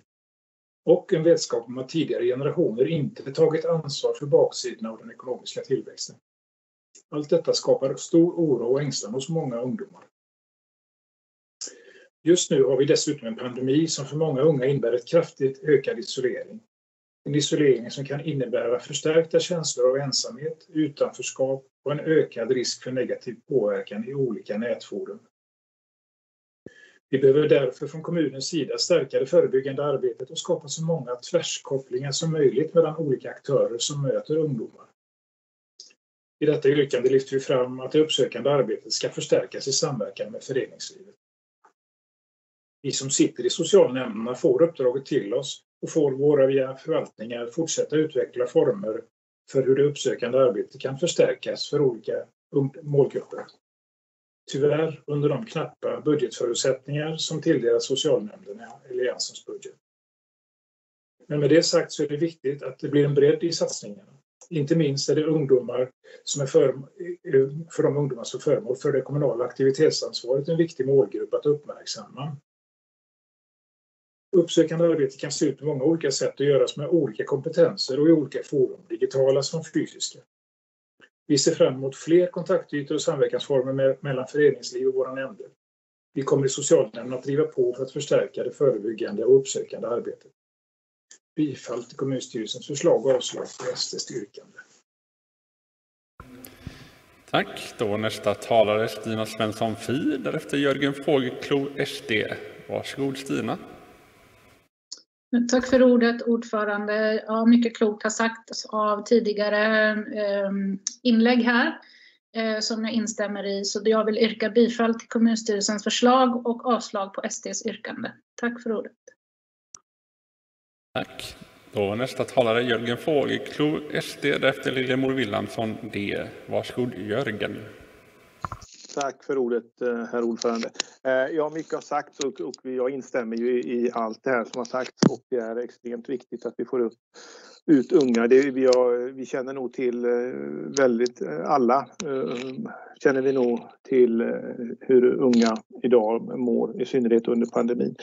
Så egentligen finns det inget motsatsförhållande här utan vi, vi vill ju i princip det som Socialdemokraterna vill men vi säger att det ska vara Stadsdelskontoret som får huvuduppgiften. Så att, men med det sagt så yrkar jag på vårt förslag men blir inte så jätteledsen när det andra förslaget går igenom. Tack. Då var nästa talare Lillemor Williamson, D. Därefter Nina Miskovsky, M. Varsågod Lillemor. Mm, tack. Eh, tack ordförande och ledamöter och åhörare. Eh, jag vill också för Demokraterna yrkar bifall till eh, kommunstyrelsens förslag. Och jag ska fatta mig kort för alla har pratat så mycket om allt runt det här som vi alla håller med om hur viktigt det är. Och jag har suttit i eh, stadsdelsnämnden i Väster och har ju sett det bra arbete som man har gjort där. Och det, det är jättebra att förstärka det. Sen har väl jag en önskan och det är att den här förstärkningen inte ska vara tillfällig bara. Utan man skulle behöva att den blev beständig. För alltså det görs ett fantastiskt bra jobb nära de här barnen ute i stadsdelarna och att det kan få fortsätta för det, det är oerhört viktigt. Tack för ordet. Tack. Då var nästa talare Nina Miskovsky, M. Därefter Malina Johansson, S. Varsågod Nina. Tack så mycket ordförande, ledamöter och göteborgare. Eh, jag håller med om att det är särskilt viktigt i dessa tider att fånga upp unga som inte längre eh, sysselsätter sig med olika aktiviteter. Och eh, det är också en viktig del i att motverka social oro och psykisk ohälsa bland unga. Och så är det också ett sätt att aktivera föreningslivet och i och med det så vill jag yrka bifall till kommunstyrelsens förslag. Tack!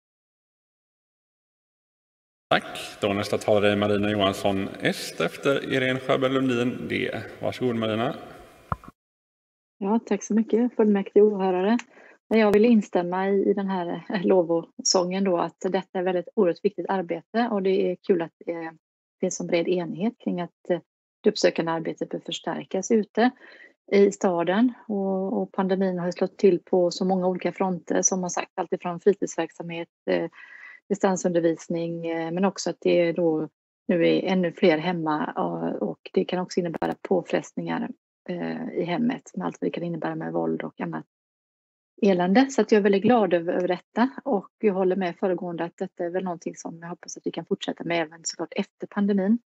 Eh, men vi har ju som sagt var då bekymmer, särskilt i två av våra socialnämnder med ekonomin, ganska stora bekymmer. Så att men jag hoppas att man ändå trots allt lyckas hitta möjligheter att eh, ändå prioritera detta eh, tillsammans med föreningslivet. Så, så bifall till KS förslag och avslag på SDs.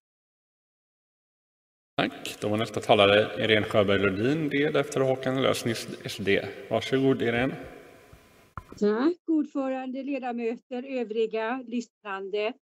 Det är så här tänker jag, pandemi eller inte, det behövs så mycket olika typer av mötesplatser för barn och unga. Jag tänker på när jag växte upp så fanns det allt ifrån de små ytorna med, med fotboll och det var hockey och så vidare och så vidare och till kyrkans möjligheter att man fick spela, alla ungar fick spela ett instrument.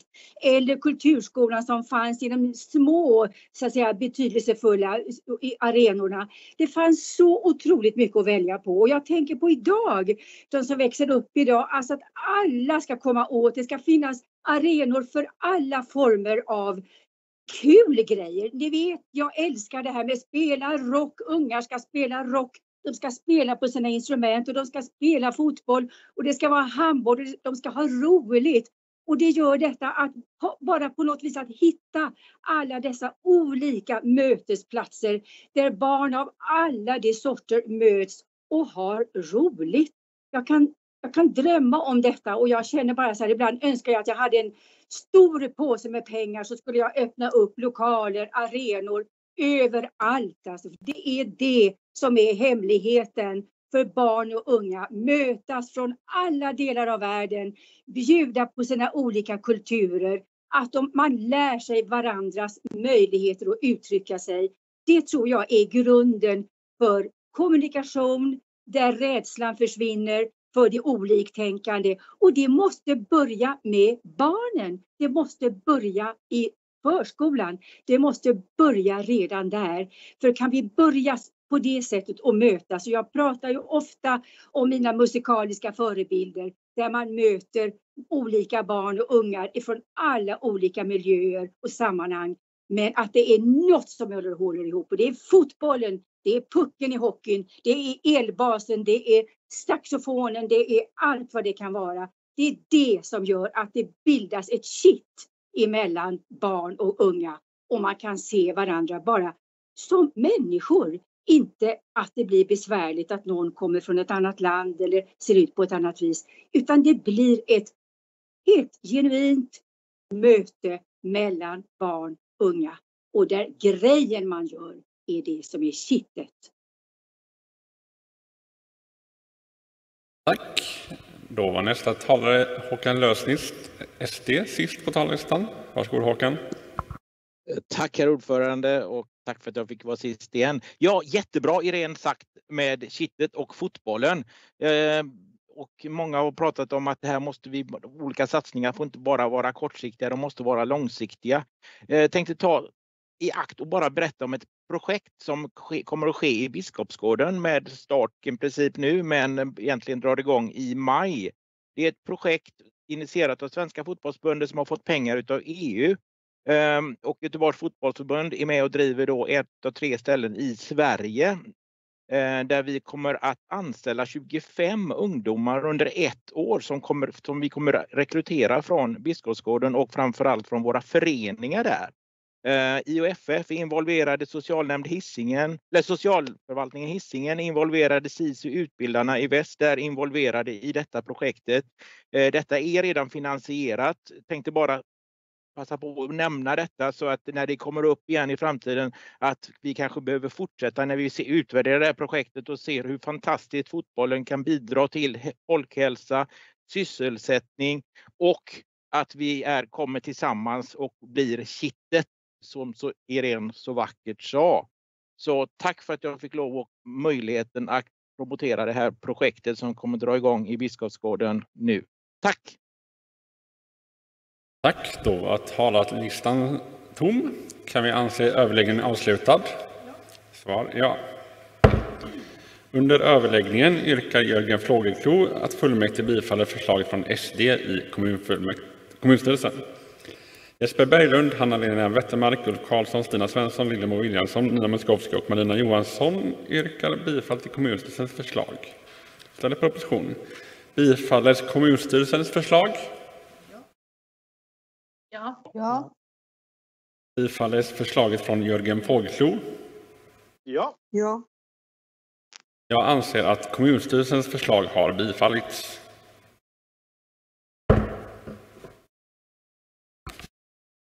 En reservation där till förmån för eget yrkande. Tack. Reservation från Sverigedemokraterna noteras. Och vi går över på nästa ärende. Nummer 22. Redovisning av uppdrag hur stadens uppvärmning kan ställas om till förnyelsebart. Där kommunstyrelsen föreslår att kommunfullmäktiges uppdrag till Göteborg Energi AB och Förvaltnings AB i framtiden att senast nio månader efter beslut återkomma till kommunfullmäktige med redovisning av vilka åtgärder som bolagen gemensamt kan vidta för att energi och effekteffektivisera. Förklarat fullgjort. Kommunfullmäktiges uppdrag till Göteborg Energi AB återremitteras för kompletterande utredning gällande den potential som föreligger gällande energi respektive effekt, effektivisering till år 2030. Ordet har först begärts av Karin Pleijel, MP, därefter Björn Tidland, SD. Varsågod Karin. Ja, får väl visa vad jag har intill mig här. Jag vet inte, det är svårt att se. Mål nummer 13, FNs klimatmål. Jag läste i The Guardian igår att eh, FN har gjort en väldigt stor eh, opinionsundersökning, den största någonsin faktiskt. 1,2 miljoner människor i 50 länder har tillfrågats vad de tänker om vi är i ett nödläge för klimatet. Och 69 procent av 14 till 18-åringarna tycker det. Och då kanske man tänker, ja det är bara de unga. Men 58 procent av de som är över 60 tycker det också. Eh, och Antonio Guterres, han sa den 12 i 12 att jag uppmanar alla världens ledare att utlysa ett klimatnödläge i sina länder tills klimatneutralitet har nåtts. Det här visar att det är väldigt många som har kommit till en insikt och det är en bubbla som lever kvar där man inte har nåtts av detta att vi faktiskt måste ställa om. Och vi har tio år på oss brukar vi säga, men de där börjar ju ticka neråt.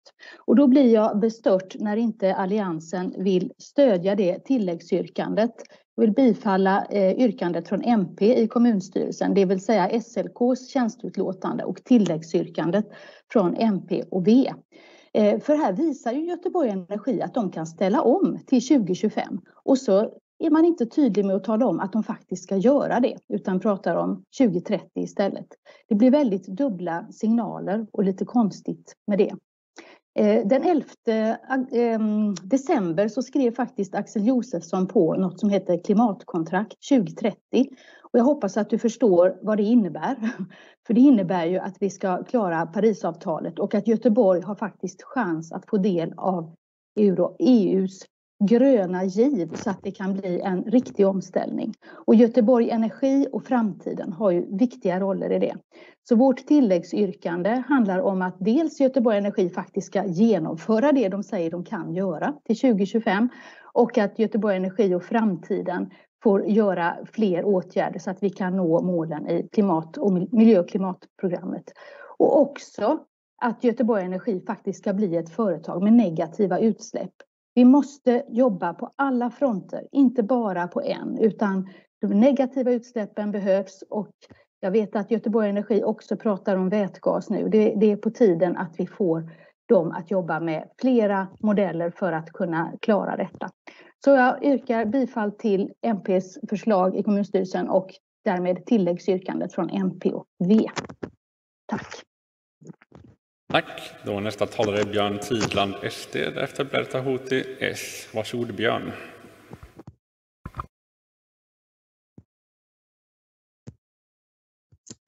Tack för ordet. Jag pickar på mikrofonen också.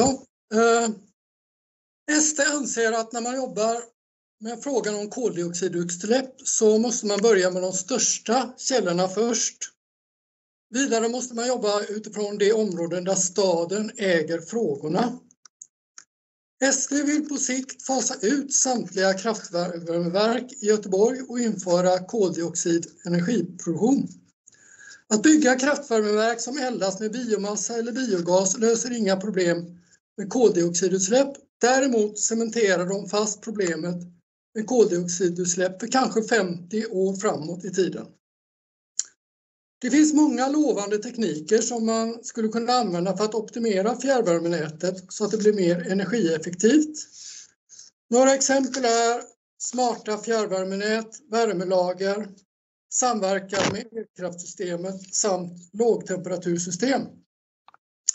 Mer om detta finns att läsa i den interna rapporten från Göteborgs Energi med titeln Fjär, Färdplan fjärrvärme 2035.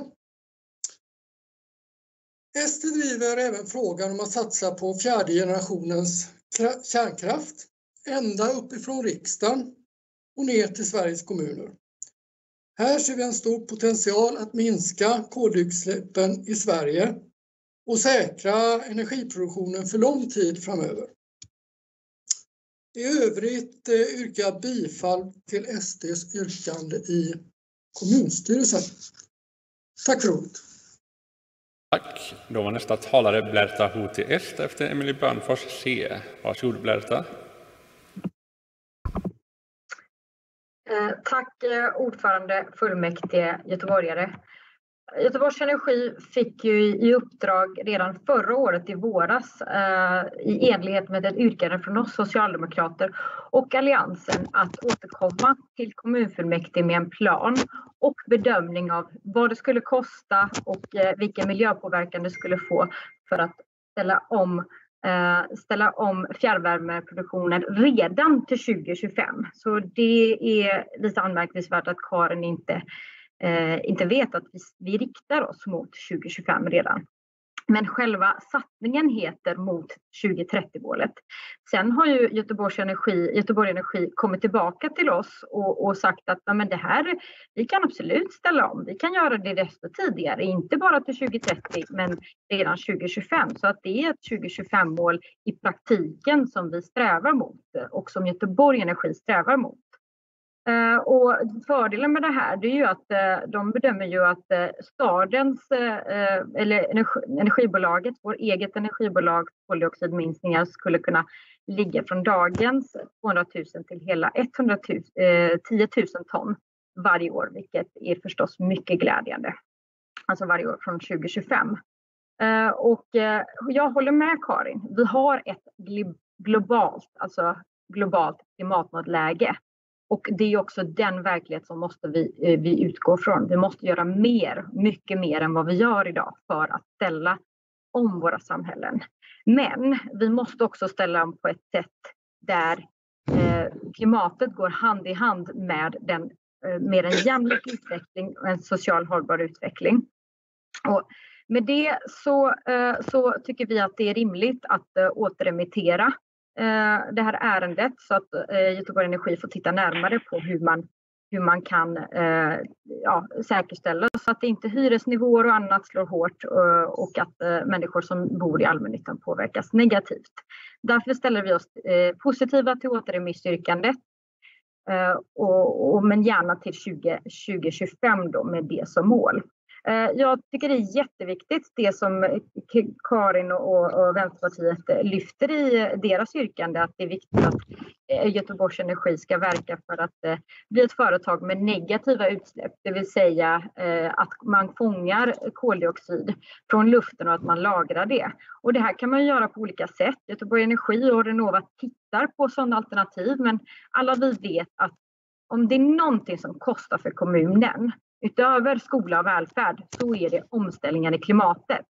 Göteborg klarar inte att göra både och samtidigt. Vi har inte den skattebasen till det. Vad vi behöver det är att samverka inom ramen för klimatkontraktet så att vi ska bli klimatneutrala till 2030 eh, i samverkan med stöd från statens håll och från, från andra samarbetspartners. Så att eh, det tycker jag är positivt. Eh, så med det så eh, tackar jag för mig. Så på ditt anförande har Karin Pleijel, MP, begärt replik. Varsågod Karin. Mm, ja, men det är bra att vi är ense om, om själva sakfrågan här. Eh, det är ju så att eh, miljön är inte allt, men utan miljön så är allt ingenting. Eh, och därför så är det, har vi allt att vinna och inget att förlora på att gå vidare här. Eh, du sa att i praktiken så handlar det om att ställa om till 2025 och du sa också att det är viktigt med negativa utsläpp. Eh, men varför inte rösta på det tilläggsyrkandet då som vi har lagt i kommunstyrelsen? För det är väl så att om våra nämnder och bolag får tydliga signaler från politiken, då blir det mycket mer kraft i den här omställningen än om man sänder dubbla signaler. Tack. På det har Berta begärt kontrareplik. Varsågod Berta. Ja, och anledningen till det, det är att i att-sats 2 eh, i ert yrkande så, så tycker ni att Göteborg Energi och Förvaltnings AB ska verka i enlighet eh, med att genomföra nödvändiga energieffektiviseringsåtgärder så att målen i det kommande klimat och miljöprogrammet uppnås. Och det tycker jag också, att vi ska vara, alla våra strategier och åtgärder ska verka i samklang. Men det programmet har inte antagits och här, här lyfter man Alltså man får inte blanda äpplen och päron. Här måste vi, jag tycker att det är en märklig ordning. Eh, och, och, det är klart att när klimat och miljöprogrammet som har jobbat på ganska länge som ska antas nu i vår, när det antas, då kan man ge ett sådant uppdrag. Men man behöver inte skynda bara för sakens skull. Men jag håller med, men jag tycker inte att det här är rätt ordning att hantera frågan på, så därmed så kan inte jag tänka mig att ställa mig bakom det. Tack. Tack. Då var nästa talare Emelie Bönfors Sed efter Roshan Gigit S. Varsågod Emelie.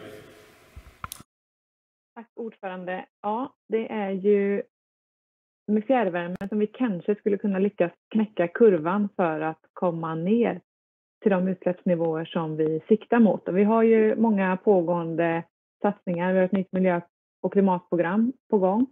Vi har eh, ett nytt miljöledningssystem för hela staden där vi också ska sätta mål för hur vi kan komma ner i utsläppsnivåer och det gäller ju även Göteborg Energi.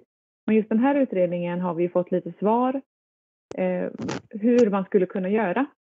Men vi är inte helt nöjda utan vi ser också att de skriver att de skulle kunna föreslå ytterligare saker fram till år 2030 och det är därför vi väljer att återremittera för vi vill veta vad är möjligt att göra med nya samverkansformer och med förbättrade affärsmodeller till exempel. Och det är också bakgrunden till varför vi vill återremittera det här. Så jag vill yrka bifall till kommunstyrelsens förslag. Tack. Tack. Nästa talare är Roshan Gigit S efter Peter Danielsson D. Varsågod Roshan. Tack. Den socialdemokratiska gruppen yrkar bifall till kommunstyrelsens förslag. Tack. Tack. Nästa talare är Peter Danielsson D efter Gertrud Ingelman V. Varsågod Peter. Eh, tack herr ordförande, ledamöter, göteborgare. Eh, vi yrkar bifall då till kommunstyrelsens förslag. Den här utredningen har ju genomförts av Framtiden och Göteborg Energi. Eh, och en delmängd i det här handlar om hur vi ska kunna effektivisera energianvändningen i det befintliga beståndet. Eh, dessutom hur vi kan få ner toppeffektförbrukningen. Eh, den här rapporten eh, eh, sträcker sig fram till 2025 men enligt rapporten så är potentialen bortåt 2030 väsentligt större och det här är en uppfattning som statsledningskontoret delar.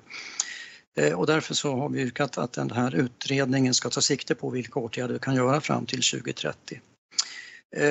Minskad förbrukning ger ju en, en rad fördelar. Vi slipper förnya våra gamla anläggningar i, i, i den takt som vi ändå måste göra.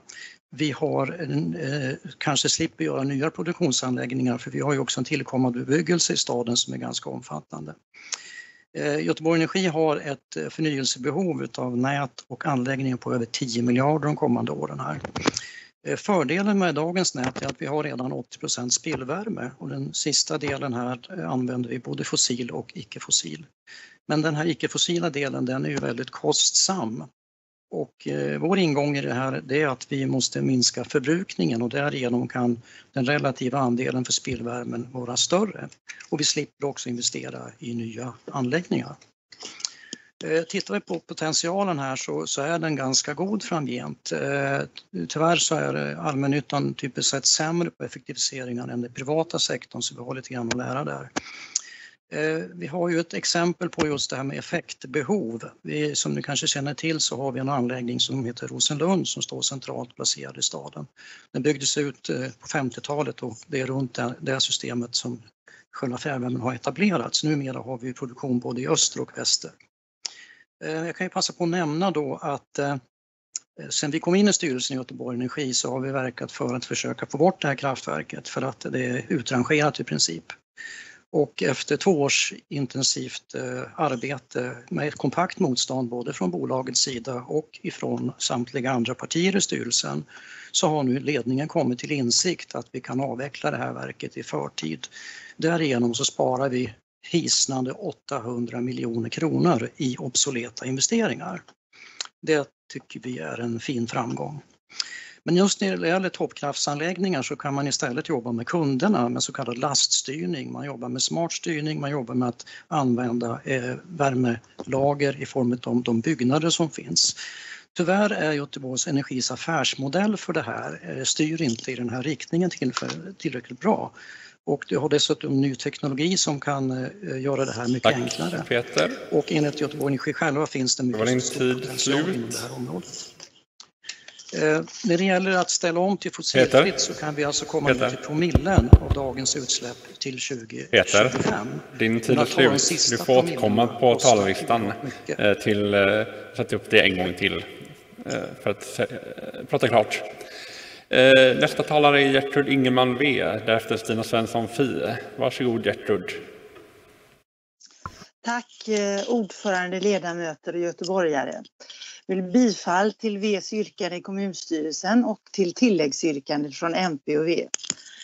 Det är ju bra att det fossila i Göteborg Energi fasas ut och energieffektivisering är bra. Men den här färdplanen är helt otillräcklig. Det kallas att uppvärmningen ställs om till förnyelsebart. men det är egentligen vilseledande. Det är faktiskt snudd på greenwashing. Varför det? Jo, två tredjedelar av fjärrvärmen är ju återvunnen.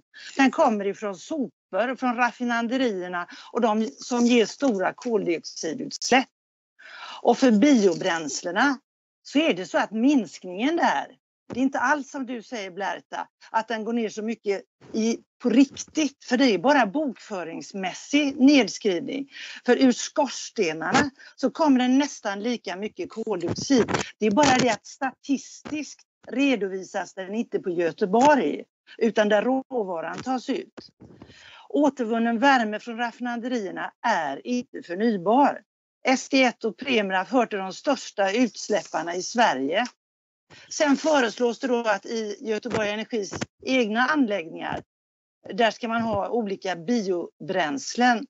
Ja, det är bättre än fossilt. Och bio framför bränsle låter bra. Men det släpper ju ut koldioxid och det sker direkt. Det sker här och nu och det bidrar till den globala uppvärmningen. Den kallas förnyelsebar eftersom ny skog kan växa upp. Men det tar ju 50 till 100 år innan uppbränd biomassa ersatts. Det är bara om den här råvaran huvudsakligen är från restprodukter som det minskar klimatutsläpp på riktigt. Och hur ska Göteborg kunna säkerställa att bioråvaran bara kommer från restprodukter? Det kommer vara en stenhård konkurrens om den. Nej, och gör den inte det Eh, från rest, kommer den inte från restprodukter, då förvärrar ju alltså biobränslen klimatkrisen. Men det är många som inte har förstått det än. Utan fjärrvärmen i Göteborg, den behöver i framtiden utvecklas. Göteborg behöver producera el även för uppvärmning. Vi behöver bygga ut sol och vindel och satsa på olika värmealstrande tekniker, jobba med vätgas. Så det här förslaget, det är en liten början. Men vi måste gå vidare och komma bort från det fossila i raffinaderierna. Vi måste bort från plasten i soporna och övertron på biobränslen. För framtiden behövs det en massiv elektrifiering även av fjärrvärmen.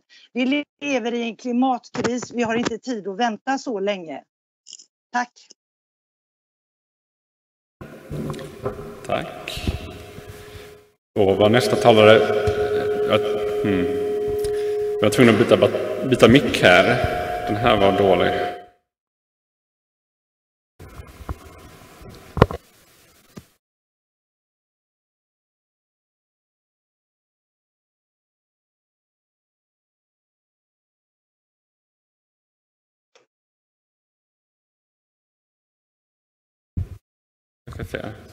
Nu då? Nu tror jag det ska fungera. Eh, tack för det. Eh, och nästa talare är Urban Junevik ved efter Karin Pleijel MP. Varsågod Urban. Tack ordförande, ledamöter och göteborgare. Eh, ja, nu har det ju sagts mycket klokt redan här, men eh, det oroar mig verkligen djupt att vårt fjärrvärmesystem är så beroende av sopförbränning och spillvärme från raffinaderierna. Största delen av det här sopberget, det skulle ju, det skulle ju gå att, eh, och det går och bör sorteras, återvinnas eller återanvändas. För att då inte tala om all den här plasten som ju är en oljeprodukt som för länge sedan borde ha hamnat på historiens sophög.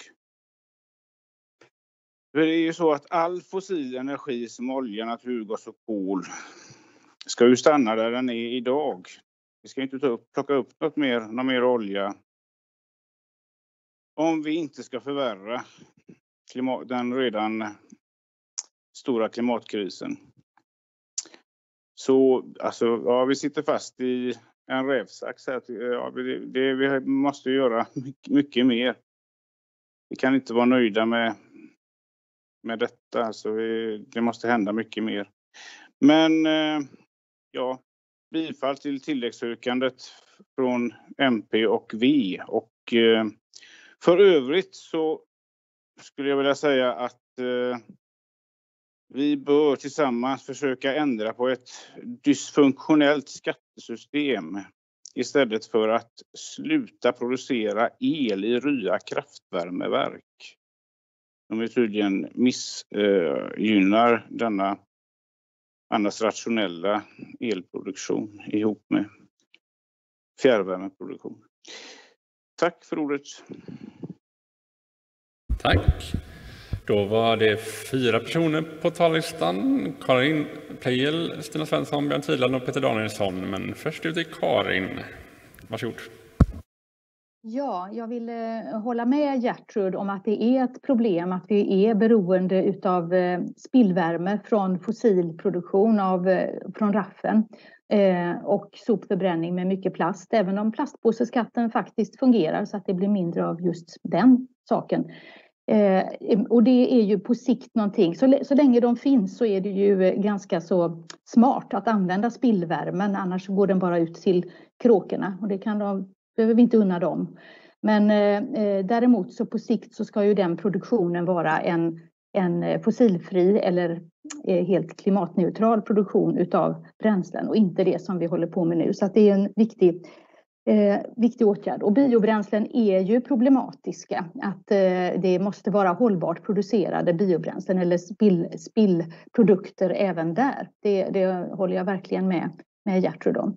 Eh, sen är det ju viktigt att förstå att eh, allting löses inte med en, en modell. Elektrifieringen pratas det ju mycket om i, idag och el är ju faktiskt det, det energislag som har högst kvalitet. Det kan omvandlas till vilken annan energiform som helst, till exempel till värme, men det är ganska eh, mycket bättre att använda spillvärme till värme. För att det kan man inte omvandla till el utan enorma förluster. Så att, eh, det gäller att använda rätt sak till rätt ändamål, rätt typ av energi till rätt ändamål. Men att det ska vara klimatneutralt och gå ner mot noll så snart det bara går. Och även då negativa utsläpp som det här tilläggsyrkandet pekade ut väldigt tydligt också.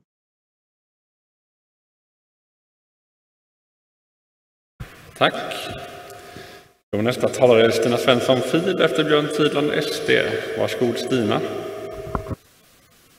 jättemycket för ordet, ordförande. Jag vill yrka bifall till tjänsteutlåtandet och tilläggsyrkande från rödgrön-rosa. Tack. Tack. Då var nästa talare Björn Tidland, SD efter Peter Danielsson, D. Varsågod Björn. Ja, Tack för ordet. Min vana trogen ska jag även hålla med om mycket av Peter Danielsson. Han säger att det handlar mycket om teknik. Rätt teknik, effektiv teknik, smart teknik och ny teknik. Utan att gå in på exakt. Han kan det där bättre än mig. Jag vill bara lyfta en annan sak och det handlar om koldioxidskatt. Men det kan ju hända så att både avfall och biomassa beläggs med koldioxidskatt. Så att man ska inte tro att de kalkyler när det gäller avfallsförbränning och biomassa kan hålla för evigt. Jag vill bara lyfta det varningens finger när ni, man propagerar för dessa energislag. Det är bara ett inlägg i debatten. Tack! Tack! Då var nästa talare Peter Danielsson D sist på talarlistan. Varsågod. Tack herr ordförande, ledamöter göteborgare. Ja, jag tror vissa ledamöter kanske skulle gå någon slags eh, termodynamisk grundkurser för att lära sig lite mer. Eh, här sägs det att vi ska producera el som är en högvärdig energiform för att hålla på att värma hus. Det känns inte helt optimalt. Eh, vi kommer att ha ett ansträngt elsystem och det har vi faktiskt redan här i elområde 3 som Göteborg tillhör.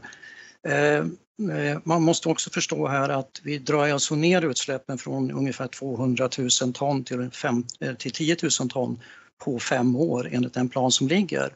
Slår vi ut det här utsläppet per medborgare så motsvarar det ungefär 50 kilo. Och det, det, är alltså den gaseldning som vi har idag. Det motsvarar väl ungefär några hamburgare i utsläpp. Sen mycket riktigt är det så att vi använder stor del raffinaderispillvärme eh, och sopförbränning. Och så länge de finns är det bättre att använda den energin än att eh, värma kråkor och sen försöka hitta primärenergi och göra värme utav. Eh, det är ju också så att man jobbar för att komma ner i negativa utsläpp. Det finns redan ett samarbetsprojekt här med ett antal stora aktörer inklusive raffinaderier och sopförbränning som arbetar med frågan. Idag är den tekniken inte helt utvecklad men, och eh, den kommer också väldigt, den kommer vara väldigt dyr initial men på sikt kommer det att bli billigare. Problemet med MP och V är att det finns ju inga begränsningar vad gäller kostnader.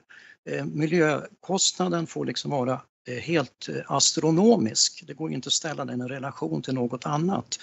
Men Göteborg har ju en del andra kostnader som måste täckas. Vi har ju hört det hela kvällen att det är brist på pengar i den ena sektorn efter den andra. Och då är det väl bättre att vi gör eh, ett gott hantverk här i Göteborg Energi så vi alltjämt kan hålla rimliga priser samtidigt som vi begränsar utsläppen kraftfullt. Jag vågar påstå att Göteborg Energis utsläpp 2025 kommer att vara de lägsta i landet eh, vad gäller eh, CO2 per capita. Tack.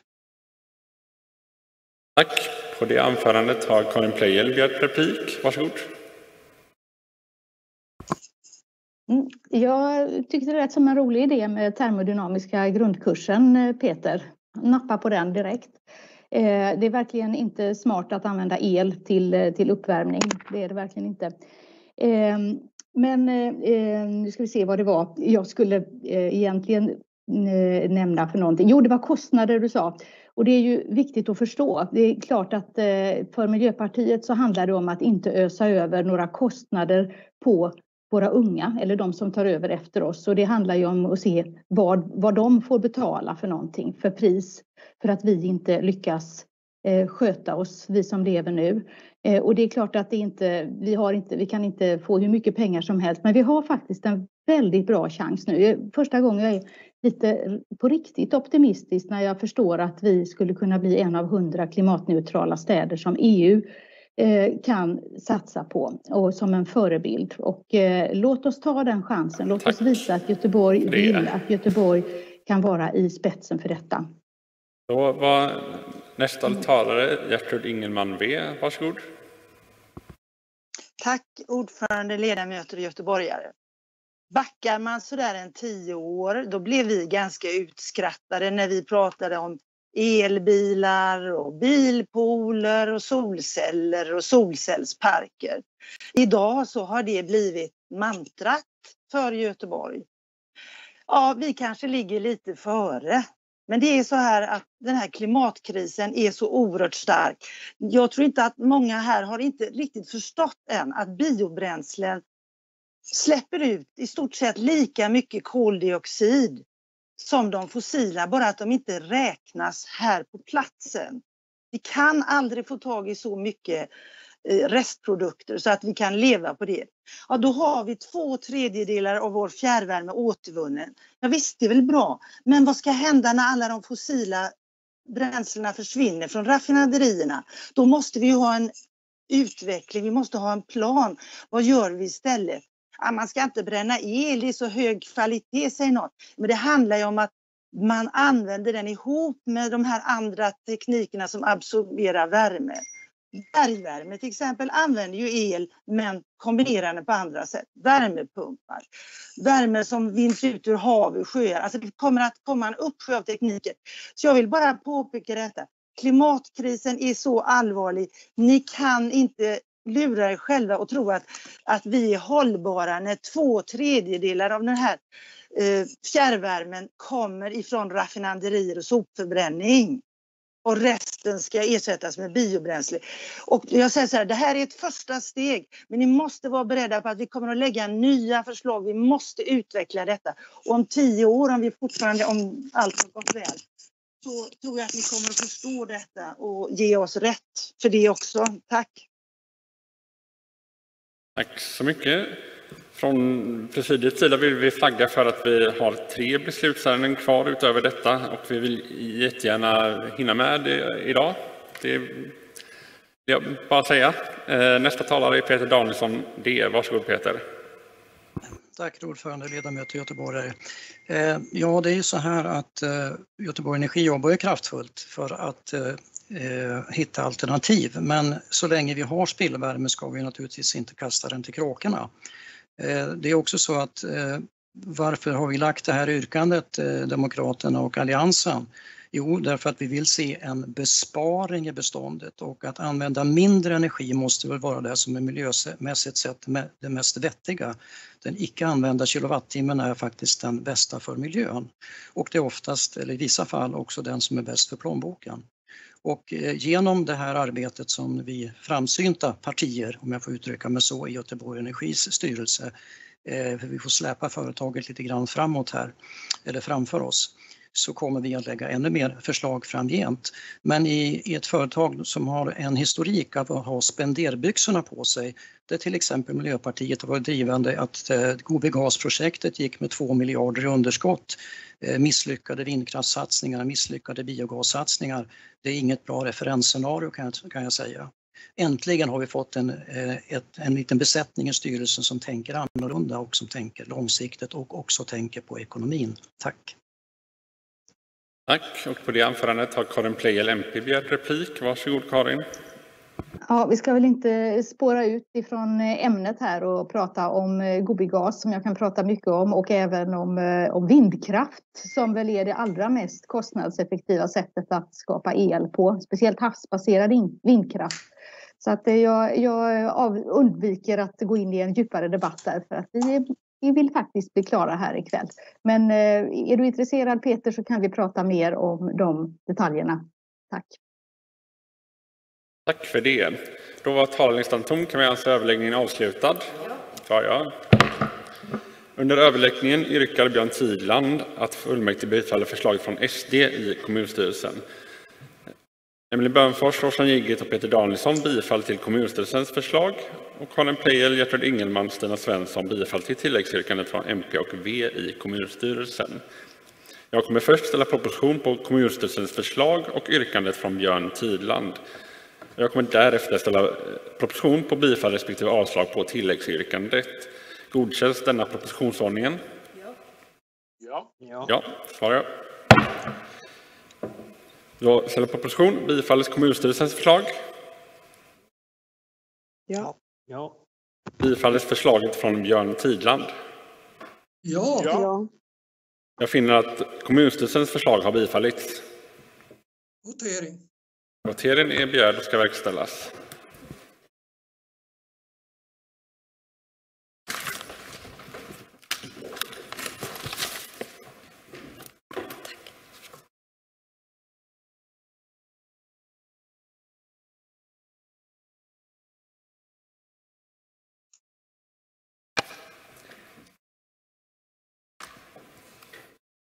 Då är det ja för kommunstyrelsens förslag, nej för förslaget för Björn Tidland. Godkännes denna voteringsproposition?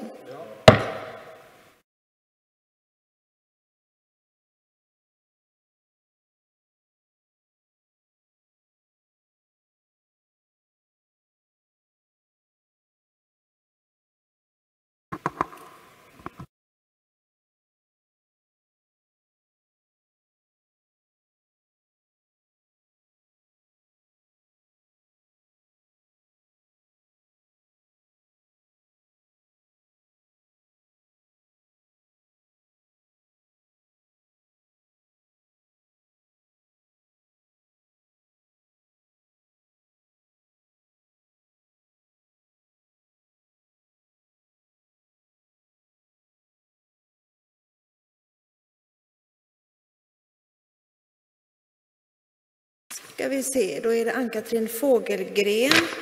Vi inte har fått något svar ifrån. Vad röstar du? Röstar ja. Bra. Då var det nästa Jonas Ransgård, M. Vad röstar du? Jag röstar ja. Bra. Då var det bara de. Då är omröstningen avslutad. 74 röster mot 7 har bifallit kommunstyrelsens förslag. Då återstår tilläggsyrkandet från MP och V i kommunstyrelsen. Bifalles tilläggsyrkandet? Avslås tilläggsyrkandet? Ja. Jag finner att tilläggsyrkandet har avslagits. Votering. Votering är begärd och ska verkställas. Då är det ja för avslag på tilläggsyrkandet, nej för bifall till tilläggsyrkandet.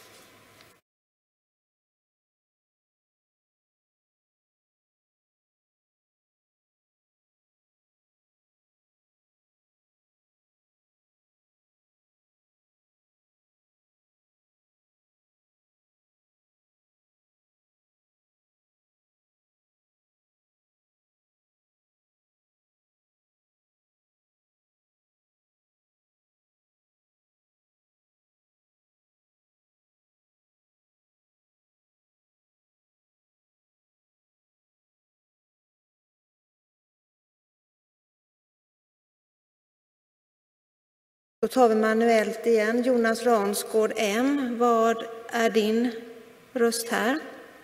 Vad röstar du? Jonas röstar ja. Då, då är omröstningen avslutad.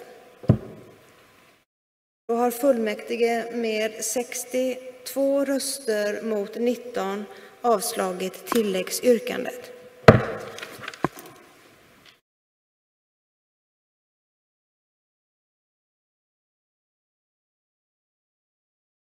Jag reserverar mig från SD i huvudvoteringen till Mm, förmån reserva- förslag. Reservation från SD. Noterat.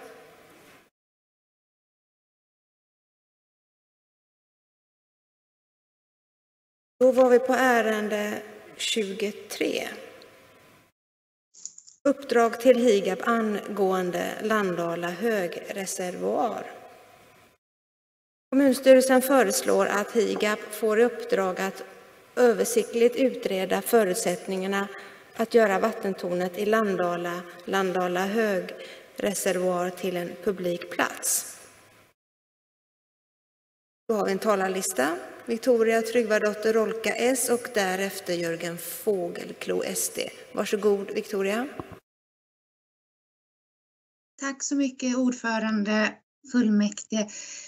Klockan är mycket så jag ska inte bli långrandig. Jag vill bara tacka alla andra partier som har valt att stötta det här initiativet. Jag tycker det ska bli spännande att se vad HIGAB kommer fram till och möjlighet om vi kan få öppna lite fler publika trevliga platser för våra kära göteborgare. Så tusen tack! Och då var nästa talare Jörgen Fågelklo SD, därefter Anders Sundberg M. Varsågod Jörgen. Tack för ordet, eh, eventuella åhörare som lyssnar så här sent. Eh, vi Sverigedemokrater vi biföll det här eh, förslaget från S och D i kommunstyrelsen. Vi har tidigare länge kämpat för den nästan ikoniska, närmast kulturhistoriska publika verksamheten i Guldhedstornet. Tyvärr föll det då inte riktigt i god jord hos övriga partier. Men med det sagt så är vi positiva inställda till att Landala högvattenreservoar öppnas för publik verksamhet. Det är faktiskt en fantastiskt vacker byggnad. Vi tror dock inte att en sån verksamhet kan ersätta det stora kulturella värdet som Guldhetstornet med dess unika väggmålning hade. Vi befarar också att det kan komma landa på en betydligt högre kostnad och kräva mycket större åtgärder än just bevarandet av Guldhetstornet. Men med det sagt, vi ska vara optimistiska och vi hoppas att det här kan bli hur bra som helst. Med det så vill jag yrka bifall till kommunstyrelsens förslag. Och då var nästa talare Anders Sundberg M, därefter Martin Wannholt D. Varsågod Anders. Tack så mycket ordförande, ledamöter. Eh, ja, som eh, varande ordförande då i HIGAB så kan jag bara tacka för att vi får den här förfrågan och vi kommer ju självklart att titta på det här. Eh, det är ju som sagt en, en fantastisk plats, ligger på en, en av de högsta punkterna i området i Göteborg. Eh, väl värt ett besök. Eh, de problem man kan se det är väl möjligtvis att tillgängliggöra den här byggnaden som är byggd eh, i en tid där man inte ställde de kraven och kostnadsmängden i, i det här fallet att göra den tillgänglig, de kan bli ganska betydande.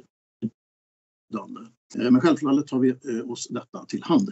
Sen kan jag också kommentera att det går utmärkt att för de som har två ledamöter i HIGAP styrelse också att lägga det här direkt i styrelsen då för hantering. Tack så mycket!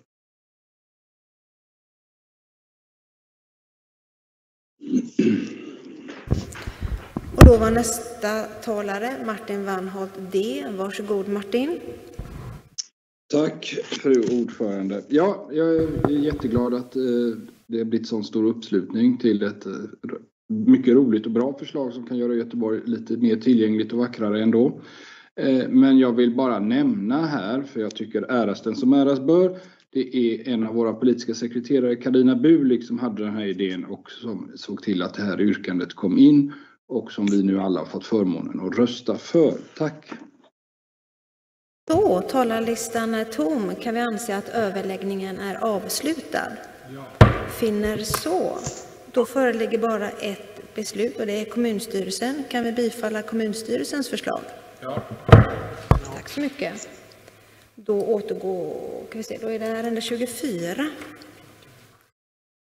Uppdrag till miljö och klimatnämnden om att utreda frågan angående utökat tillstånd för utskänkningstillstånd, catering för alkohol samt tillstånd att servera alkohol vid hemleverans av mat. Kommunstyrelsen föreslår att miljö och klimatnämnden får i uppdrag att utreda frågan angående utökat tillstånd för utskänkningstillstånd, catering för alkohol samt tillstånd att servera alkohol även vid hemleverans av mat. Jag vill bara upplysa kommunfullmäktigeledamöter att vi har inte många minuter kvar och jag önskar gärna att vi hinner med de två sista beslutsärenden. Så vill ni stryka er på talarlistan så är jag inte jätteledsen för det. Men vi börjar med Mikael Wallgren V, därefter Stina Svensson Fi. Varsågod Mikael.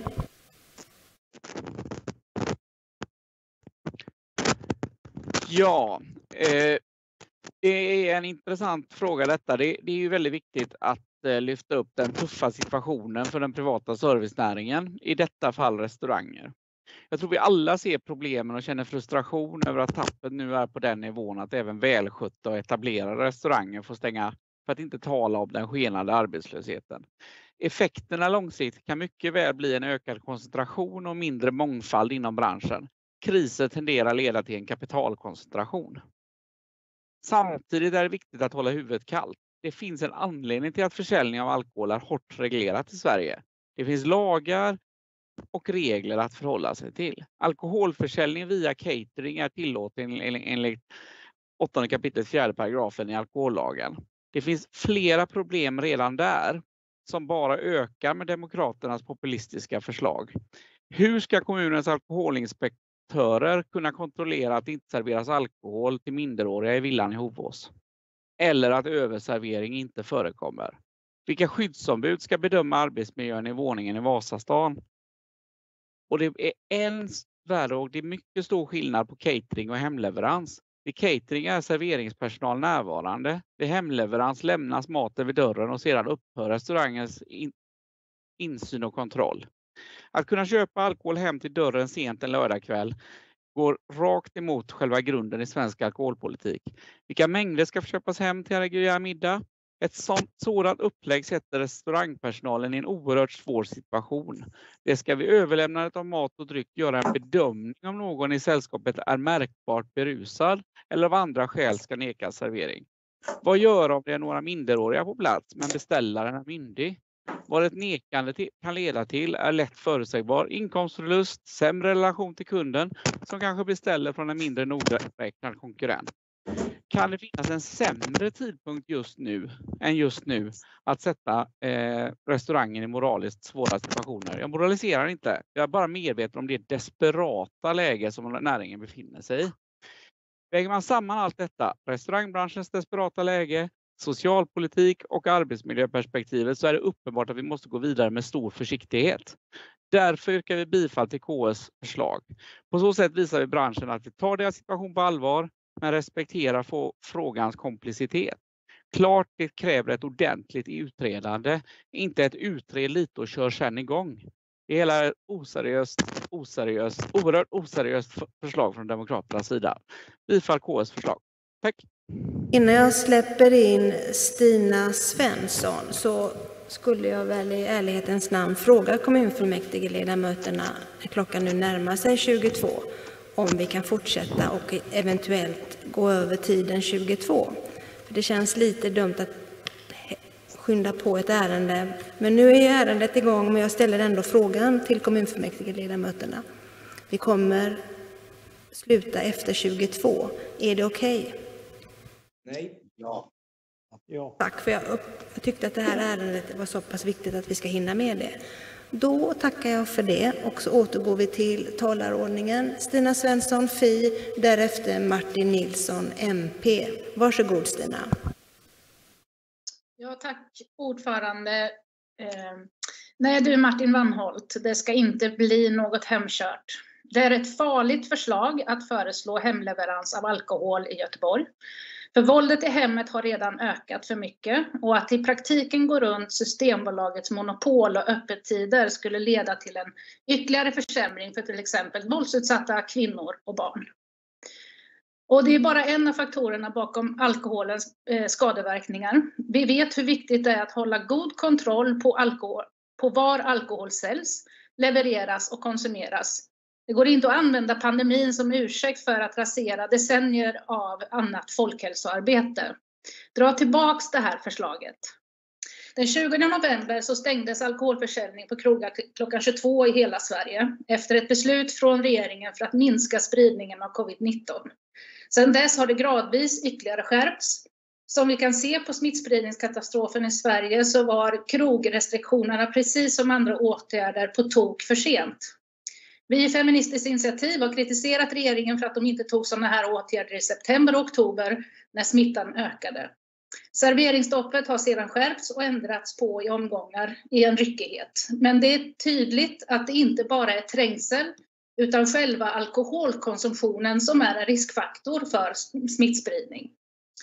Systembolaget är fortfarande öppet under sina ordinarie öppettider, men Oslo, som har en betydligt lägre smittspridning än Göteborg, stängde. Hela Sydafrika har tagit bort alkoholförsäljningen. I det här förslaget ingår massa finlir i att försöka gå runt svenskt reg regelverk, att leverantören ska hälla upp alkoholen vid dörren, att det handlar om ett gott glas vin, det är bara ord. Tillåter vi fri alkoholleverans till hemmet på kvällar och helger så undergräver vi alkoholmonopolets ställning och gör restauranger till langare, vilket Socialdemokraterna mycket riktigt påpekar är ett lagbrott. Jag yrkar avslag på Demokraternas förslag och på kommunstyrelsens förslag. Feministiskt initiativ står på folkhälsans sida. Tack för ordet.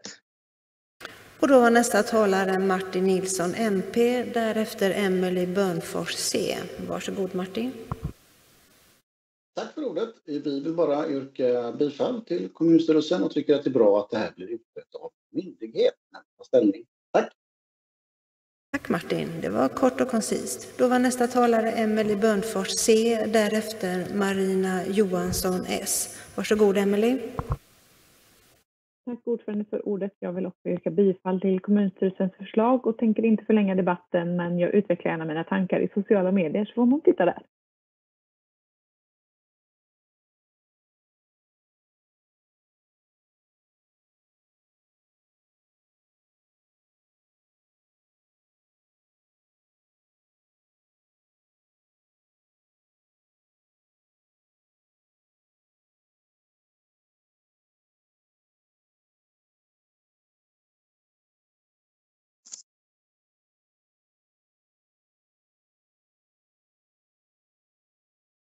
Hoppas att ni hör mig för nu har alla mikrofoner stängts av. Då var nästa talare.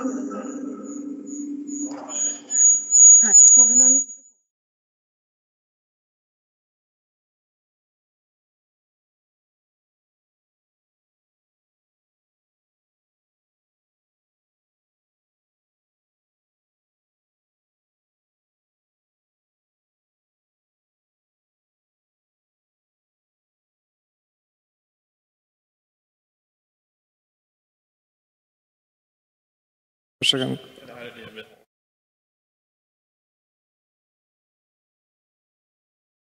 Så, då tar vi så här istället. Då var nästa talare Marina Johansson. Varsågod Marina.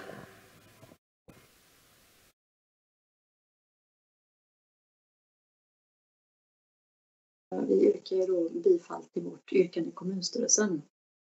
Eh, och det gör vi eh, av en rad skäl. Men jag vill börja med ändå säga och dela övriga partiers oro för restaurangnäringen. Vi delar den fullt ut och vi anser att det är väldigt glädjande nu att regeringen tillsammans med Liberalerna och Centern faktiskt beslutade bara här om förra veckan för ett väldigt kraftfullt eh, stöd till eh, näringar som lider av pandemin och som tappar inkomster.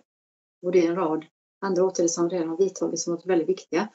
Jag tror dock att det här förslaget inte, eh, om det efter utredningen som lär gå igenom här ikväll eh, kommer fram till att det är möjligt så tror jag tyvärr inte att det är det som, som är, skulle leda till så himla stora förbättringar för näringen som vi kanske hoppas på. Det behövs mycket annat egentligen.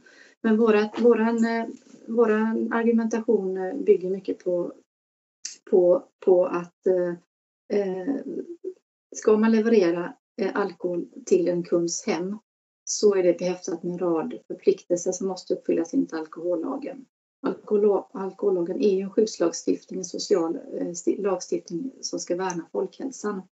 Och eh, skulle man eh, leverera till kundens hem så måste man vara kvar under hela tiden som alkoholen serveras.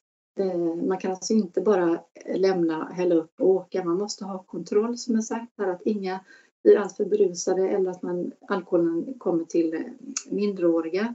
minderåriga. Så att eh, lever man inte upp till detta så är risken stor att restaurangägaren då blir skyldig till lagbrott. Och jag tycker det är olyckligt om vi skulle ge sken av, av, av, av att detta är möjligt. Det kan ju skada näringen mer än vad det faktiskt gynnar näringen. Så att om den här utredningen, vilket de då gör, lär gå igenom ikväll, så hoppas jag att eh, i så fall att det blir väldigt tydlig information till restaurangnäringen så att man inte luras in i någonting som inte är, är korrekt. Och också i så fall så måste också kommunen eh, förbereda sig för mycket mer kontroll och då kontroll i eh, privatpersoners hem. Det kan bli en väldigt märklig situation. Men det viktigaste av allt är, är ungefär det som Stina var inne på tycker jag. Det är ju det här med folkhälsan och eh, värna barn och unga och kvinnor som riskerar att vara illa i allt detta. Så bifall till Socialdemokraternas förslag och avslag på övriga. Tack. Då var nästa talare Nina Mikowski, M och därefter Martin Wannholt, D. Varsågod Nina.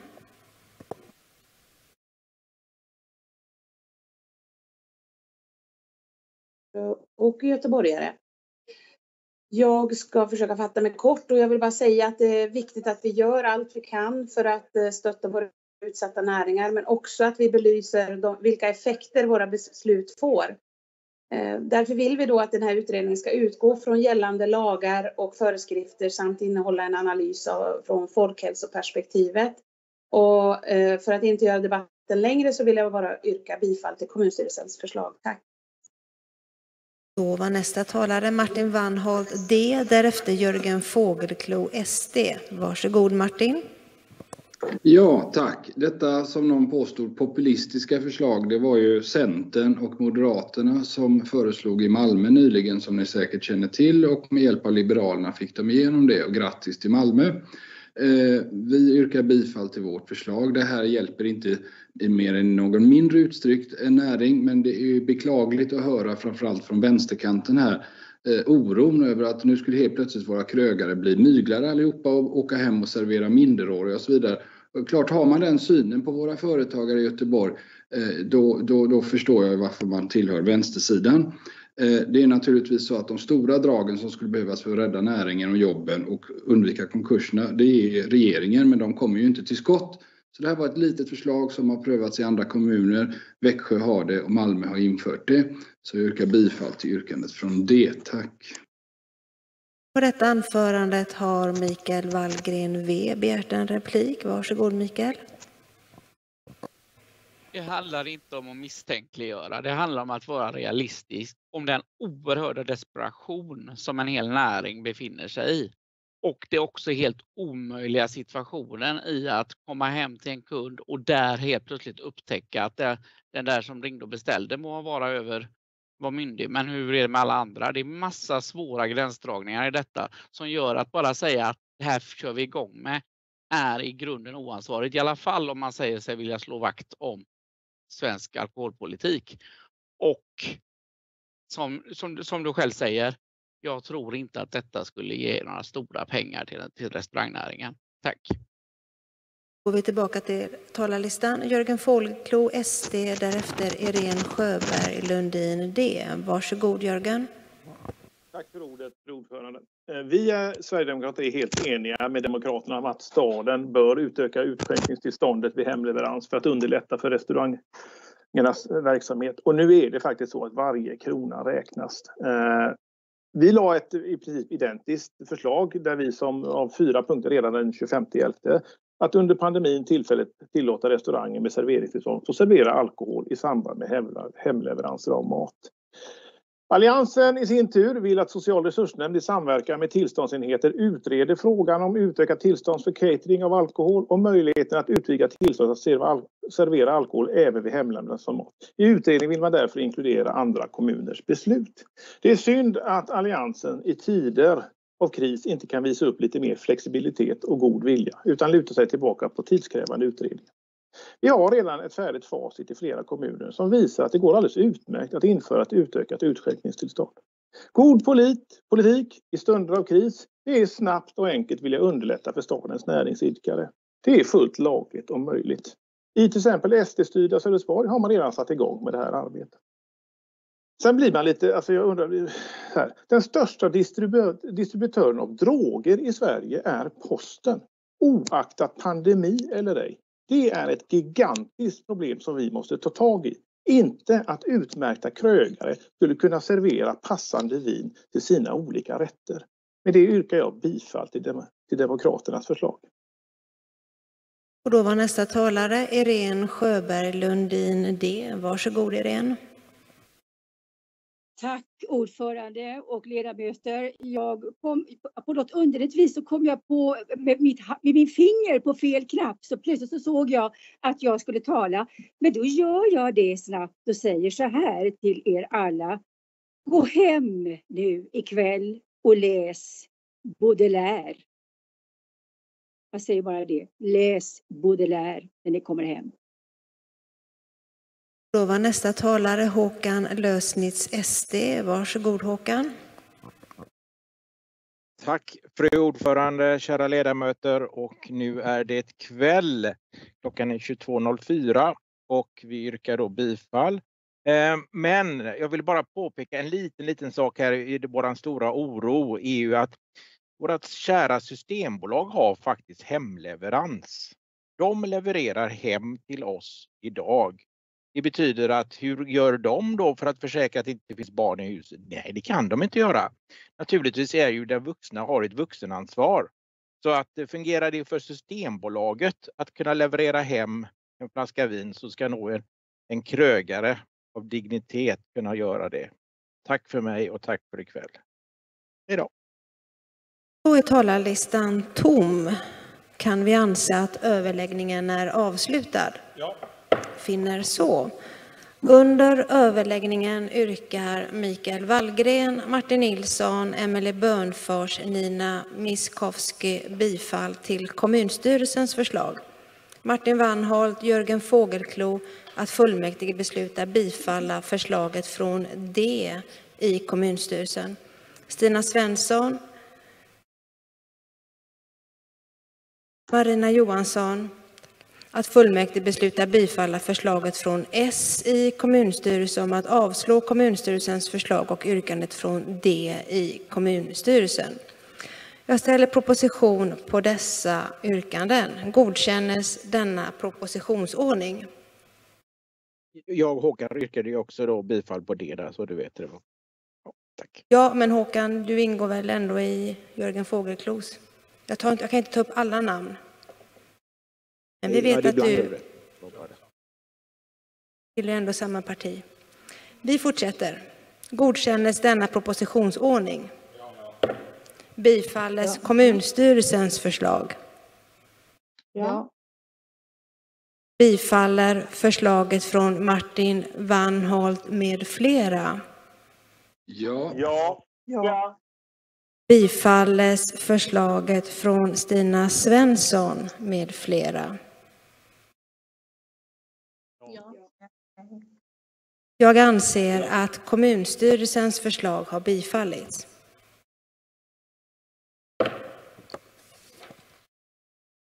Då är klockan över 22 och då frågar jag kommunfullmäktige om vi kan avsluta. Och återstående, ja, förlåt, sa Jörgen något? Ordförande, eh, Jonas Attenius försöker nå dig tydligen. Jag vet inte, jag hör honom men du kanske inte hör honom. Nej, jag hör Hör nu, inte Anneli? Jonas. Tack. Jag vill bara eh, för Socialdemokraternas räkning eh, reservera oss mot det beslutet med hänvisning till vårt yttrande i kommunstyrelsen. Tack. Det är noterat. Tack Jonas och tack Jörgen för att du uppmärksammade det. Då fortsätter jag. Klockan är över 22 och jag frågar kommunfullmäktige om vi kan avsluta och återstående ärenden kan behandlas vid nästa kommunfullmäktige. Tack så mycket.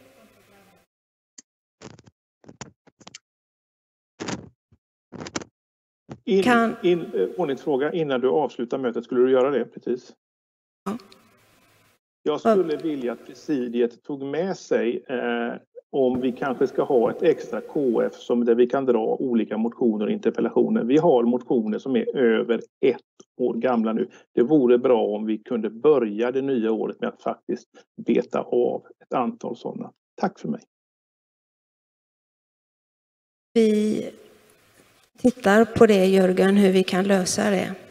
Så vi har en under diskussion. Abdullah Mohammed MP, har du begärt ordet eller råkar du? Eh, Fru ordförande, jag råkade, jag skulle begära ordet eh, ärende 25. Ehm, så, ja.